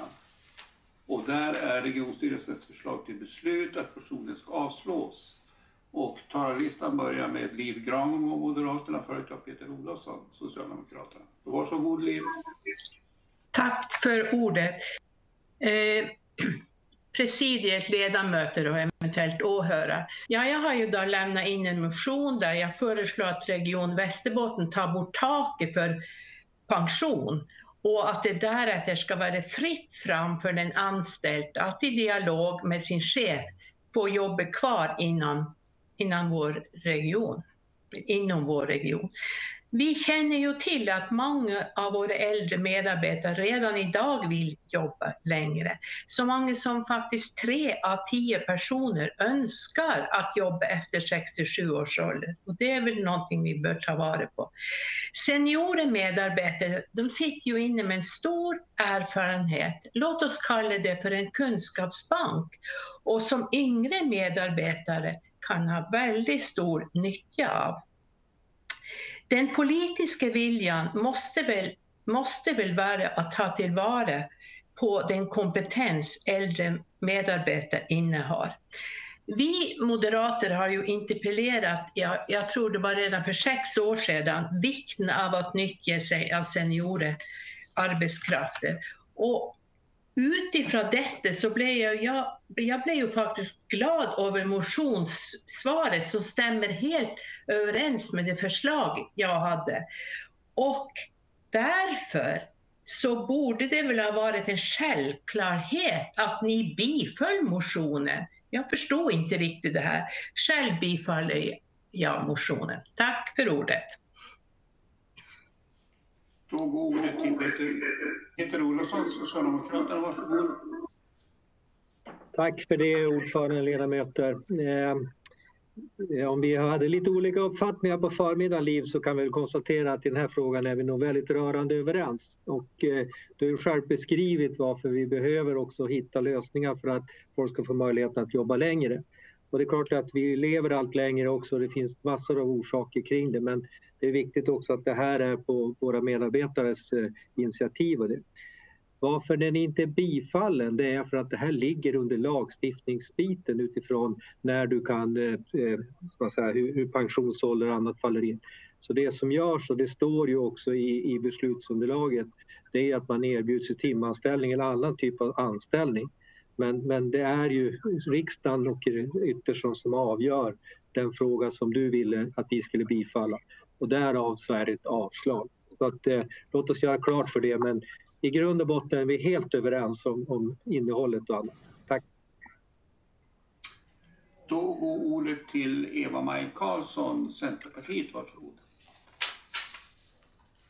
Tack så mycket, presidium, ledamöter och övriga. Ja, nyss förklarade ju Peter att de tycker också att egentligen är den bifallen, men det var lite formaliteter kring hur den var, hur det var formulerat. Jag, jag tycker att det är en fantastiskt bra motion du har gjort. Den är viktig och vi behöver använda seniora medarbetare på mycket bättre sätt tidigare. Och... Anders! Vad vart det nu då? Eh, så att eh, vi från Centerpartiet, vi sätter på bifall.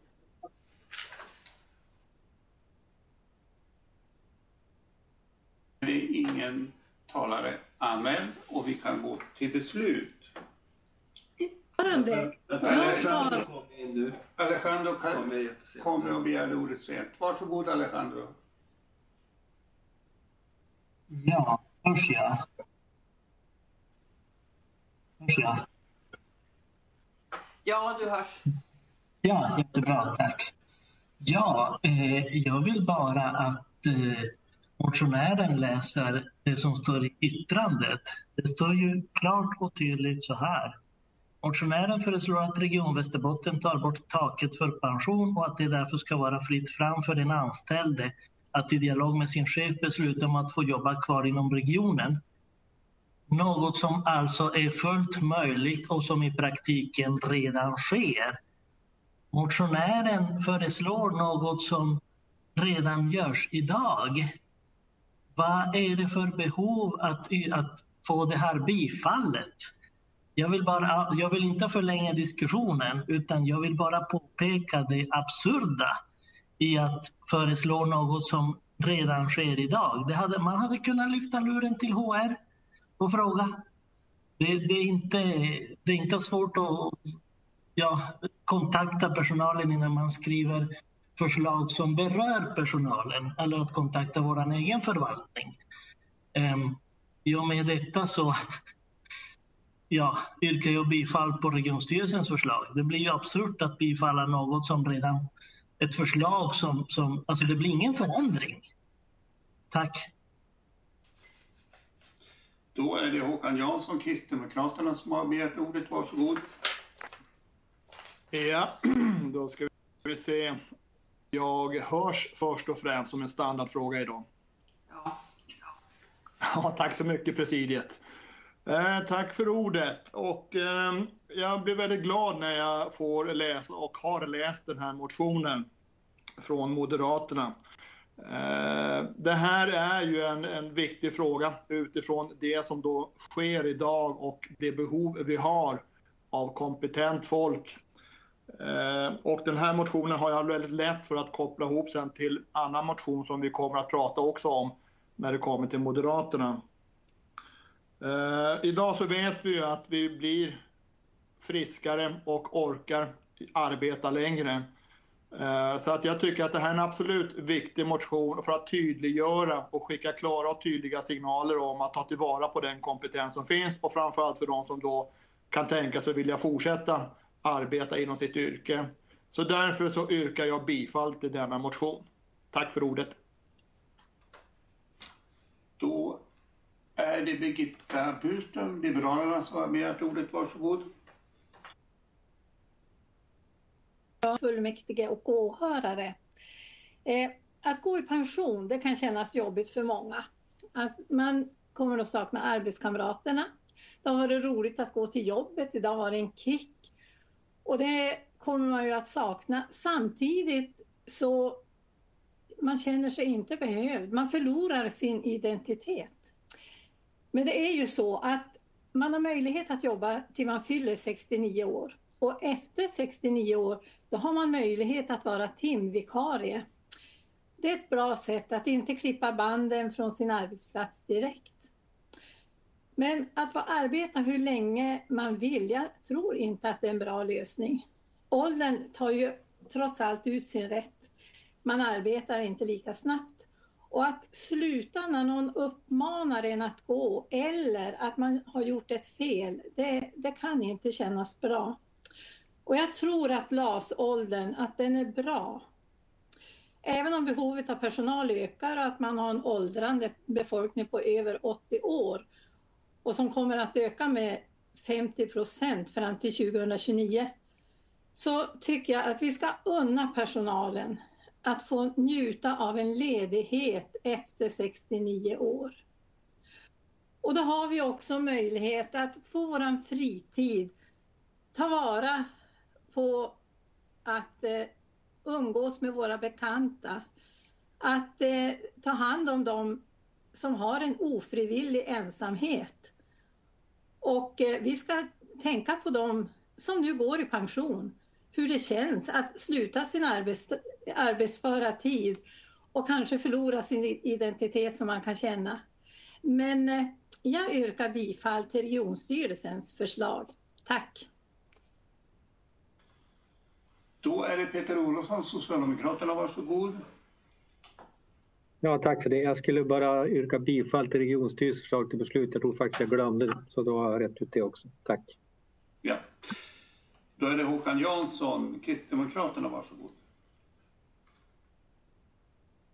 mycket ordförande. Eh, nej men Birgitta, eh, det du säger håller jag absolut med om. Eh, men man har ju inte en önskan om att det ska komma från annat håll som ska tala om för personen i fråga att det är dags för dig att ta ut din ledighet. Utan jag önskar att eh, fortsatt så ska vi ha den friheten att själva kunna få välja och ha möjligheten till att kunna fortsätta trots att vi har passerat 68. Så därför återigen yrkar vi bifall till eh, Moderaternas motion. Tack! Då har vi Liv Granbo, Moderaterna, som har begärt ordet. Varsågod.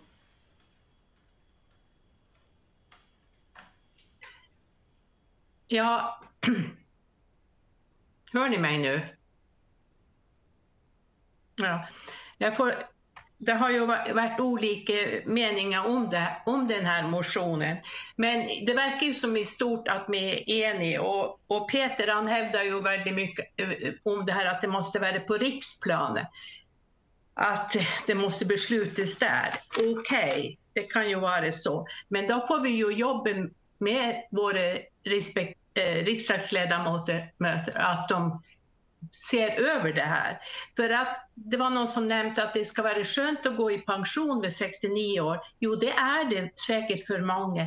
Men vi får inte glömma att vi lever längre och vi är friskare och mer alerta än vi var för 20-30 år sedan. Och ha den här friheten att man kan få jobb om man vill.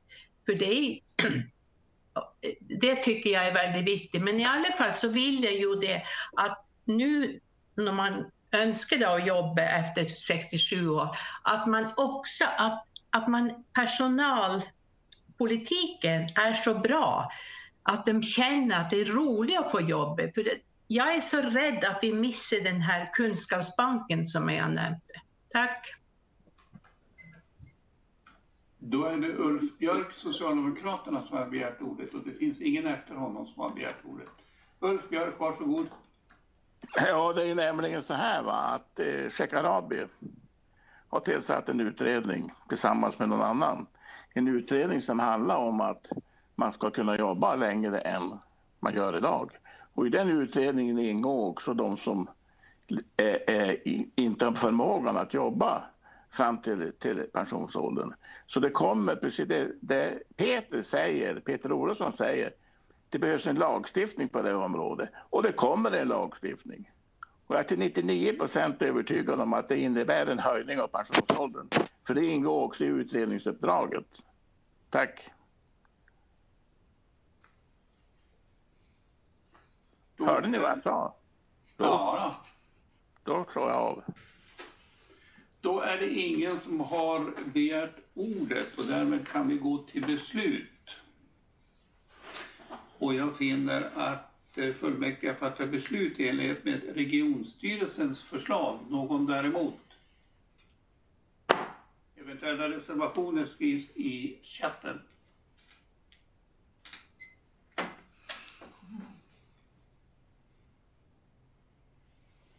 Är det några? Nej, eh, det är ingenting. Det bär sig.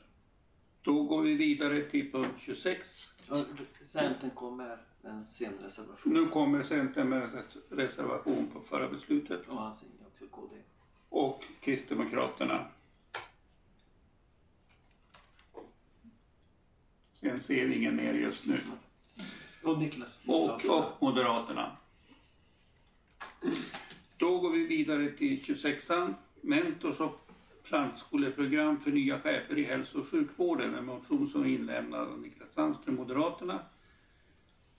Där regionstyrelsens förslag är att motionen ska avslås. Och där börjar Niklas Sandström få ordet, därefter Peter Olofsson. Varsågod, varsågod Niklas Sandström. Ja, men, tack. Jag ska bara få till allting. Ursäkta. Nej, men den här motionen handlar om en av de absolut tuffaste uppgifterna som finns i vården, att vara första linjens chef. Många gånger så är ju det ett uppdrag som kan vara svårast i hela sin chefskarriär. Att kliva upp från sin arbetsgrupp och eh, leda sina tidigare kollegor. Där behövs stöd och hjälp och olika typer av mentorprogram eller olika utbildningssatsningar. Så det, är det här behöver vi jobba med och stärka. Och det har jag också haft samtal med ledarna om att eh, de ser det här behovet. Och det finns lite goda exempel, men det här skulle kunna behöva byggas ut till att omfatta fler. Så det handlar i grund och botten den här motionen om. Eh, jag tycker att det skulle vara ett viktigt steg att eh, stärka upp den här gruppen som är nära det som, är, det som händer på golvet, om man uttrycker sig som så. Så att eh, yrka bifall på motionen. Tack. Och är det Peter Olofsson, Socialdemokraterna, varsågod. Tack för det ordförande. Vill jag börja med att yrka bifall till regionstyrelsens förslag till beslut så jag inte glömmer det den här gången. Ehm, jag tycker vi har fått en väldigt bra beskrivning i det underlag som finns till svar på motionen. Och där tydliggör man att det som Niklas eftersöker, det har vi. Så det är ju inte att bygga nya strukturer som egentligen är eh, vad säger, behovet. Sen kan det finnas säkert all anledning att titta på hur innehållet i det här ska se ut och andra delar. Men som, som motionen är skriven så tycker jag dessutom att den inte tar höjd för det jag tycker vi behöver jobba väldigt mycket mer med också. Och det är ju att eh, det är inte bara när man har blivit en ny chef man behöver stöd. För det finns ju väl beskrivet vilka, vilka program och annat som vi har. Utan det är också hur ska vi kunna attrahera att fler söker och blir chef. Där har vi också eh, eh strukturer för det. Och eh, jag vet att jag och Anders Sylvan har deltagit i några sådana här kurser eller vad man nu ska kalla det för. Och det har varit otroligt bra just att få en bild av exempelvis också vad är det politiken och, och den biten. Så jag tycker väl att eh, regionen idag har ju gått längre egentligen än Niklas motion. Sen kan man absolut diskutera om, om det är någonting i innehållet och då tycker jag ju att det är en självklar del att ledarna tillsammans med vår förvaltning som arrangerar det här ska ta den diskussionen. Men, men det blir väldigt konstigt att vi ska skriva motioner igen och införa någonting som finns. Och det blir ju en väldigt förvirring, vill jag väl påstå, i organisationen också. Utan nu fokusera på att det, det, finns en struktur för det här. Vi tror att det är rätt. Vi måste också jobba mycket mer med eh, ska säga, arbetet före så att fler skulle välja att vilja bli chef. Då tror jag vi löser det. Tack.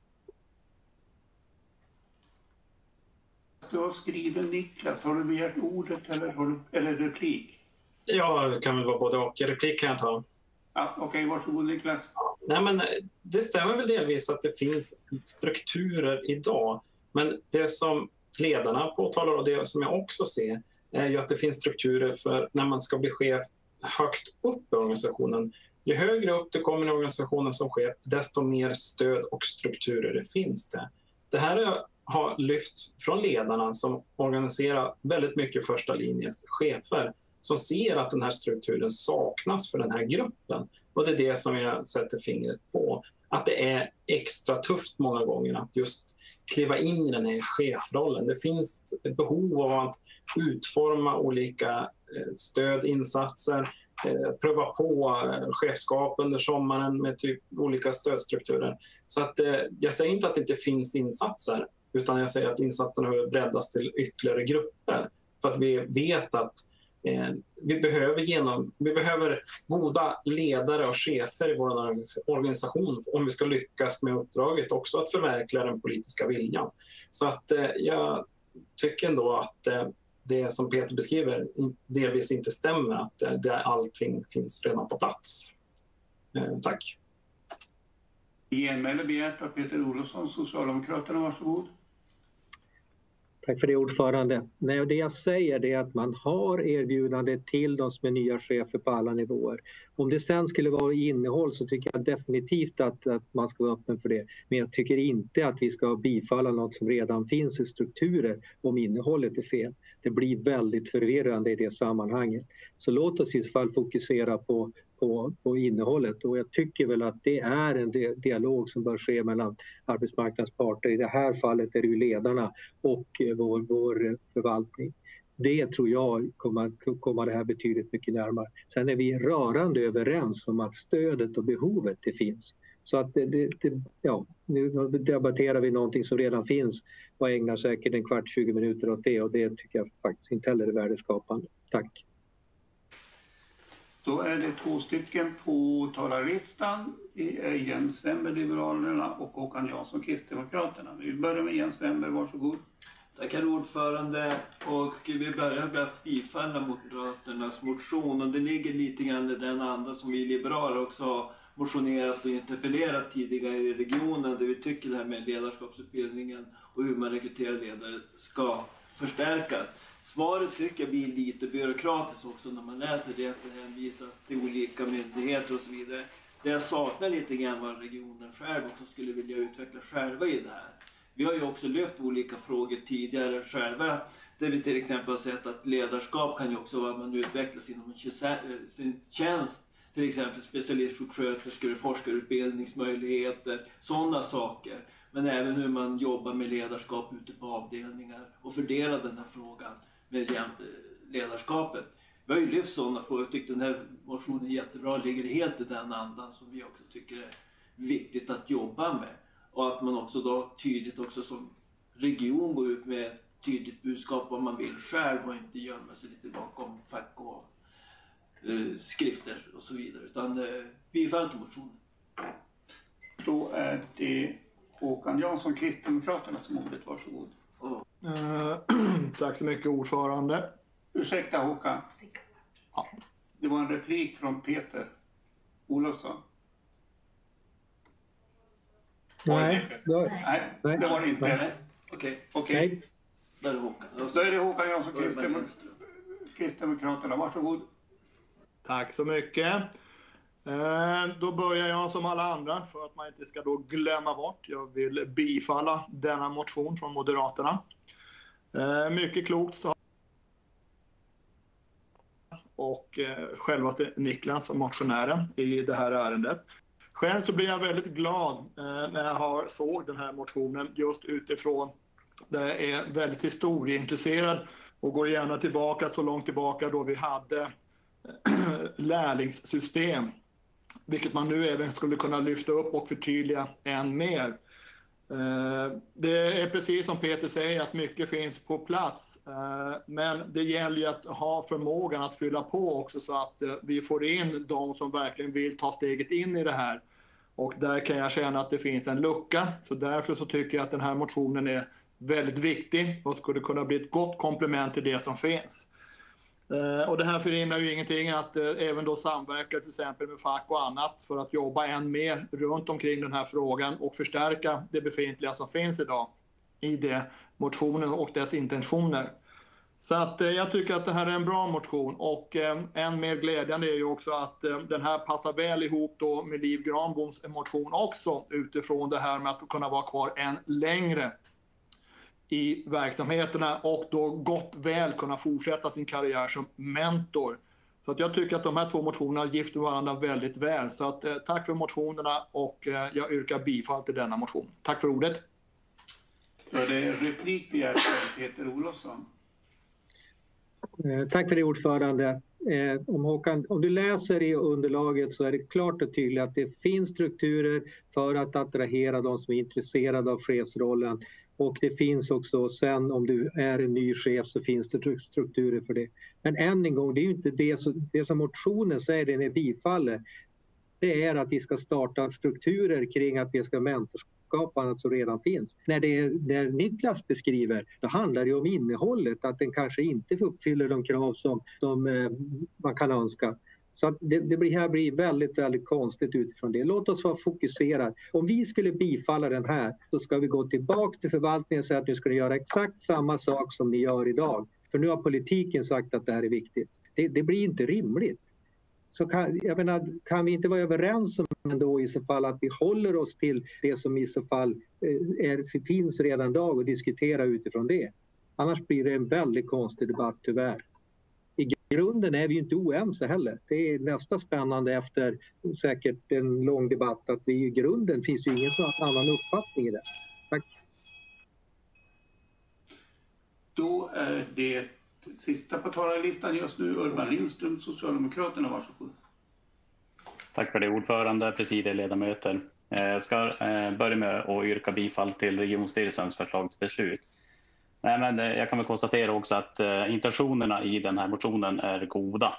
Eh, som den är skriven och om man tittar på det svar som finns också, vad som redan görs i Region Västerbotten, så blir ju resultatet om vi skulle bifalla motionen att vi ska göra det vi redan gör, fast lite mindre. Det finns ändå mycket mer. Så att, eh, vi har en samsyn på att det är en viktig fråga hur vi jobbar med ledarskap, så att eh, det Peter var inne på, att eh, uppmuntra marknadsparter till att eh, utforma och utveckla det här, det tror jag är rätt väg att gå. Tack.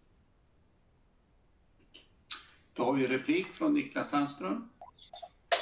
Ja, tack, ordförande, ledamöter och åhörare. Ja, dels är det ju det som beskrivs i svaret att det är nya chefer, men det som beskrivs i motionen utöver det är ju att efter man har gått den här utbildningen så finns det ju fortfarande ett behov av stöd och strukturer, mentorskap, det vilket jag efterlyser i texten. Eh, det är som, jag säger inte heller att den introduktion som är nu är på något sätt dålig, den är säkert jättebra.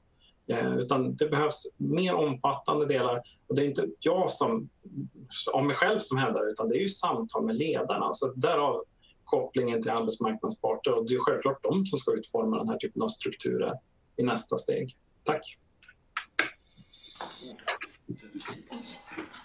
Då är det Peter... Genmäle Urban. Lindström, varsågod. Tack för det. Nej, men jag vill bara upprepa egentligen det Peter har sagt redan. Eh, Det blir fel om politiken ska ta det här beslutet eh, återigen åt eh, det vi redan har beslutat om och säga att vi ska jobba med lite mindre än det vi redan gör. Intentionen är som sagt var viktig, men vi måste ha den i rätt form. Tack. Då är det Peter Olofsson, Socialdemokraterna, som har ordet. Varsågod. Tack för det. Men då uppmanar jag Niklas, läs sista stycket i underlaget. Jag tänker inte läsa upp det, men det, det börjar med sedan 2014. Där finns det väl beskrivet vad du har för stöd efter du har varit chef under en period. Och där finns det också att du har mentorsprogram och annat. Så, så det, det hade varit tacksamt om vi ändå diskuterade utifrån från det som idag finns och utifrån hur situationen ser ut.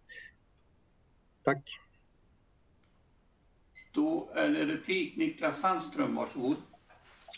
Tack ordförande, ledamöter och åhörare. Ja, jag är läskunnig, jag lovar. Och jag vet och jag har lyssnat på företrädare från verksamheten och arbetsmarknadsparter som menar på att det görs många bra saker, men det behövs ske mer saker som att stödja och underlätta för våra chefer att kunna fullgöra sitt uppdrag. Så det, det efterlyser i motionen. Tack. Då är det ingen talare anmäld. Då är vi redo att gå till beslut och jag finner att regionfullmäktige har fattat beslut i enlighet med regionstyrelsens förslag. Någon däremot? Reservationer via chatten. M reserverar sig. Moderaterna reserverar sig. KD. Och Kristdemokraterna. Liberalerna. Och Liberalerna. Ja. Då går vi till punkt 27 som är bordlagd. Och så har vi då 28, en motion med rubriket Rädda liv i hela länet. Och där är regionstyrelsens förslag till beslut att motionen ska anses besvarad. Och där har, är det då talarlistan börjar med Maria Kristoffersson, social, nej, Centerpartiet och därefter Anna-Lena Danielsson, Socialdemokraterna. Varsågod Maria. Tack så mycket för det, presidier, ledamöter och åhörare. Jag skulle vilja bifalla motionen. Det är ju, den här motionen skrev jag när det var flera unga män som dog av överdoser i min hemkommun Vilhelmina. Det var en väldigt tung stämning i samhället. Det var, var väldigt mycket funderingar på vad kan vi göra, både för att inte narkotika ska finnas, men vad kan vi göra för att människor ska må bra? Vad kan vi göra för att förhindra att människor dör? Eh, men jag vill tacka för svaret. För mig är svaret en bekräftelse att Naloxon behövs närmare människor. Det kan rädda liv. Därför så tycker jag det, alltså den beskrivning som jag får i svaret att, att argument är att man inte ska ta beslut om särskilda läkemedel samtidigt som man skriver att räddningstjänsten börjar på utbilda om Naloxon. För mig blir det lite motsägning i det. För det är ju så att det är, ambulansen har ju Naloxon och nu har man börjat på utbilda där det finns i väntan på ambulans, alltså räddningstjänst, eh, för att kunna använda det här läkemedlet. Ingen kan ju ge föräldrar tillbaka ett barn eller ingen kan liksom ge tillbaka en kompis eller ett syskon. Men vi som politiker kan ändå skapa möjligheten att rädda människor vid en överdos. Och där måste vi våga tänka på andra sätt och vidga våra perspektiv. Till, och jag ser då att hela räddningstjänsten skulle kunna vara, vara de som finns närmast människor. Räddningstjänsten finns närmast människorna och att man gör det här i samverkan med kommunerna. Så därför så tycker jag att vi ska bifalla den här motionen. Men jag vill också tacka för svaret. Tack. Då är det Anna-Lena Danielsson, Socialdemokraterna, som har ordet och därefter har Daniel Johansson, Vänsterpartiet och Hans-Inge Smetana, Kristdemokraterna begärt ordet. Vi börjar med Anna-Lena Danielsson, varsågod. Tack för det ordförande, presidieledamöter och åhörare. Eh, ja, vad kan man säga? Intentionen i den här motionen är bra. Redan när ni hade upp interpellationen kring den var den såg likadan ut och var igång med införandet av Naloxon. Ändå som kom den här motionen. Eh, planen har ju varit att under hösten Eh, nu 2020 utbilda all räddningstjänst i regionen som har IVP-avtal. Eh, och det var ju tanken att vi skulle göra då när det var repetitionsutbildning. Eh, nu blev det uppskjutet på grund av pandemin. Eh, nu är man på gång i Ånäset och i Malå eh, strax att starta igång den här utbildningen. Eh, och, och, precis som det står i svaret, vi ska inte ta beslut om specifika läkemedel eller vilka behandlingar som om vi gör det så måste vi också gå till fullmäktige för att ändra en läkemedel eller en behandlingsform. Eh, jag tycker också att att-satsen, att vi ska ansöka om att bli pilotlän. Jag vet inte ens, eh, jag har försökt fråga mig runt var skulle vi ansöka om att bli pilotlän eh, för att pröva Naloxon i, i räddningstjänsten. Det är ingen som vet. Så att med det här svaret så yrkar jag bifall till regionstyrelsens förslag på beslut som är besvarad. Då är det Daniel Johansson, Vänsterpartiet. Varsågod. Presidieledamöter och åhörare och Maria, tack för en eh, viktig fråga som du lyfter i det här. Eh, Anna-Lena har sagt mycket av det, det som jag tänker trycka på. Dels är det ju viktigt att vi inte fortsätter på den här linjen att fatta beslut över om huvudet på, på länets kommuner. Det här är en fråga som vi behöver jobba tillsammans med, med kommunerna. Vi behöver införa IVPA i alla länets kommuner och där ska man jobba med frågan om att, att eh, införa Naloxon tillsammans med, med eh, regionens kommuner. Det vet jag att du och jag har resonerat om många gånger om att vi, vi Eh, många av länets kommuner känner sig överkörda i regionens beslut ibland. Så det är viktigt att vi tänker på det också, att ta besluten i, i rätt forum. Ett forum där man kan diskutera sådana här, såna här frågor är ju eh, i, i den sammanslutning som nu har skapats där hälso och sjukvårdsnämndens AU tillsammans med, med socialchefer och nämndsordförande från eh, respektive kommuner i länet finns. Det är ju ett ty typexempel på ett forum där man ska diskutera och eh, fatta beslut kring sådana här frågor som, som handlar om samarbete kring mellan regionen och kommunerna. Så att eh, en, en, viktig fråga som du lyfter som vi naturligtvis ska försöka genomföra i, i eh, hela regionen och i alla kommuner. För det kan som sagt bara rädda liv framgent. Eh, men vi måste fatta det tillsammans med kommunerna, inte ovanför deras huvuden. Eh, bifall till regionstyrelsens förslag till beslut. Då är det Hans Inge Smetana, alltså, eh, Kristdemokraterna föreslår Paavo Roukojärvi, Vänsterpartiet. Varsågod Hans Inge. Tack för det ordförande och åhörare och ledamöter.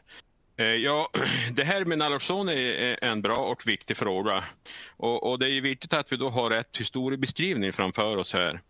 Eh, när, vi, eh, när det här tragiska hände i Vilhelmina så debatterade vi redan eh, denna fråga i detta forum.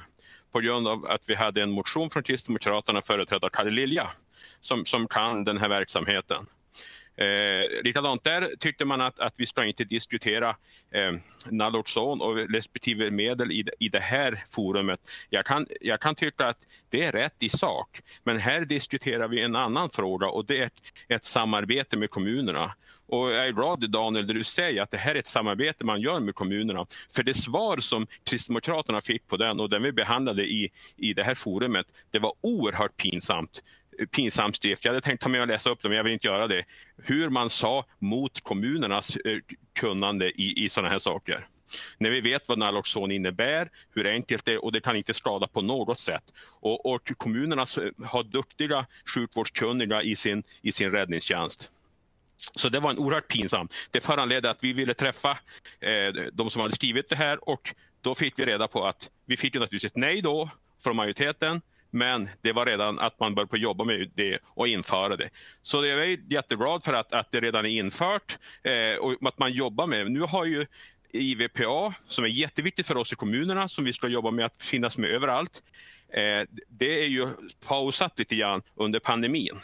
Eh, så, så, men vi hoppas ju verkligen att det kan komma igång i alla kommuner och även med Naloxon som är ett, ett bra hjälpmedel. Så, så, eh, och därmed sagt så, så yrkar jag bifall till kommunstyrelsens förslag eftersom det redan finns infört. Tack för ordet.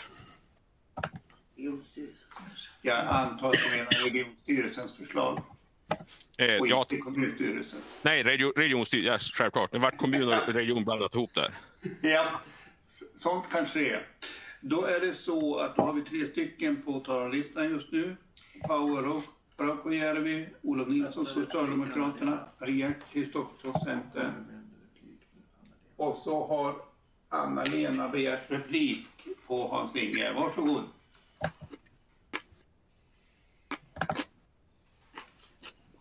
Tack för det. Eh, jag kunde inte låta bli att, att sätta in replik eh, på...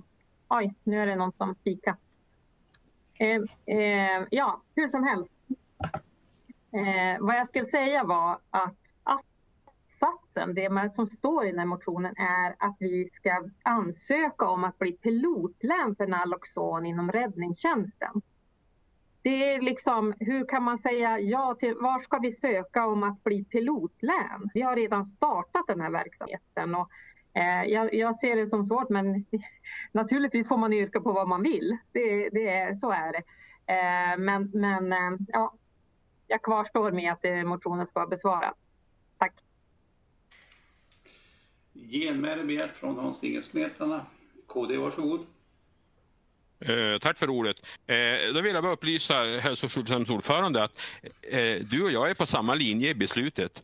Jag yrkade på regionstyrelsens beslut eh, därför att det är redan infört och då ska den anses besvarad. Så vi är helt överens du och jag. Och det är tack vare att vi har drivit frågan tidigare. Tack! Då är det Paavo Raukojärvi från Vänsterpartiet som har ordet. Varsågod. Hej presidie och åhörare, övriga deltagare. Eh, jag har ju varit uppe i den här frågan tidigare och jag tycker det är underbart att den här frågan kommer upp och talas om det. Och jag skulle bara vilja lyfta lite grann klassperspektivet i det här. Eh, redan då så tyckte jag att det var lite synd att det inte var förrän det var etablerade ungdomar i etablerade familjer ur ordnade förhållanden inom citationstecken som börjar dö av överdoser förrän det här börjar lyftas på bred front ifrån den borgerliga majoriteten. Eh, arbetarklassungar har ju dött av droger och alkohol till höger och vänster under lång, lång, lång tid. Men det är väldigt sällan man får höra det i de här forumen. Jag vet kommuner, jag har själv fått eh, rapporterat och själv sett också kommuner där det finns en viss klick av ungdomar som får de får helt enkelt gå under bara för att de ska finnas där att kunna peka finger åt för de andra etablerade ungdomarna. Så länge du inte blir som Kalle, så länge du inte blir som Olle, då har vi det bra. Och det är ju först nu när de här etablerade föräldrarna börjar se sina egna barn, trots alla deras egna ansträngningar att hålla dem borta från de här sakerna, börjar trilla dit. Det här är ett problem som rör ungdomen överlag, för ungdomen är desillusionerad. Ungdomen söker ett hopp om en framtid. Och det känns inte som att det finns riktigt att ge någonstans där. Eh, det, här är, det här är ett klassperspektiv. Och nu är det bara att beklaga. Eller ja, jag vet inte, ska jag beklaga eller ska jag vara glad över att det har nått så långt upp i klasserna att folk börjar reagera. Jag tycker det är bra att vi, vi går fram som vi gör nu och vi har börjat utbilda folk. Och jag hoppas nu att det här kommer att nästa gång det dyker upp en sån här grej, att det kommer att pratas om det redan innan de etablerade individernas barn börjar dö till höger och vänster. Tack. Då är det Hans, nej, Olof Nilsson, Socialdemokraterna som har ordet. Varsågod. Jag tror, nej, det var gen, Hans, Hans Inge hade fått sitt genmäle, va? Visst var det så? Ja. Ja. Eh, tack för ordet, ordförande och ledamöter och åhörare. Jag ska inte förlänga den här debatten något särskilt mycket till, utan bara igen trycka på, tycker jag i alla fall, vikten och betydelsen av, om vad ett fullmäktige ska besluta om och inte. Och det här tycker jag är en sån fråga vi inte ska besluta om helt enkelt kring enskilda läkemedel. För är det nästa fullmäktige ska vi debattera då om vi ska införa flumazenil som antidot mot bensodiazepinöverdoser, för det missbrukas också, eller något annat valfritt läkemedel. Det kommer att balla ur ganska rejält om man fortsätter på det sättet och det tror jag ingen egentligen är intresserad av. Eh, framförallt som, i bemärkelsen att vi representerar ju inte professionen eller har förskrivningsrätt överlag i fullmäktige av läkemedel. Eh, med detta bifall till regionstyrelsens förslag till beslut. Tack. Då är det Maria Kristoffersson, Centerpartiet. Varsågod. Tack för ordet. Eh, till Paavo vill jag säga att det här är ju ett problem i alla klasser. Det vi däremot kan se i södra Lappland är att det finns, en, det finns psykisk ohälsa och, och, hos unga män och att vi ser att machokulturen påverkar på ett väldigt negativt sätt. Eh, när jag skrev den här motionen så var det jag, rekommendationen jag fick var att ja, men vi måste söka om eh, att det blir ett pilotlätt hos Socialstyrelsen för att få göra det här. Men det, det kanske var fel. Det viktigaste är att vi ser till att eh, det här läkemedlet finns närmast medborgarna och att vi gör det tillsammans med kommunerna och att IVPA finns ju inte i alla kommuner så det här är ju därför jag menar att vi borde ändå se till att räddningstjänsten har tillgång till det även om man inte har i väntan på ambulans. Det är det som är syftet med, med, med den här motionen. Men jag, jag tänker att det är ju ingenting, huvudsaken är att vi jobbar åt rätt håll och jag tänker att god och nära vård, där det blir mer samarbete mellan kommun och region, så kanske vi kan verkställa det här så att det blir verklighet i praktiken. Så att det här räddningstjänsten har det här med sig när de rycker ut och det händer någonting någonstans långt bort ifrån där det finns ambulans. Mm, tack för ordet och tack för debatten. Replik från Olof Nilsson, Socialdemokraterna. Varsågod. Ja, tack. Men då uppstår ju det här lilla problemet det du är inne på Maria. Om, om vi ska se till från regionens sida att, att räddningstjänsterna har tillgång till ett specifikt läkemedel.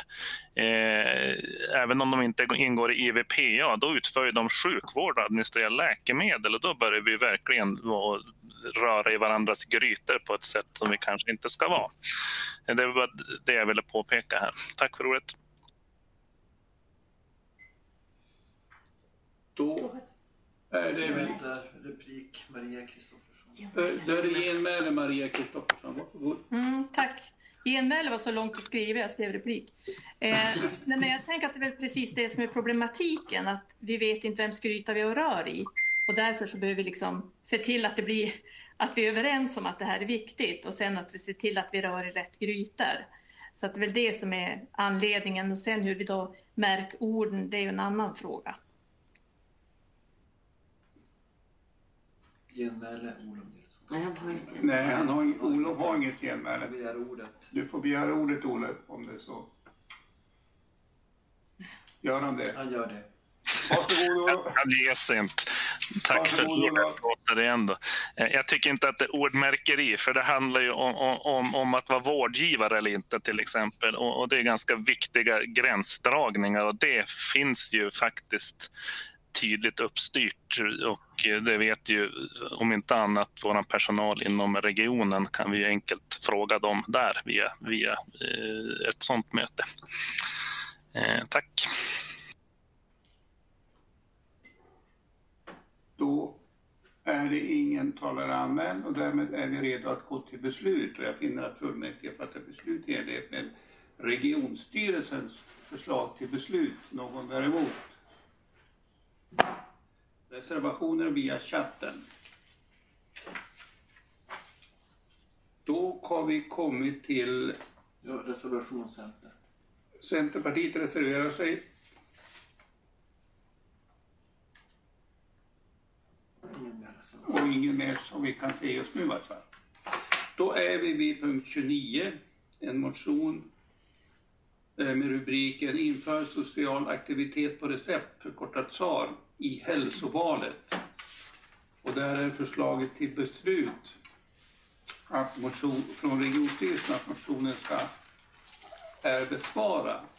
Och där har vi talarordningen. Nu Det är Hans Inge som begärt ordet. tog jag Hans Inge först av Kristdemokraterna. Och det är han som begärt ordet. Och det är han har begärt ordet och sen är det Peter Olofsson, Socialdemokraterna. Varsågod Hans Inge. Tack för ordet ordförande och åhörare och ledamöter. Eh, ja, eh, vi hade ju en intressant och livgivande diskussion igår tycker jag om vikten av att, att eh, lyfta den ofrivilliga ensamheten. Vi fick frågor i, i debatten, ja men vad innebär det här då? Vad är det, som- vad är det som vi ska liksom vad, vad innefattar det här då? Ja, jag sa det, vi kommer till den diskussionen i nästa motion och den har vi här. Här har vi då lösningen på att eh, verkligen få in det här på agendan för de som behöver.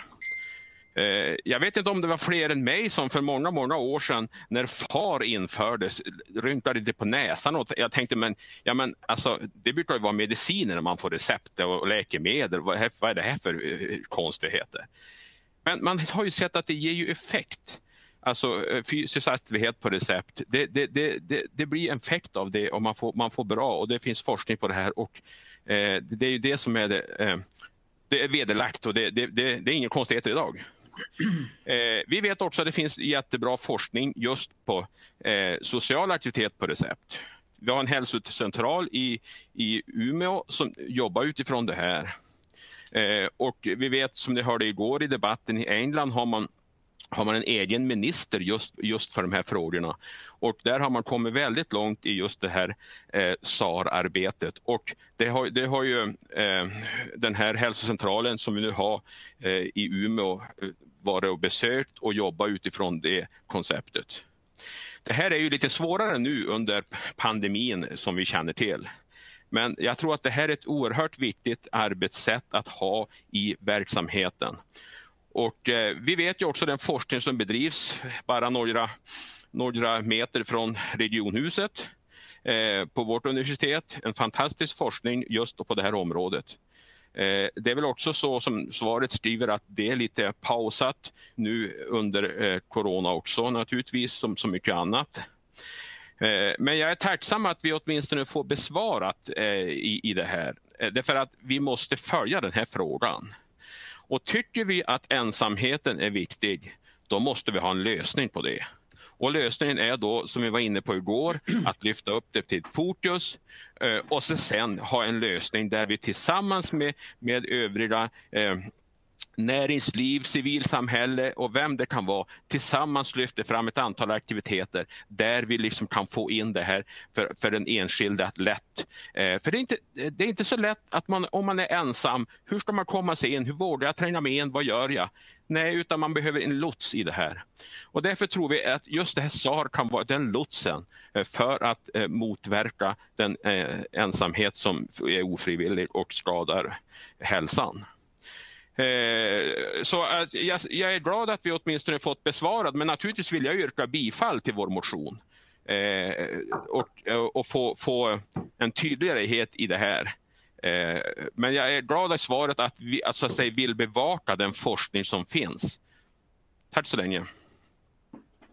Då är det Peter Olofsson, Socialdemokraterna, varsågod.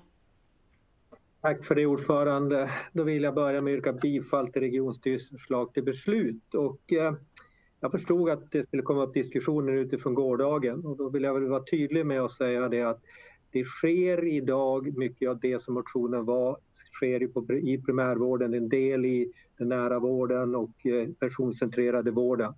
Så på så vis är det för oss inget bekymmer att säga att vi är faktiskt väldigt intresserade av att titta vidare på det här. Det här kan definitivt vara ett led i, i det arbetet och en förlängning på det. Och det är också därför som, som vi har eh, behandlat det väldigt positivt. Nu är vi i det läge som, som Hans-Inge också beskriver, att vi har en pandemi som gör att det inte är speciellt lämpligt att man skriver ut att man ska träffa folk om man uttrycker sig så. Utan försöka skämta till det. Så, så det är ju motsatsen just nu.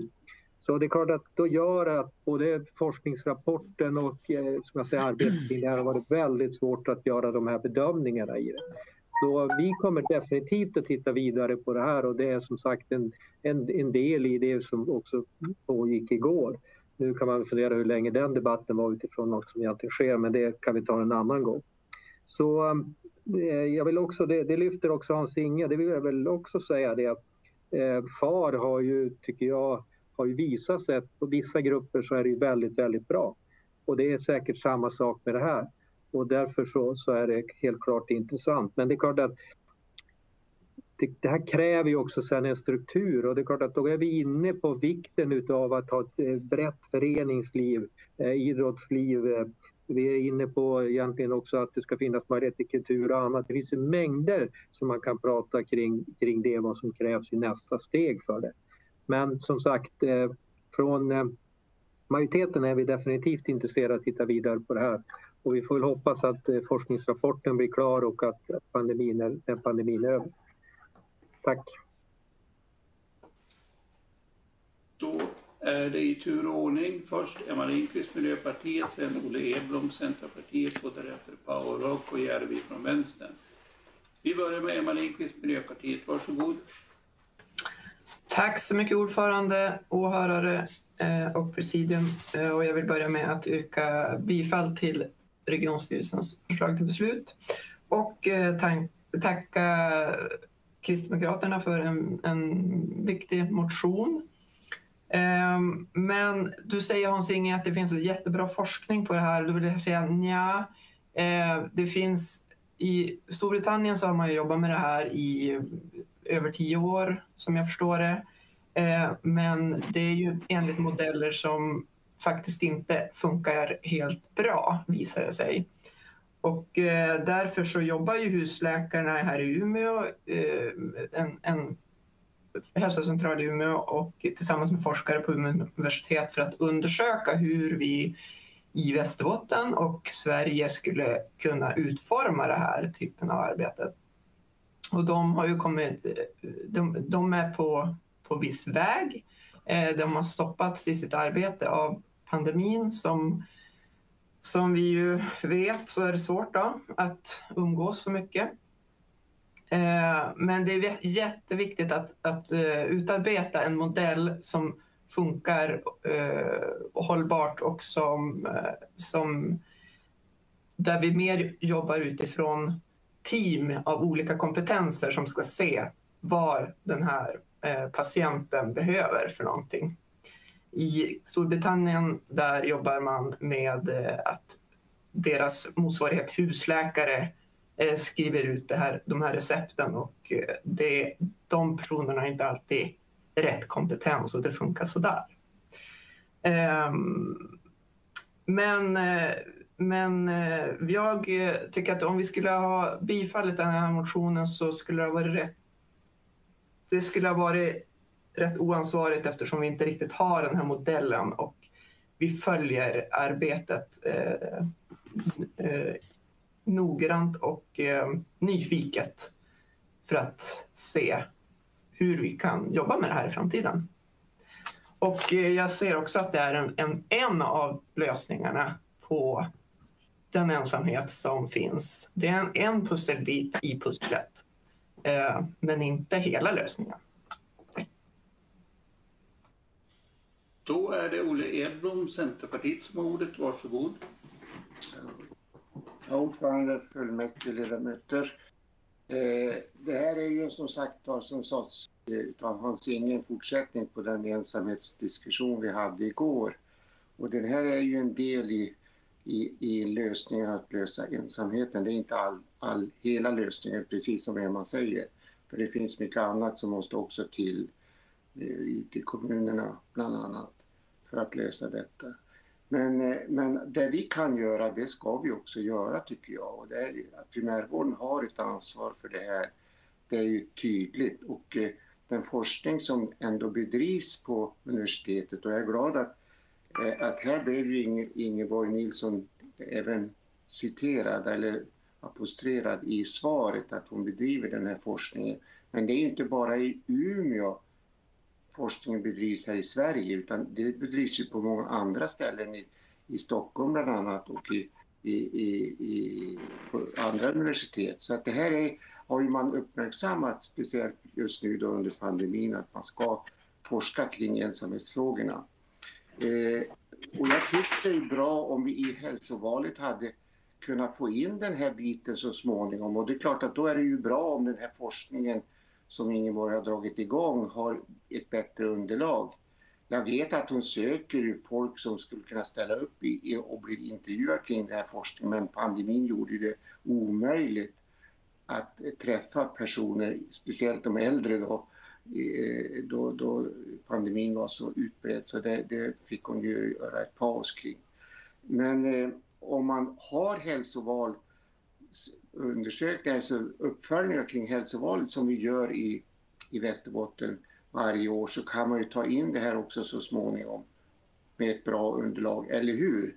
Visst är det så att ni tycker att man kan ta upp den diskussionen då, då vi årligen ser över hälsovalet och de olika indikationerna som ska finnas med där och de ersättningar som ska gå ut. Då blir det här också en viktig del i den uppföljningen av hälsovalet. Jag tycker det är så viktigt att man, man markerar, även om inte forskning finns ännu, att, att man vill åt det här hållet och då bör man ju bifalla motionen. Så jag tycker att det är viktigt att visa att vi alla är överens om att vi går vidare kring de här frågorna. Så jag yrkar bifall till motionen. Tack. Då är det replik begärd av Emma Lindqvist, Miljöpartiet. Varsågod.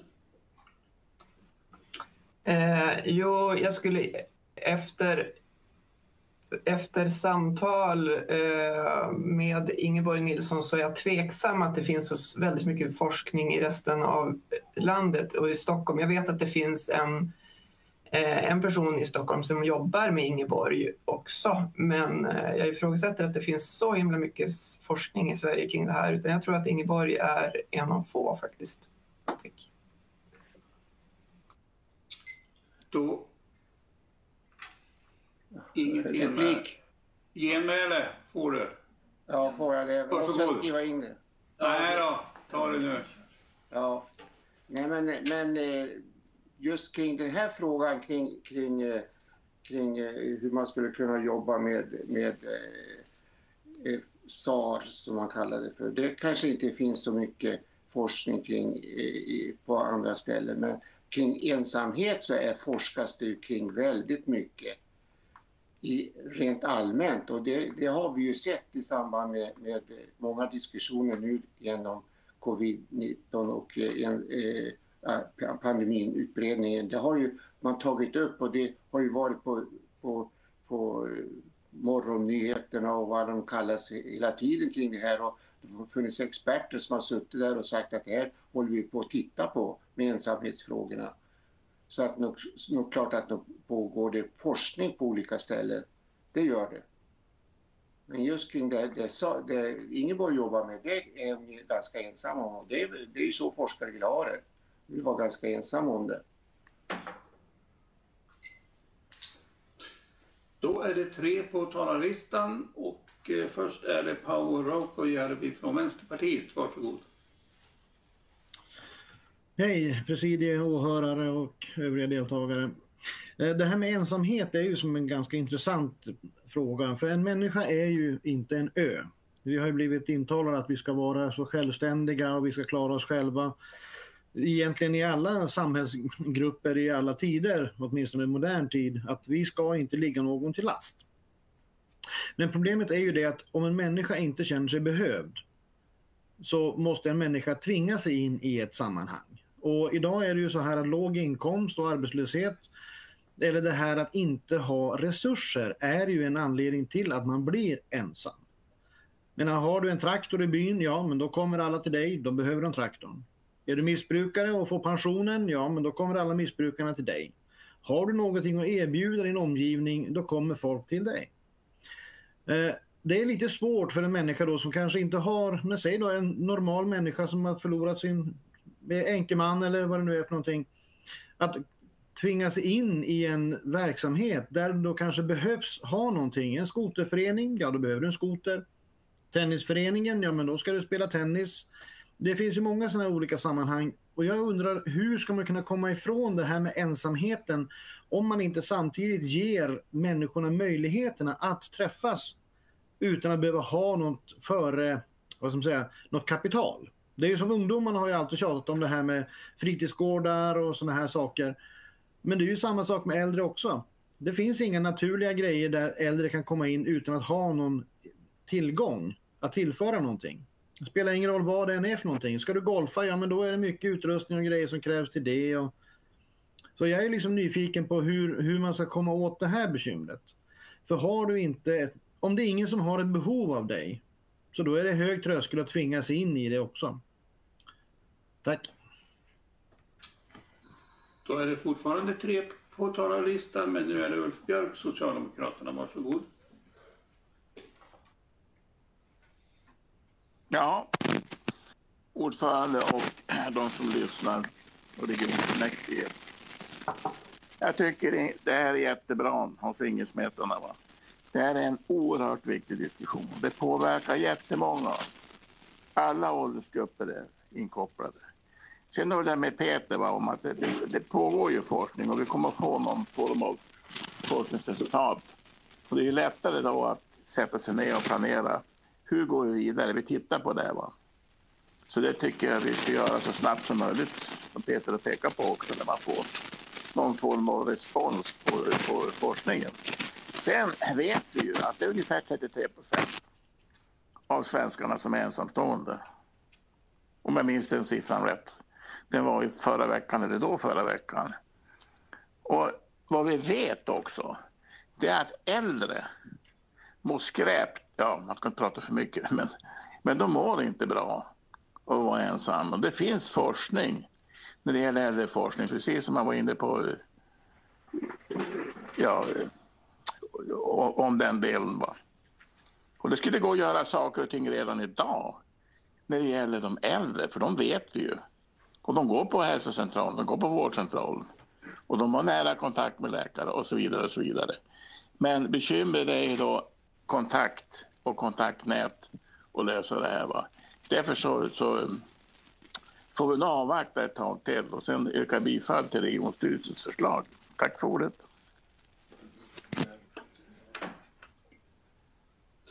Då är det just nu fem på talarlistan och då är det Olof Nilsson, Socialdemokraterna, som är först. Tack ordförande, ledamöter och åhörare. Eh, nej men jag, eh, Ulf sa en del av de sakerna som jag hade tänkt ta upp själv här och, eh, hänvisa till det Peter var inne på. Eh, och sen skulle jag vilja vända mig till det Olle, du yrkar på bifall till motionen och jag förstår det, håller med flera här, det är ett angeläget område. Skulle vi bifalla den här motionen, det innebär det ju, då, då bifaller vi att-satsen att vi ska införa social aktivitet på recept. Och eh, Mikaela Björnebäck från Liberalerna tog upp det i en diskussion, i- eller i en eh, debatt igår också. Det tyckte jag var ganska mm, bra poäng hon gjorde att, att de, när man då förskriver social aktivitet, hur ska, man för, hur ska man följa upp det och så vidare? Hur, vart ska man hämta ut sitt recept så att säga? Det gör vi med vanliga läkemedel idag.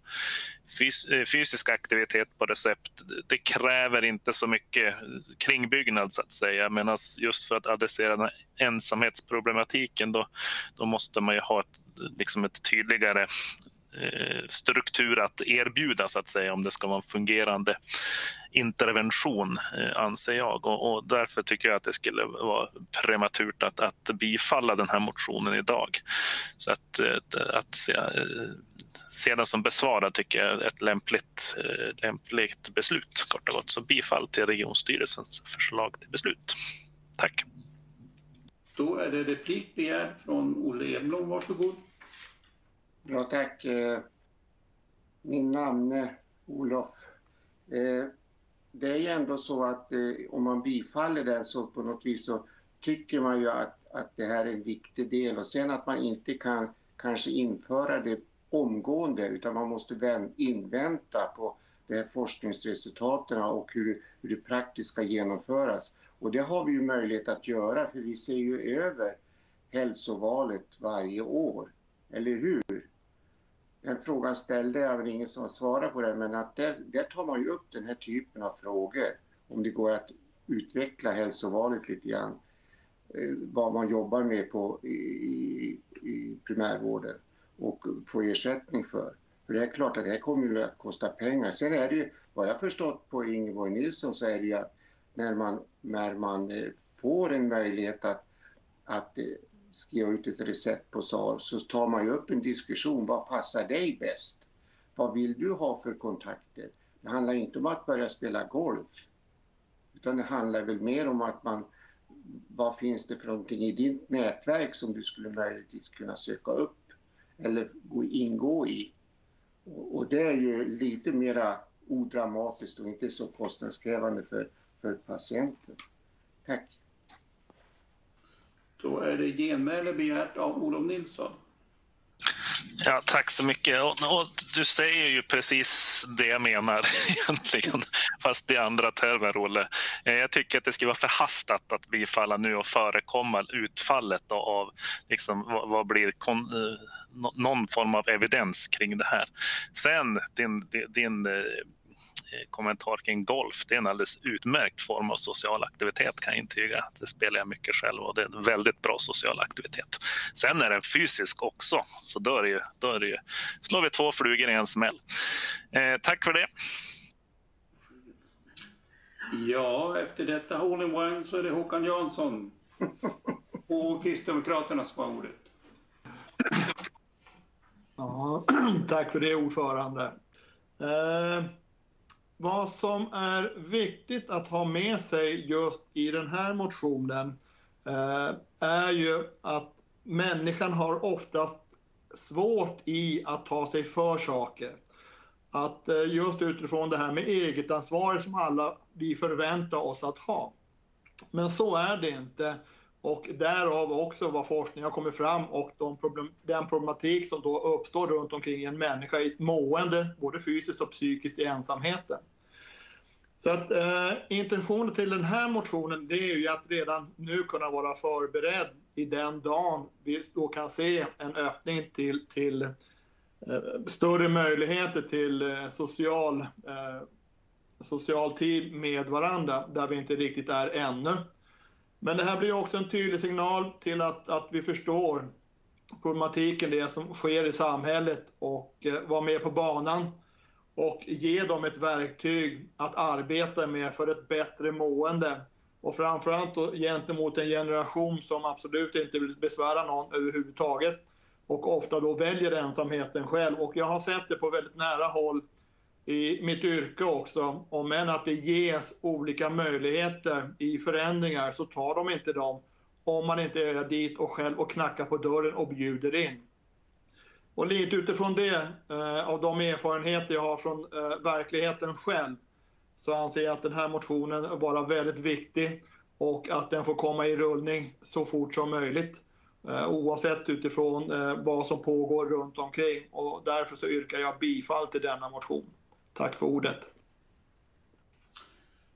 Då är det fem stycken på talarlistan och vi börjar med Emma Lindqvist, Miljöpartiet. Varsågod.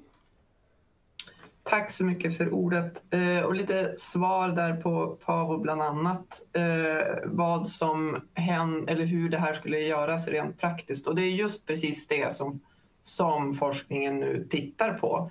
För att eh, det, för det, det de har sett i Storbritannien då inte riktigt funkar så bra. Så tänker man mer att det ska finnas ett team runt varje patient med psykolog, kurator, fysioterapeut eh, för att kunna eh, utröna vad det är som, som passar just den här personen bra.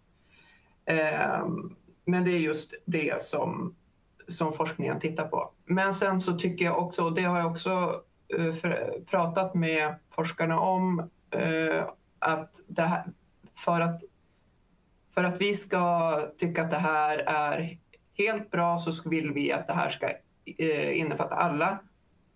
Forskningen som görs just nu tittas, tittar på äldre personer och eh, det poängterar de också att det är väldigt viktigt att eh, se på hela eh, på alla åldersgrupper därför att det är inte bara äldre som är, som är ensamma utan det är också barn och unga. Så det vill jag poängtera. Tack. Då är det Betty Nilsson, Kristdemokraterna, som har ordet. Varsågod. Tack så mycket ordförande och eh, ledamöter och åhörare. Vi hade en lång debatt igår eh, och eh, en väldigt bra debatt idag. Vi ser problematiken och precis som Emma säger, det här handlar ju faktiskt inte bara om, om våra äldre. Vi har ju många eh, yngre som också är ensamma. Vi har de som faktiskt är i arbetsför ålder, som har ett arbete att gå till, som också har en viss ensamhetskänsla. Jag har inte läst den forskningsrapporten, men jag fick den till mig igår. Så att det, det har ju så många delar det här. Men jag är jättetacksam att ni, ni är, ställer så positivt till den motion som jag skriver. Eh, och jag kan tycka att även om um, vi inte har fått svar på alla delar eh, utifrån den forskning som pågår och att pandemin har satt mycket käppar i hjulet så, så tycker vi ändå att det är en viktig del att de här människorna får komma sig ut och få hjälp att komma sig ut. Så att eh, av den anledningen så, så yrkar jag ändå bifall. Eh, ha det här i åtanke, det, det Olof säger, men, men jag tycker ändå att det är att man får tänka framgent. Det här vill vi genomföra. Och tyvärr är det väl så här, alltså många gånger när vi skriver motioner, oavsett vilket parti som skriver, så att hänger det mycket på hur att-satsen är skriven. Eh, ibland har vi, vi har väldigt bra att-satser kan vi tycka, men det är någon liten del i att-satsen som inte är bra. Men, men eh, jag tycker ändå att eh, den är väl värd att eh, satsa på att vi kan genomföra det här framgent när vi har fått eh, även forskningsrapporter på bordet, vi vet hur det ser ut och hur man ska kunna utforma det. Och tack för en bra debatt också. Då är det tre stycken på talarlistan och först är Birgitta Burström, Liberalerna. Varsågod.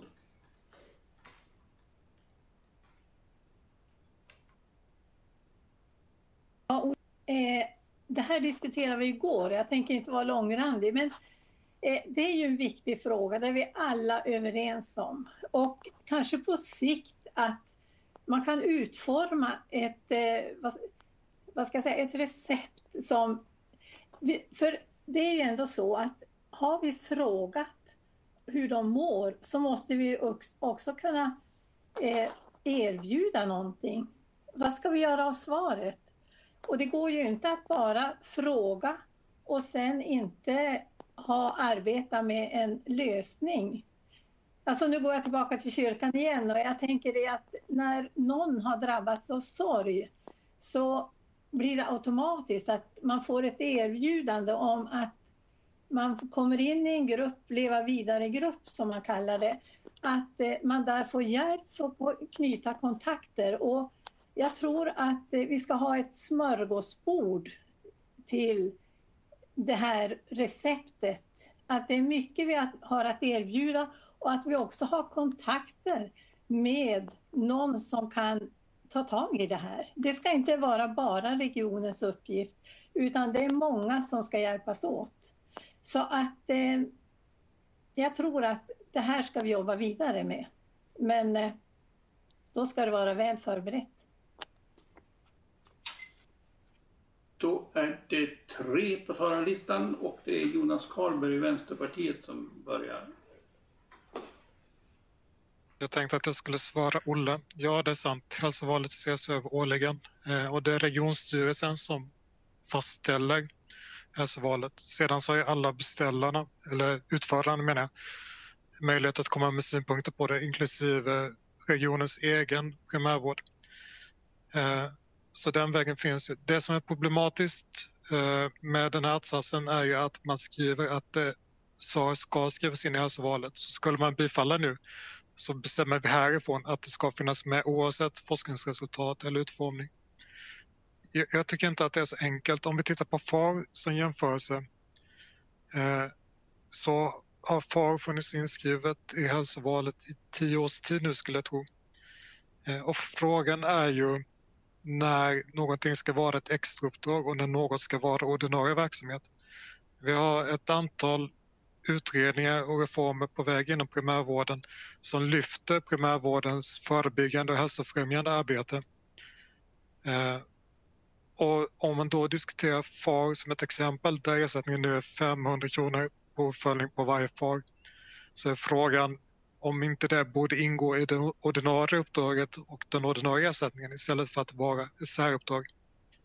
Eh, och lite grann så får man ta den här diskussionen på samma sätt. Om man sätter en ersättning på det sättet som föreslås i motionen eh, så måste man också följa upp den, se på effekten av den eh, och man måste också fundera på följdkonsekvenserna.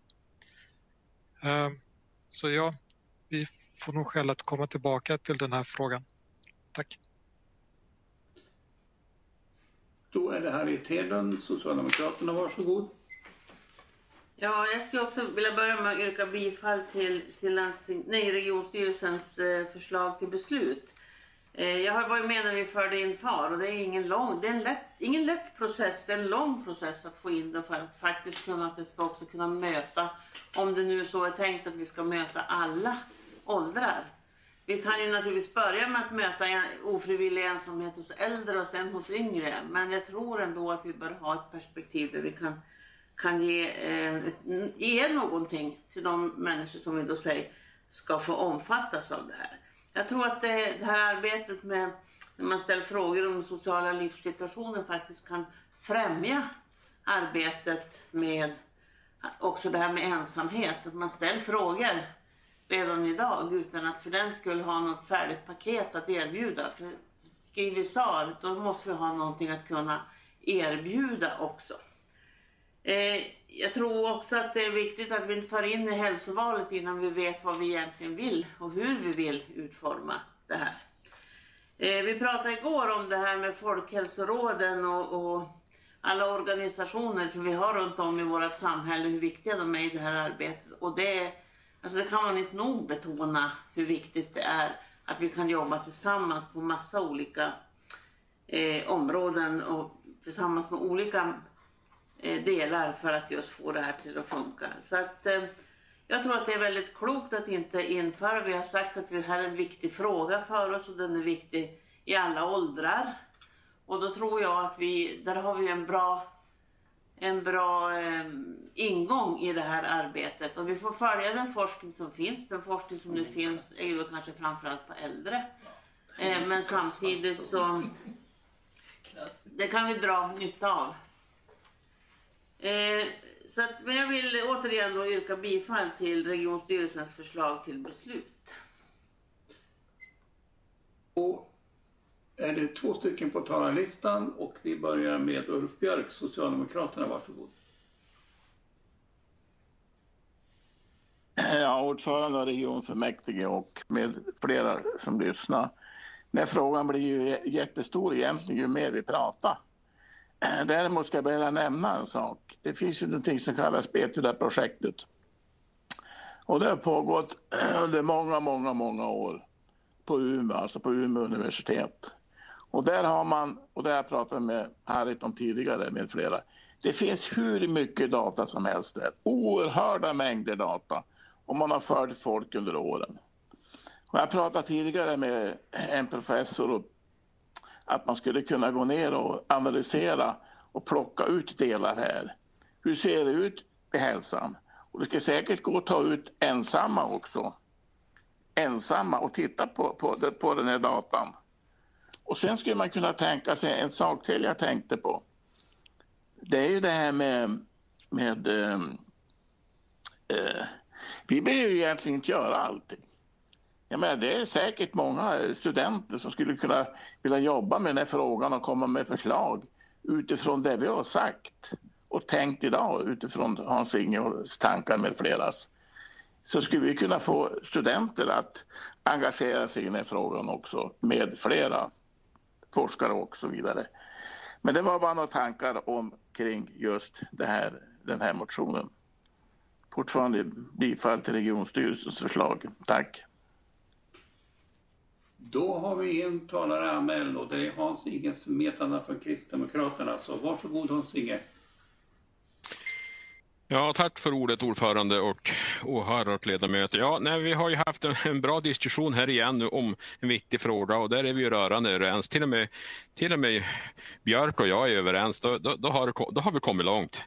Eh, nej, men vad som är intressant i det här och jag tror är viktigt och det angav ju Peter också. Vi måste ju naturligtvis ha mer eh, eh, på fötterna vad vi ska liksom ha i ett paket här. Och där tror jag inte att vi ska bygga upp egna strukturer utan vi ska naturligtvis ta de kontakterna och, och jobba med civilsamhället och, och så vidare för att där det här finns.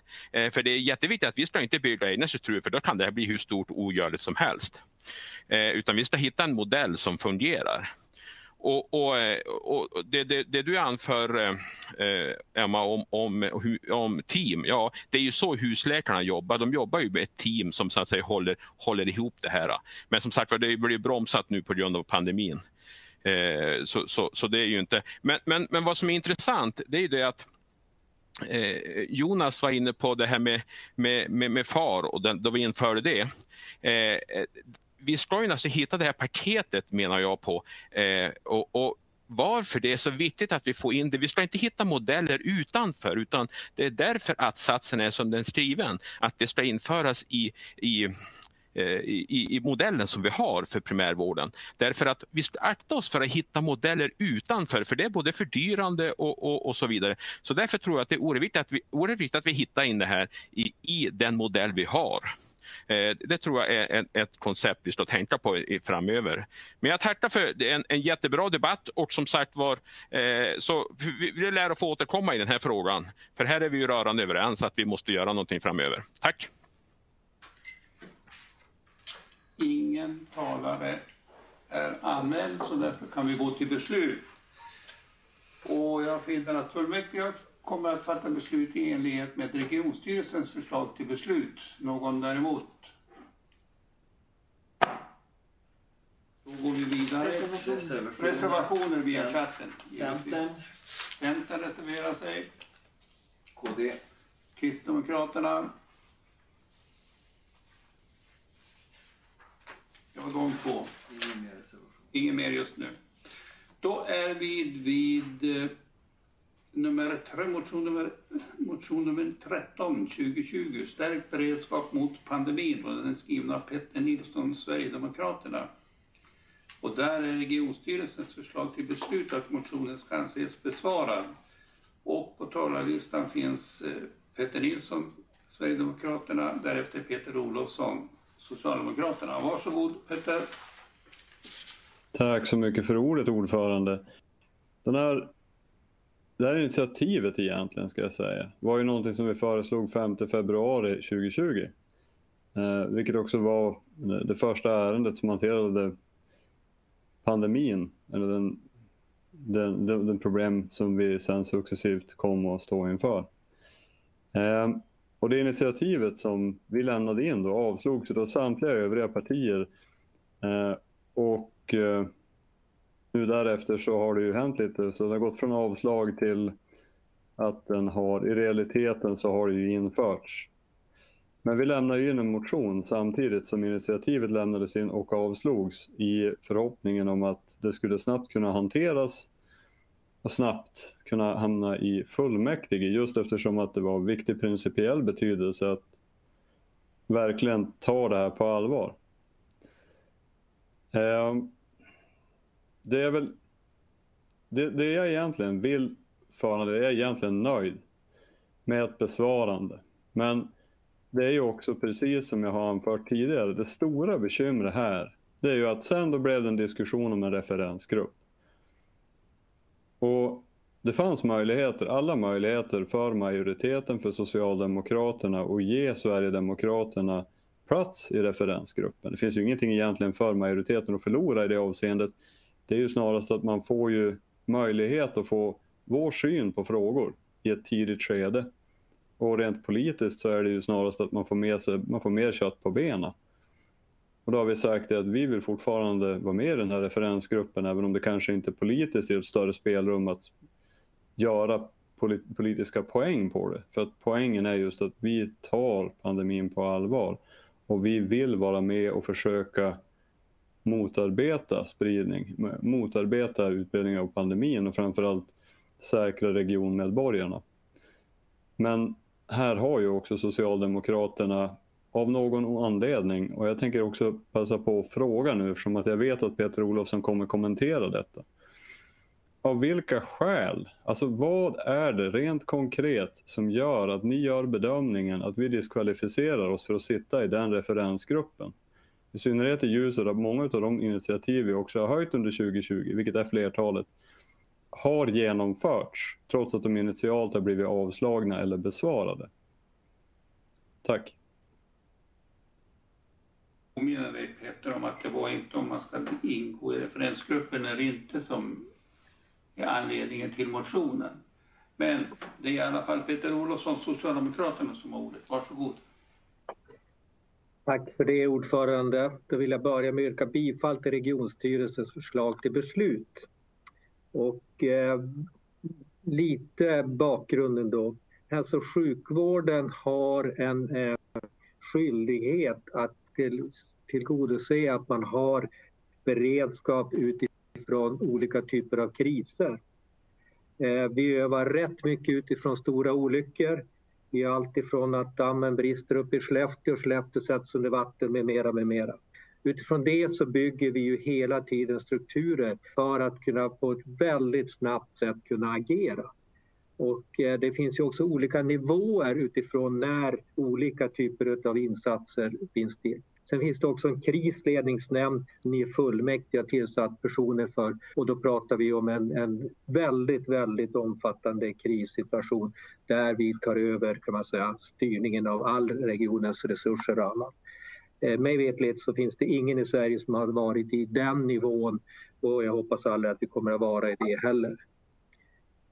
Och då är det också viktigt att när vi får en krissituation så ska det finnas strukturer på hur olika typer av eh, nivåer på den här skalan sätts in utifrån hur resurserna används. Och det, det är ju så också, det, de, de som tar beslut i icke-kris ska också ta beslut under kris. För ska man ändra de styrreglerna och säga att nej, men nu ska vi en annan eh, tingens ordning för nu har vi en kris. Då kan jag säga att då har vi väldigt, väldigt stora utmaningar kring det. Så att vi skulle då i februari säga det att ja, men vi måste nog föra upp den här frågan till fullmäktige och veckan efter så har vi, eller någon vecka senare, långt innan fullmäktige, så hade vi en stor kris. Skulle vi då ha väntat på regionen utifrån att fullmäktige skulle ta fram det här? Det, det faller på sin helt orimlighet. Och därför så var det tydligt avslag i, i regionstyrelsen och det är tydligt avslag idag. Det här är inte rätt sätt att hantera det på. Sen har vi myndigheterna utifrån det här också som jobbar väldigt självständigt utifrån de här delarna. Men skulle alla börja hitta på egna delar utifrån det när krisen har uppstått, då har vi ett utmaning. Däremot så tycker jag att man ska alltid utvärdera och det ska vi göra efter den här pandemin definitivt. Men vi ska inte utvärdera mitt i pandemin. Det tror jag inte heller skulle vara eh, speciellt bra. Och när, då finns det all anledning att ändra på saker och ting. Men jag tror ju inte att vi ska falla in i Petters och säga det att vi tror nog att om det blir en kris så ska vi föra upp ett eh, ärende till fullmäktige för att bereda det där. Först och främst är det beredning också så att det är inte säkert vi har ens varit i fullmäktige den här gången utan det hade kanske kommit i april, juni. Eh, och ska vi ha väntat på, på åtgärder då så vet jag inte om vi skulle ha sett ut som vi gör idag. Till Västerbotten ligger i topp hur medborgare betraktar att vi har hanterat pandemin. All heder till vår personal och hur man agerat i den här frågan. Men det är också så att vi har ett stabilt system som säger vem gör vad utifrån den här situationen. Så jag vill vara väldigt tydlig på att det här är farliga vägar och säga att ja, men nu vill vi nog göra lite politiska poäng så då tar vi initiativ och så för vi frågan till fullmäktige. Skulle vi få en organisation som satt och väntade på de signalerna då hade vi nog inte legat i topp i landet. Det ska vi nog vara ganska klara över. Sen eh, har jag kommenterat Petters eh, och eh, vad det gäller den här referensgruppen och han vet lika väl som jag att det handlar om valresultatet. Nu hoppas jag, det står jag kvar vid, att övriga borgerliga som har möjlighet att ta det utifrån sitt, sitt valresultat kommer att ändra sig och då ska vi lösa det också. Men det tar vi ett senare tillfälle. Tack. Då är det replik. Petter Nilsson, Sverigedemokraterna. Tack så mycket. Jag hade begärt ordet. Ja. Var det ordet du hade begärt? Ja, då får du vänta. För först är det... Han hade ordet. Det är hans tur. Nej, visst är det Zacharias Nej, nej. Det är, det är Petter före. Jag Det är sa Petter ordet. före. Okej. Ja, Zacharias. Har jag ordet? Ja. Du har ordet Petter. Tack för ordet ordförande. Eh, Peter, det är ju inte ett avslagsyrkande regionstyrelsen yrkar på idag utan det är ju att besvara det här eftersom att det, det har ju genomförts det som initiativet föreslog och tillika det som motionen också föreslog när vi lämnade in motionen vilket var samtidigt som initiativet avslogs. Det initiativet och motionen egentligen föreslår är ju att kontinuerligt uppdatera rutiner inför en eventuell pandemi. Eh, det är också att se till att aktuell information delges. Och det är de bitarna som vi har ställning till idag. Det här var ju inledningsvis i februari förra året. I början på februari vi hade regionstyrelsen. Och därefter så lämnades det in en motion. Så förslaget är alltså inte avslag till motionen. Och jag tror att det är helt rätt också, eller rättare sagt, jag tror att vi hade haft en högre beredskap om vi hade gått ut med större, mer omfattande information i ett tidigare skede. Det är jag övertygad om. Eh, och det tror jag också att du vet om också Peter.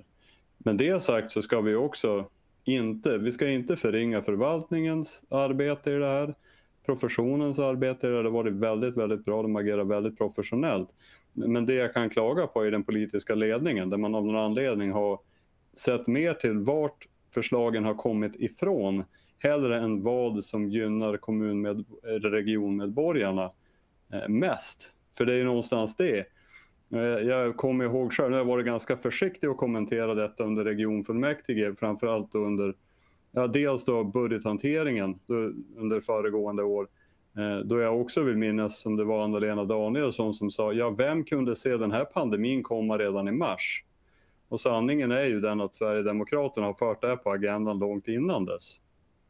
Och då, då måste man ju ändå försöka vara intellektuellt hederlig i det här. Och igen, då kanske det är någonting också när ni övervägde referensgruppen och säkra att Sverigedemokraterna också fick ta plats, i synnerhet eftersom vi har gjort en hel del kring frågan. Jag försöker fortfarande vara väldigt balanserad när jag framför mitt anförande nu. Men jag har synpunkter på den politiska ledningen. Tack. Då är det replik från Peter Olofsson, Socialdemokraterna. Tack för det ordförande. Ja, nej, jag ska absolut, jag sa en avslag, jag menar att den ska besvaras. och det är ju ganska tydligt utifrån vad, vad vi beskriver hur en sån här situation går till. Men det som ni skulle yrka på, i motionen föreslås att regionfullmäktige ska besluta om att se över befintliga pandemiplaner. Det skulle vi alltså tagit ett beslut i styrelsen i februari, den skulle ha beretts och eh, den skulle kanske i bästa fallet här fullmäktige kunna tas under beslut. Nu vet vi inte ens om vi ska hinna med dem för vi har massa motioner vi kommer inte hinna hantera. Jag tror faktiskt inte att befolkningen skulle vara speciellt imponerad utav den hanteringen. För pandemi, eh, som man säger, planer och annat finns det. Sen kunde ingen förutse covid och dess omfattning. Och då finns det strukturer hur vi jobbar så man väntar inte på att man ska ha ett fullmäktigebeslut, innan man går vidare kring det. Men än en gång så ska vi utvärdera det här och vi ska titta över i så fall vad det här eh, eh vad, vad det kan finnas ändras från framtiden. För pandemier kommer inte att vänta på att fullmäktige tar beslut. Tack. Då är det genmäle Petter Nilsson. Tack så mycket för ordet. Eh, nej men Peter, alltså jag, jag instämmer i att det behöver utvärderas och min förhoppning är ju också att revisionen nu när man går igenom den, de åtgärderna som regionen har gjort, att man också utvärderar den politiska hanteringen utav detta. Eh, återigen, jag, jag, jag, ska också säga det, jag, jag tycker att eh, när väl det kom upp på bordet och aktualiserades lite senare, vill jag erinra mig i mars, så då upplevde jag faktiskt att samtliga partier var med på tåget också.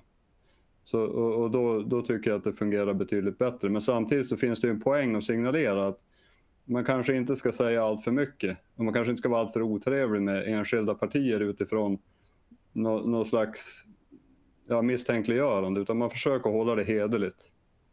Tack. Då är det en på talarlistan och det är Zacharias Tjäder i Miljöpartiet. Varsågod.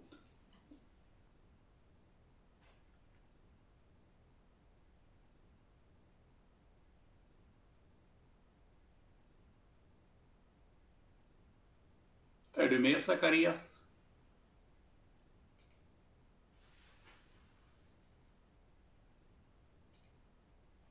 Han Micken. Är det micken han hittar på? Eller? Han ser ut att vara här. Va? Han ser ut att vara här. Han ser ut att vara här, jaha.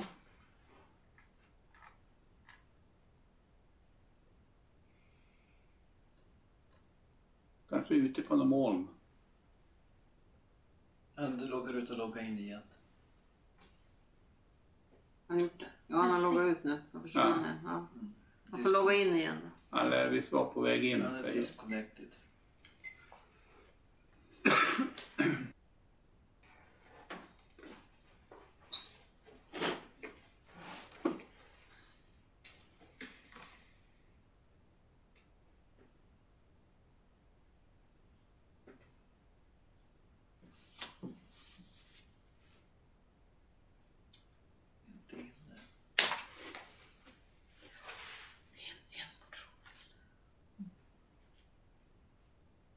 Nej, Zacharias. Jag tror att vi får gå vidare. Han är inte inne. Han har något problem. Nej, det är Nu har han joinat. Sa du? Nu är han inne. Mm. Hörs det nu? Ja, nu är du med. Ja, bra. Ja, tack eh, presidiet för ordet. Och eh, eh, precis som Peter Olsson är inne på här så blir det väldigt märkligt eh, om eh, regionen mitt under en pågående då pandemi ska börja jobba med att uppdatera sina pandemiplaner. Eh, För det är nämligen så att eh, det är redan lagstadgat att eh, regioner och kommuner ska uppdatera bilden om olika risker eh, vart fjärde år och där ingår då pandemier för eh, regionens del. Det kallas för lagen om kommuner och eh, landstingsåtgärder inför extraordinära händelser. Och I den lagen då ingår det att man ska skriva en, eh, eller genomföra en risk och sårbarhetsanalys. Och det genomför alltså regionen idag och det ska uppdateras vart fjärde år. Och då tittar man ju då på hur sannolikt är det att en risk så som en pandemi ska inträffa. Och det är väldigt sällan pandemier inträffar så att när det väl eh, inträffar då eh, dessutom då eller, då blir det märkligt att förslaget från Sverigedemokraterna kommer att man ska jobba med att uppdatera den när det ändå redan görs innan. Utan nu måste fokuset vara på att ta hand om den här rådande pandemin. Så att jag skulle råda Sverigedemokraterna och Petter Nilsson att, eh, att noggrannare kolla på vad är det som redan görs innan man lägger förslag. Ehm, och det finns ju väldigt många då krisberedskapshandläggare eller säkerhetssamordnare som jobbar med det här liksom brinnande just nu i regionen. Så det var bara ett förtydligande till, eh, till besvaret. Så jag yrkar på regionstyrelsens förslag till beslut. Tack så mycket. Då har vi replik, Petter, från Sverigedemokraterna. Tack så mycket för, för repliken. Ja, nej, men jag förstår att Zacharias kanske han sitter ju inte i styrelsen och så, men det, i korthet så är det ett initiativ som höjdes för ungefär ett år sedan och eh, det är ju då i samband med det som vi föreslog att uppdatera rutinerna, vilket man också gjorde exempelvis i Östergötland vid den tiden. Så, så det är helt rimligt att göra det, men däremot så har det ju dröjt. Då. Dels fick vi avslag på initiativet från övriga och då kände vi att det är så pass akut att se till att vi har de här uppdaterade. Eh, så då la vi också in en motion till fullmäktige. Sen har den dröjt i hanteringen och precis som Peter också säger så det drar ju en tid innan man faktiskt kan kunnat ta upp det här för hantering i fullmäktige, tyvärr. Men samtidigt så igen, förvaltningen har gjort mycket och, och den politiska ledningen kommer ju att också problematisera pandemin på ett annat sätt senare under våren. Tack. Ingen talare anmäld, då kan vi gå till beslut och jag finner att fullmäktige fattar beslut i enlighet med regionstyrelsens förslag till beslut. Någon däremot? Reservationer på chatten?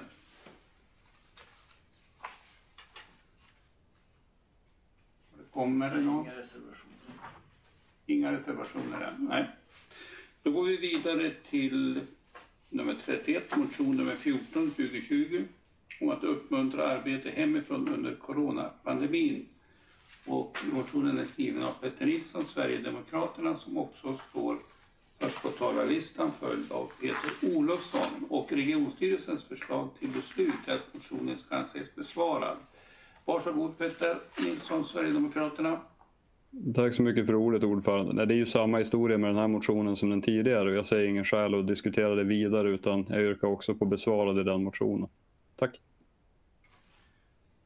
Peter Olofsson, Sverigedemokraterna, varsågod. Nej, Socialdemokraterna. Socialdemokraterna, usch herregud. Tack, tack för det ordförande, ledamöter och åhörare. För er som tror jag börjar bli trött, inklusive undertecknad också, ska vi villigt erkänna. Det tär ganska hårt på en ändå när det är digitalt, kan jag tycka. Men det är så, sånt är livet. Jo, jag vill väl säga så här att jag vill börja med att yrka bifall till regionstyrelsens förslag till beslut.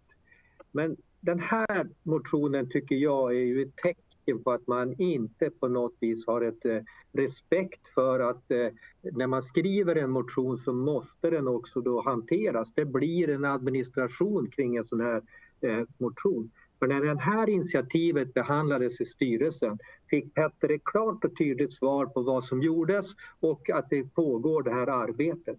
Trots det så sitter vi nu ett år senare och hanterar en motion. Nu säger jag inte att det lagt ner jättemycket tid i det här.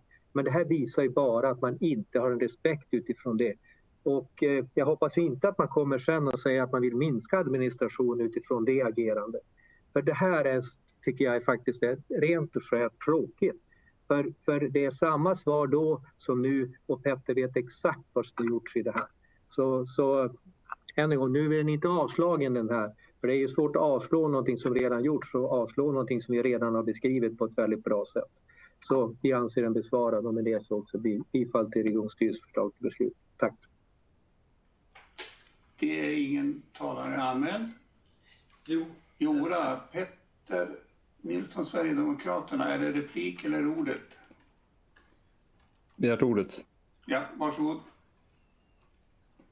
Tack för ordet. Eh, jag tycker du underskattar vad förvaltningen har bidragit med i det här avseendet. Det vi sa i vårt initiativ var att vi ville ytterligare kommunicera behovet och framförallt önskan om att få arbeta hemifrån för de som det berörde. Så att man, man får tillräcklig information, vilket var betydligt mycket mer än vad som ni ansåg var ribban för besvarad då. Och där måste jag faktiskt ge förvaltningen återigen eh, ja, cred. Jag, jag tycker de har gjort det bra sen initiativet skrevs. Men eh, fortfarande var det inte tillräckligt när initiativet eh, blev besvarat. Däremot så håller jag med om att eh, ja, initialt absolut det skulle ha skett mer. Men å andra sidan så har det ju hänt saker, vilket är positivt. Så att, ehm, nej, absolut, jag nöjer mig med besvarat. Tack. I, va? Jo, nu kommer replik. replik från eh, Peter Olofsson. Ja, tack för det. Nu är vi tillbaks till det vi var också förra gången. Man skriver alltså en motion som man vet kommer att behandlas långt senare än det här. Skulle då i så fall utifrån att man självklart under den här resans gång utifrån det ansvar som man har som förvaltning och framförallt har haft som regiondirektör i det här arbetet att följa Folkhälsomyndighetens rekommendationer och annat. Skulle man då ha väntat på att fullmäktige har behandlat det? Och vi är inte säkra att vi hade hunnit behandla den nu heller utan vi hade kanske fått den i april i bästa fall. Hade det varit lösningen på problemet? Så det är det jag säger att man bör nog tänka ett steg längre innan man lägger motioner utifrån en sån här del. Nu har vi en på pärlband som följer exakt samma mönster och då tycker jag man har absolut inte respekt utifrån varken det här forumet fullmäktige men definitivt inte vår, vår, våran förvaltning. Tack. Genmäle Petter Nilsson, Sverigedemokraterna. Tack så mycket för ordet ordförande. Det är svårt att säga exakt hur man avser att arbeta framöver och det tror jag också Peter förstår. Sen att han försöker att göra retoriska argument och trivialisera behovet av att göra åtgärder under covid tycker jag är djupt problematiskt. Och dessutom att han inte, har den, att han inte ser att förvaltningen faktiskt har gjort stora framsteg tycker jag är ytterst märkligt. Utan uppenbarligen så är det förvaltningen som hanterar det väldigt ordentligt och det ska de ha all, all cred för. Men som sagt, det här är ju fortfarande något som har behövt höjas. För vi vet ju inte, och vi kan inte veta när vi lämnar in ett initiativ hur man avser att arbeta framöver. Klart att det har funnits ett behov av att signalera att man ska arbeta hemifrån och uppmuntra det på ett bra sätt. Det gjorde man inte i inledningsskedet. Vi lämnade in en motion i förhoppningen om att det skulle kunna underlätta och jag skulle säga att det var rätt åtgärd att göra. Eh, sen skulle det vara intressant att få veta exakt hur mycket Peter Olofsson tror att den här utredningen kostade hur många nya tjänster man var tvungen att anställa upp för att hantera det här ärendet. Tack. Då har vi ingen på talarlistan. Då finner jag att regionfullmäktige fattar beslut i enlighet med regionstyrelsens förslag till beslut. Någon däremot? Reservationer via chatten. Inga reservationer. Inga reservationer. Då går vi till motion nummer 17 om att begränsa regional utveckling och lobbyverksamhet. Och den är inskickad av Peter Nilsson, Katrin Larsson, Linda Strandberg, Lars Forsgren och Thomas Palmgren, alla Sverigedemokraterna. Och där är regionstyrelsens förslag till beslut att motionen ska anses besvarad. Och på talarlistan har vi först Petter Nilsson, Sverigedemokraterna, därefter Rickard Karlstedt, Socialdemokraterna. Varsågod Petter Nilsson. Tack så mycket för ordet ordförande. Jag ska väl egentligen inledningsvis eh, kommentera. Jag kom på det också till det där med pärlebandet kring motioner. Det är ju intressant hur Sverigedemokraternas motioner tendensiöst sätts i ordning. Underlättar ju inte annat för en annan att veta ungefär hur man ska lägga upp sina eh, sina ärenden inför fullmäktige. Men i vart fall, eh, där är ju inga nyheter utan vi har sagt att vi måste begränsa regional utveckling och lobbyverksamhet. Eh, och det här är ju då synnerligen aktuellt under, under pandemi. Eh, och då har jag förstått också att eh, regionala utvecklingsnämnden nu har föreslagit att motionen ska anses besvarad. Eh, det är ju en rad olika projekt och nu vet jag ju, vi ska föregå lite grann den kritiken som jag förutsätter kommer i vanlig ordning från Rickard Karlstedt.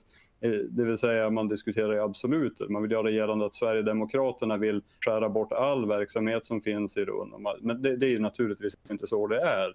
Det finns en rad olika projekt och dessutom inte minst under pandemi som orimligen kan genomföras och framförallt utifrån de rutiner och de föreskrifter som finns. Eh, så rimligen så, så ja, jag, jag tycker personligen att vi bör bifalla motionen. Eh, och det är ju också någonting som vi måste arbeta vidare med. För det handlar ju till syvende och sist om hur vi ska prioritera inom regional verksamhet. Eh, och där ingår ju också regional utveckling. Och det är viktigt också att vi tar de frågorna på allvar. Tack. Då är det Rickard Karlstedt, Socialdemokraterna. Varsågod. Tack ordförande. Ehm, ja, Petter, det här är ju en svår diskussion och verksamhet. Jag ska försöka göra en kortare sammanfattning. Anledningen att vi anser den besvarad är ju för att vi tycker att vi jobbar väldigt kostnadseffektivt. Vi försöker begränsa alla våra kostnader ehm, och det som vi gör nu framför allt är att styra om extremt mycket digitalt. Ehm, att vi jobbar väldigt mycket med kostnadsbegränsningar eh, och försöker ha en effektiv verksamhet. Men vad handlar då påverkansarbetet om? Jag ska ge några exempel för att försöka förtydliga det här. Just nu pågår en diskussion på EU-nivå om EUs taxonomi. Det berör både vattenkraften, skogsindustrin. Ska den här vara klimatvänlig eller miljövänlig? Eller ska den tolkas på ett annat sätt? Tittar man med europeiska glasögon så har vi brist på skog i EU. Tittar jag på glasögon i Västerbotten så har vi väldigt mycket skog. Den här bilden måste vi, och jag anser att om inte vi kan ge den här bilden till EU, vem ska då göra det? Vem är ansvaret att lyfta till exempel skogsindustrin, vattenkraften som är två stora basnärer i vårt län? En annan fråga som är en mindre fråga kanske, men nog så viktig för, för, för Jörnsborna, det är den här nya testbanan. Det här är också viktigt för hela EU och hur ska de hitta, hur ska Skanska hitta kontaktvägarna in i EU för att diskutera vikten av tågtester för hela Europa? Om inte vi har en plattform med ett Brysselkontor och sånt som kan hjälpa till i den här typen av frågor. Vi håller på med en nationell plan för infrastruktur. Vi ser det som händer i norra Sverige. Vi ser tillväxten i Västerbotten. Igår såg vi ett nytt stålverk i Norrbotten. Vi pratar tusentals och åter tusentals jobb som är på väg att växa fram. Det här kräver enorma satsningar på infrastruktur. Vem ska göra det om inte vi kan påverka beslutsfattarna? Just nu pågår också Finlands översyn över deras riksomfattande trafiksystem. Vi får en ny färja till våren här att gå mellan Umeå och Vasa. Vi har mycket transporter från Västerbotten som går över till Finland. Vem ska bevaka det här om inte vi har plattformar att göra det här? Om inte vi påverkar och tillvaratar Västerbottens bästa intressen i dessa frågor. En sån tydligt exempel är också när Fonden för rättvis omställning, en fond som totalt med medfinansiering är 6 miljarder drygt, ska lanseras i Sverige och myndigheten Tillväxtverket plockar bort Västerbotten. Hade inte vi haft direktkontakt med EU-kommissionen och direktkontakt in i svenska regeringen och haft en rejäl diskussion så hade Västerbotten fallit bort. Nu kunde vi rädda hem det här. Det är det här vårt påverkansarbete jobbar med. Och det ni tycker och det ni då säger är att vi ska spara ett antal miljoner för vi lägger inte mycket pengar i den här verksamheten.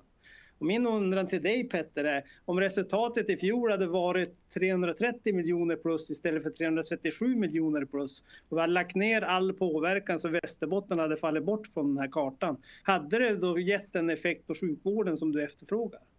Tack. Då är det replik begärd av Petter Nilsson, Sverigedemokraterna. Tack så mycket för ordet ordförande. Nej, men alltså Rickard känner ju till precis som jag att eh, områdena i norr som är glesbebyggda har en särställning i EU och det innebär ju också att vi har inte samma behov av lobby som exempelvis andra regioner. Nu personligen så är jag av uppfattningen att man bör, man bör nagelfara också Eh, de fonderna, strukturfonderna som det berör och se till att de också bidrar till någonting kvalitativt. Det finns ju också en rad av de projekten som vi driver eh, som man absolut bör ifrågasätta mervärdet utav. Men man ska också komma ihåg att vi har en särställning igen i EU och det känner Rickard också till. Att säga att vi då behöver eh, satsa omfattande i lobbyverksamhet är ju inte riktigt. Eh, vi ska hålla oss försiktiga från att, att debattera i, absolut, i absoluta termer tycker jag.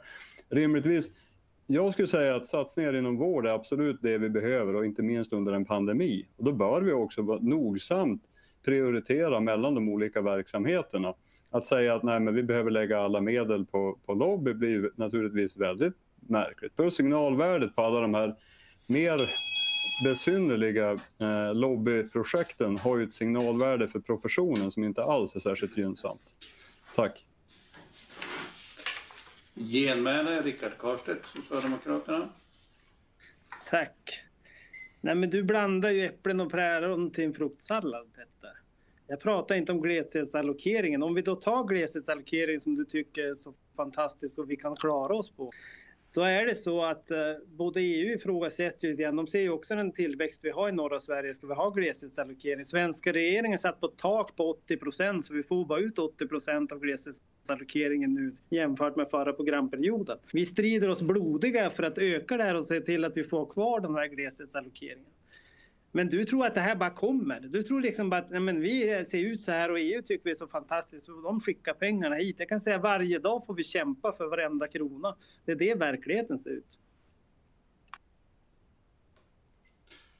Då har vi tre talare på talarlistan och vi börjar med Karina Sundbom från Centerpartiet. Varsågod. Tack ordförande, fullmäktige, tittare och lyssnare. Eh, jag ska börja yrka bifall till regionstyrelsens förslag att den här motionen är besvarad. Eh, det, det är ledsamt att, att se en sån här motion där man vill liksom plocka bort de möjligheterna vi har i Västerbotten att faktiskt få, få till extra medel och få utveckling till vårt län. Eh, det är ju så att, att skulle vi inte ha de här möjligheterna till att eh, satsa på regional utveckling så, så, skulle det vara betydligt svårare för väldigt många företag i vårt län. Eh, både inlandskommunernas företag och även ute vid kusten. Eh, därför ser jag att det är väldigt viktigt att vi kan, kan ha den här äh, utvecklingen. Det är klart att vi ska vara tydliga när vi tillsätter de här pengarna, att det går till väldigt bra, eh, bra projekt och bra utveckling, att vi verkligen får få valuta för pengarna. Men det är ett jobb som vi gör när vi har pengarna och ska fördela den. Det tycker jag att vi, vi har hittills gjort ganska bra i Västerbotten det här med lobbyverksamheten och eh, det förstår jag också att Vänsterpartiet har, har varit emot. Jag tycker det är jätteviktigt att vi, vi har de här mötesplatserna som eh, som finns idag och i, i svaret från regional utvecklingsnämnden så är det väldigt många mötesplatser eh, uppräknade. Eh, dels är det ju liksom eh, de här derby där vi lokalt eller från Västerbotten kan, kan påverka i, i, både i länet och i Sverige. Sen har vi väldigt många samarbeten tillsammans ut mot EU och andra EU-länder. Och jag tror det är jätteviktigt att vi finns med och att vi visar oss för att, att kunna ta del av väldigt många eh, möjligheter att utveckla oss. Stomnätet till exempel Eh, stomnätskorridoren som jobbas med nu. Eh, var vi inte med och, och, tryckte på så skulle vi förmodligen aldrig kunna få en Norrbotniabana med hjälp av, av EU. Eh, vi har väldigt många företag företagskontakter också som behöver det här. Därför är det superviktigt att vi håller kontakten. Vi behöver satsa pengar både på regional utveckling och det man då kallar lobbyverksamhet som jag anser är en påverkansagenda som vi har att arbeta med och det gäller för oss alla i hela Västerbotten. Så att bifall till eh, kommunstyr nej, eh, regionstyrelsens förslag att den är besvarad motionen så stannar jag där. Tack. Ordförande, jag har begärt ordet men jag ja. syns inte.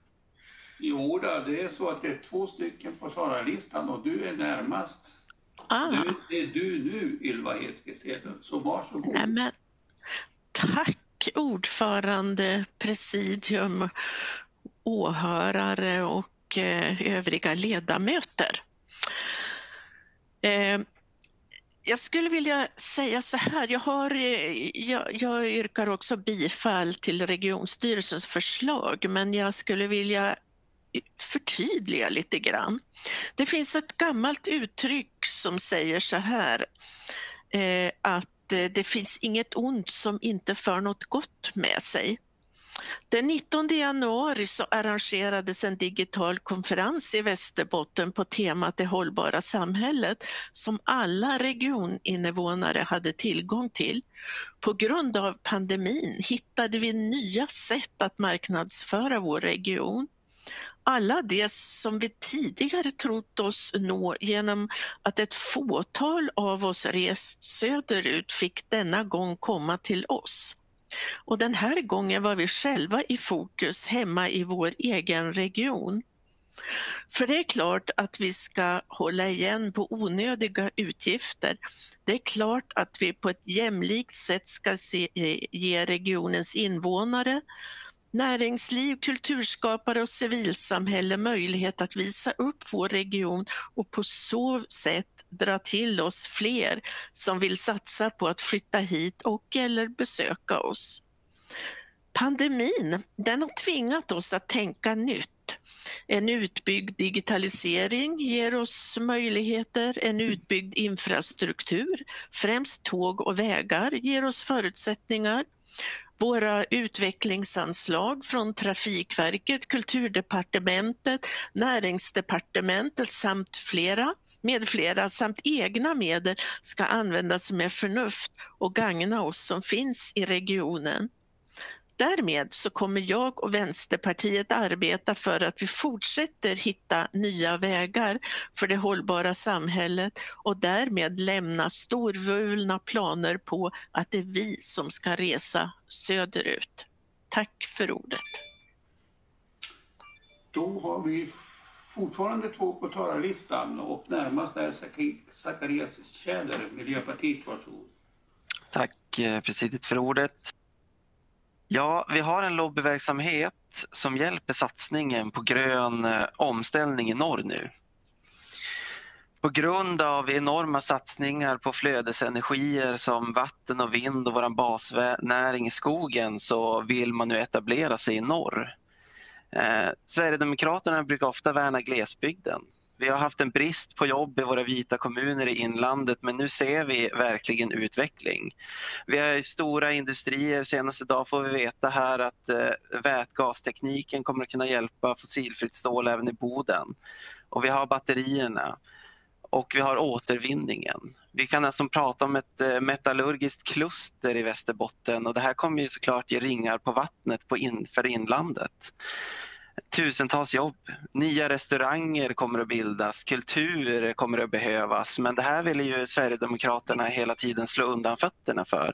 De här få miljonerna som Rickard Kartze så förtjänstfullt pratar om och eh, visar på hur viktiga de är för oss och eh, de sätter ju nu Norrland och Västerbotten på kartan. Så att eh, jag vill mena att det Sverigedemokraterna gör här det är bara för att få det är, det är egentligen bara för att få lite utrymme i debatten och säga att vi gör någonting fel nu. Men min fråga till eh, Sverigedemokraterna är vad har ni för förslag?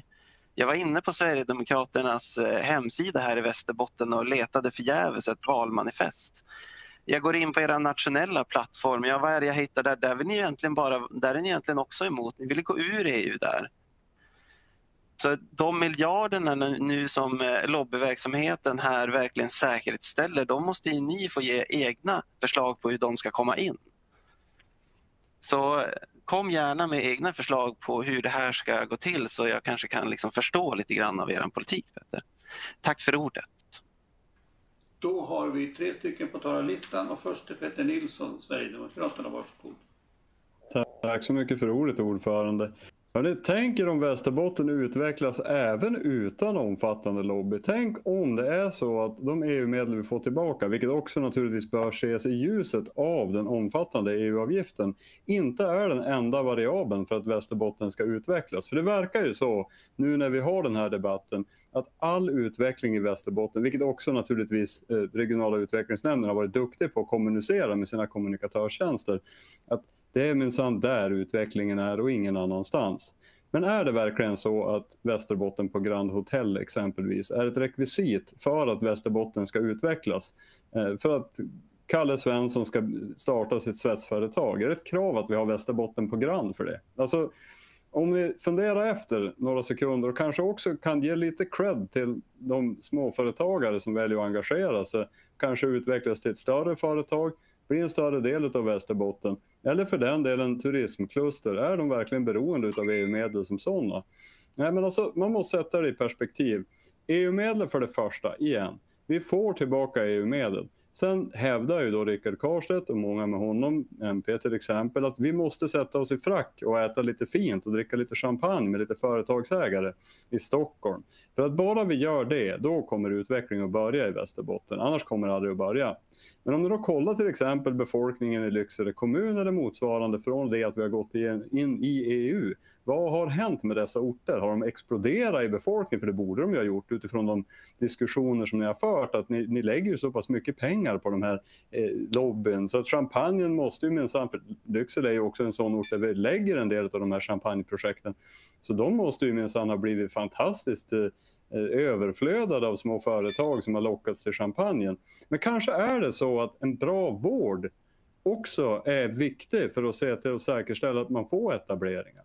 Kanske är det också så att signalvärdet på den här typen av lobby inte enbart är positiv. Kanske är det folk som blir rent av lite irriterade av att se politiker och högre tjänstemän eh, ta ett champagneglas i vänster hand och, och gå med monokeln. Alltså det, det, kanske finns en gräns någonstans. Kanske, kanske är det så att man kan se till att säkerställa ordentliga infrastruktursatsningar. För den del satsa ordentligt på strukturellt eftersatta avdelningar som IVA till exempel, eller Lycksele bara förra veckan, om vi återgår till budgetdebatten, har signalerat att de har jättebekymmer. Då kommer Sverigedemokraterna med en budget där vi säger att vi behöver satsa på strukturellt eftersatta eh, kliniker och alla andra säger nej men stopp, det ska vi inte göra. Vi ska lägga mer pengar på regional utveckling eller jag vet inte, vissa föreslår till och med något luftslott och lösa det den vägen. Men oavsett, det är ju, de satsningarna som behövs är ju rimligen inom vård idag. Och då gäller det att hålla nere kostnaderna på lobby. Det måste vi göra. Tack. Ja, då har vi två på talarlistan och först är Lars Forsgren, Sverigedemokraterna. Varsågod. Ja, tack för ordet ordförande. Eh, jag vill börja med att yrka bifall på motionen och jag kan bara konstatera att Sverigedemokraterna och de övriga partierna har väsentligt olika syn på hur högt sjukvården ska prioriteras. Där Sverigedemokraterna prioriterar den högt och ni andra lågt. Pandemin är oerhört tragisk och skapat mycket lidande. Jag ska dock vara vågad och säga att det finns två positiva sidoeffekter. Den ena är ökad kunskap om digitalisering och den andra är synliggörande av offentliga funktioner och projekt som är mindre effektiva. Eller värdelösa, det beror på hur rakt fram man vill vara. Stockholmskontoret, Region Västerbotten på Grand, Almedalen och liknande är exempel på sådana funktioner där medel skulle göra sig bättre i vården.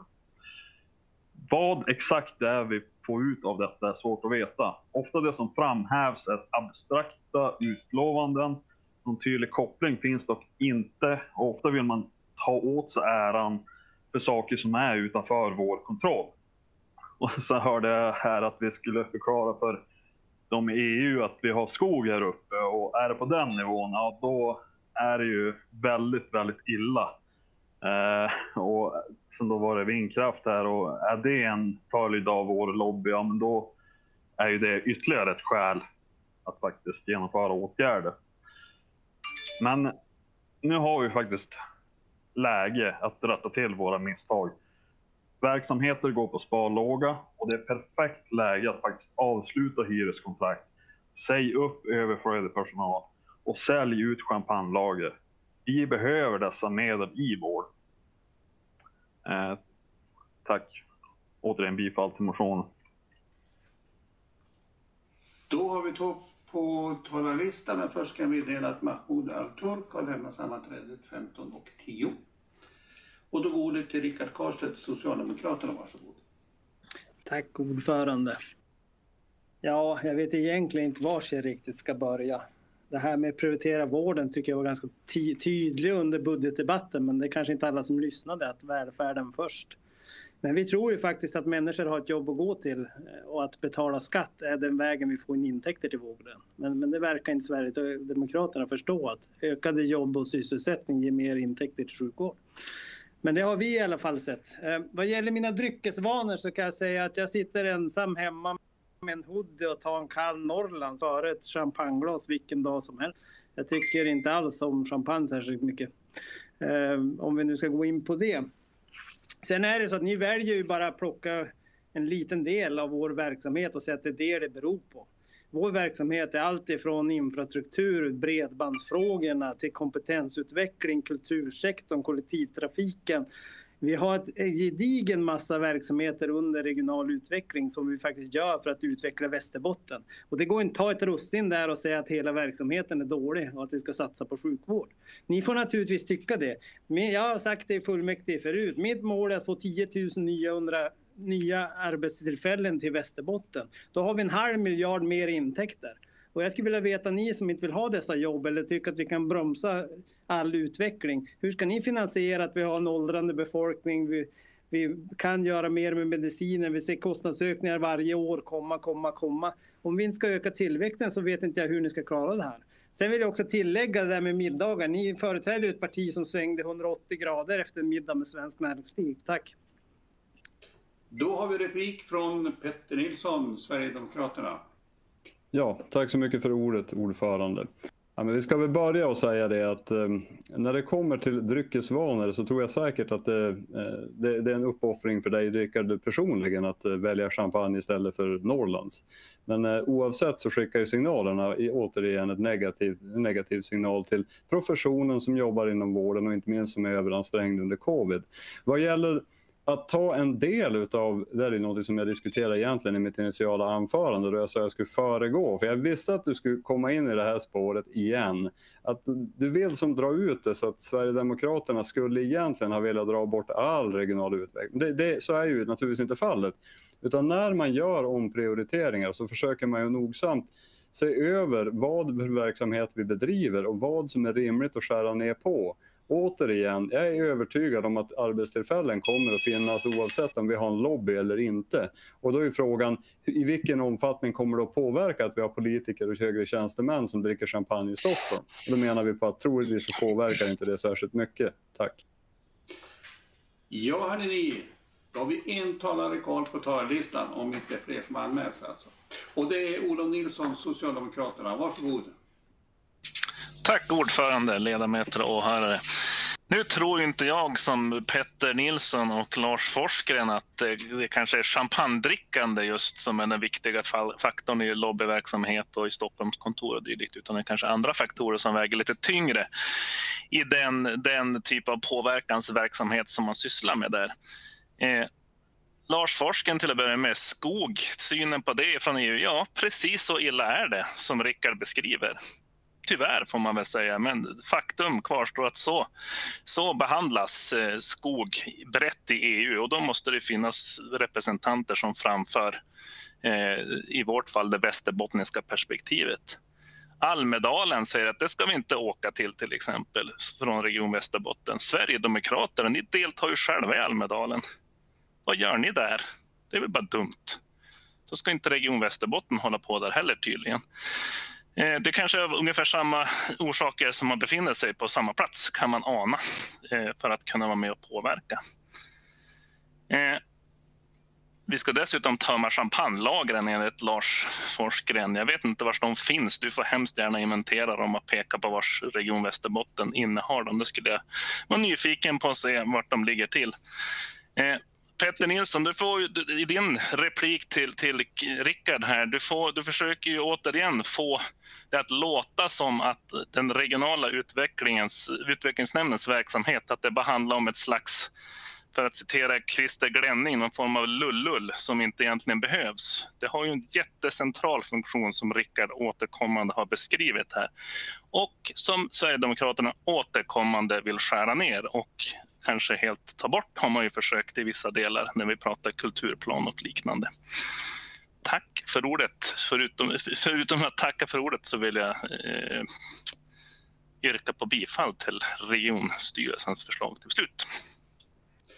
Då har vi två repliker begärda. Den första från Peter Nilsson och den andra från Lars Forsgren. Vi börjar med Peter Nilsson, Sverigedemokraterna. Varsågod. Tack så mycket för ordet ordförande. Ja du Olle, jag kan berätta att under Region Västerbottens vistelse på Almedalen så bedrev man bland annat ett projekt man kallar för Sverigedemokraterna, tankestreck, nazismens katalysator i samband med eh, Expo. Man valde alltså att attackera ett demokratiskt valt parti på Almedalen för skattemedel. Tycker du att det är okej okay, Olle? Sen kan vi nämna en rad olika projekt, till exempel då Västerbotten på Grand, som i sig är väldigt, väldigt vanskligt. Man ansåg alltså att man skulle genomföra det under pandemi.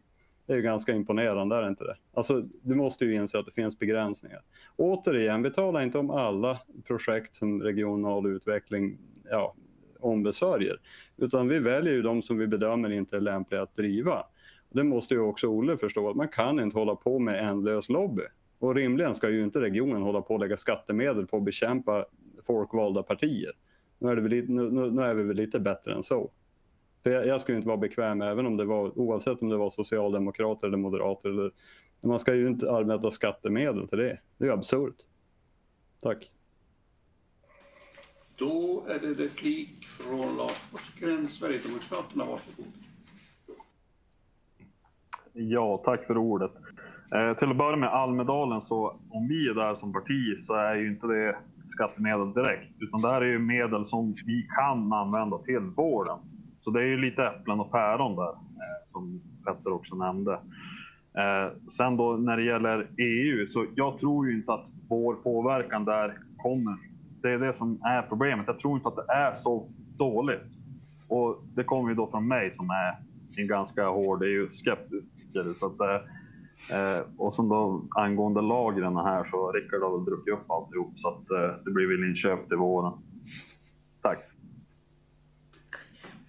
Det kanske var lite onödigt det sista Olof, nej Lars kanske kan. I varje fall är det genmäle från Olof Nilsson, Socialdemokraterna. Varsågod. Ja, men tack. Om jag ska kommentera mitt namn så heter jag Olof och inte Olle till att börja med.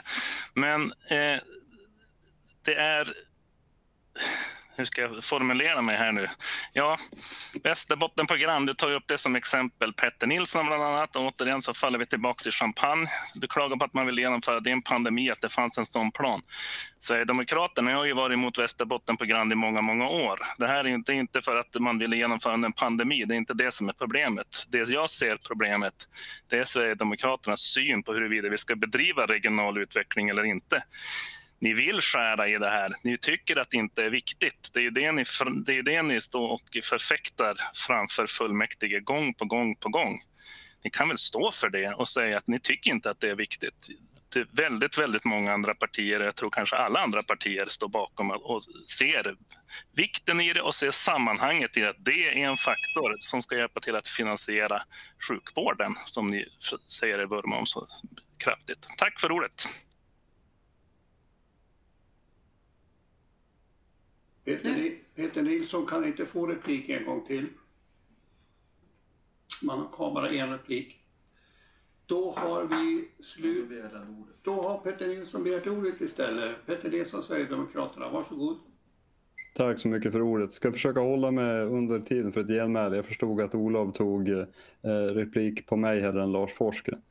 Eh, men eh, nej, jag ska väl säga absolut, vi, vi har varit negativt inställda till Västerbotten på Grand så att, eh, jag, jag, köper absolut att du lägger ordet på munnen i det avseendet. Men det faktum kvarstår är att ni fortfarande avsåg att genomföra projektet trots rådande pandemi. Och det är anmärkningsvärt. Tack. Då har Ylva Hedqvist Hedlund, Vänsterpartiet, begärt ordet. Varsågod Ylva.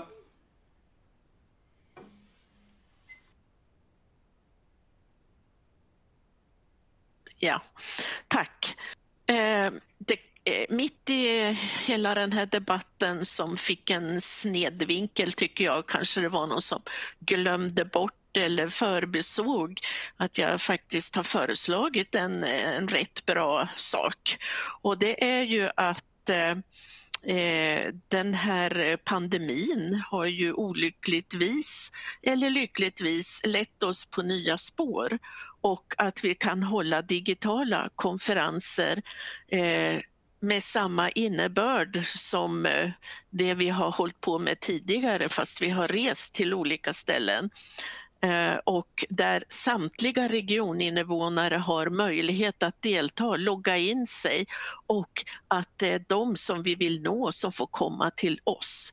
Den här gången, den 19 januari, så satt en eh, fanns det en eh, flertal personer på campus i Umeå som kom hit till vår region och tog del av vad vi hade att säga i regional utveckling. För regional utveckling behöver vi på olika sätt, men det kan vara olika sätt att lösa det här på. Eh, och det var det jag ville säga i mitt inlägg. Det kanske kom bort i allt det här, men då vill jag påminna om detta igen. Tack! Ja, hörni ni, nu ger Nalta tomt i talarlistan gärna. Så då kan vi gå till beslut. Och jag finner att fullmäktige har fattat beslut i enlighet med, kommer att fatta beslut i enlighet med regionstyrelsens förslag till beslut. Någon däremot? Reservationer via chatten.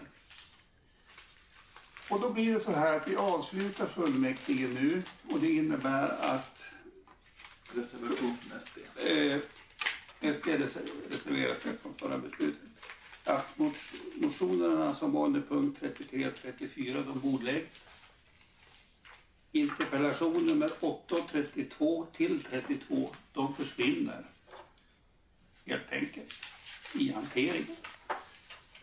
Så ni som nu kanske har skrivit en interpellation som har nummer 20, titta på artikeln om den i så fall. Och eh, trots lite strul hit och dit så har det ju ändå funkat bra de här två dagarna kan jag tycka. Eh, det blir bara bättre i april ska det se. Bara bättre. Tack ska ni ha och sköt om er och håll avstånd. Och jag ska inte fara på något folk, så ni vet om det. Bra, bra. Hej då!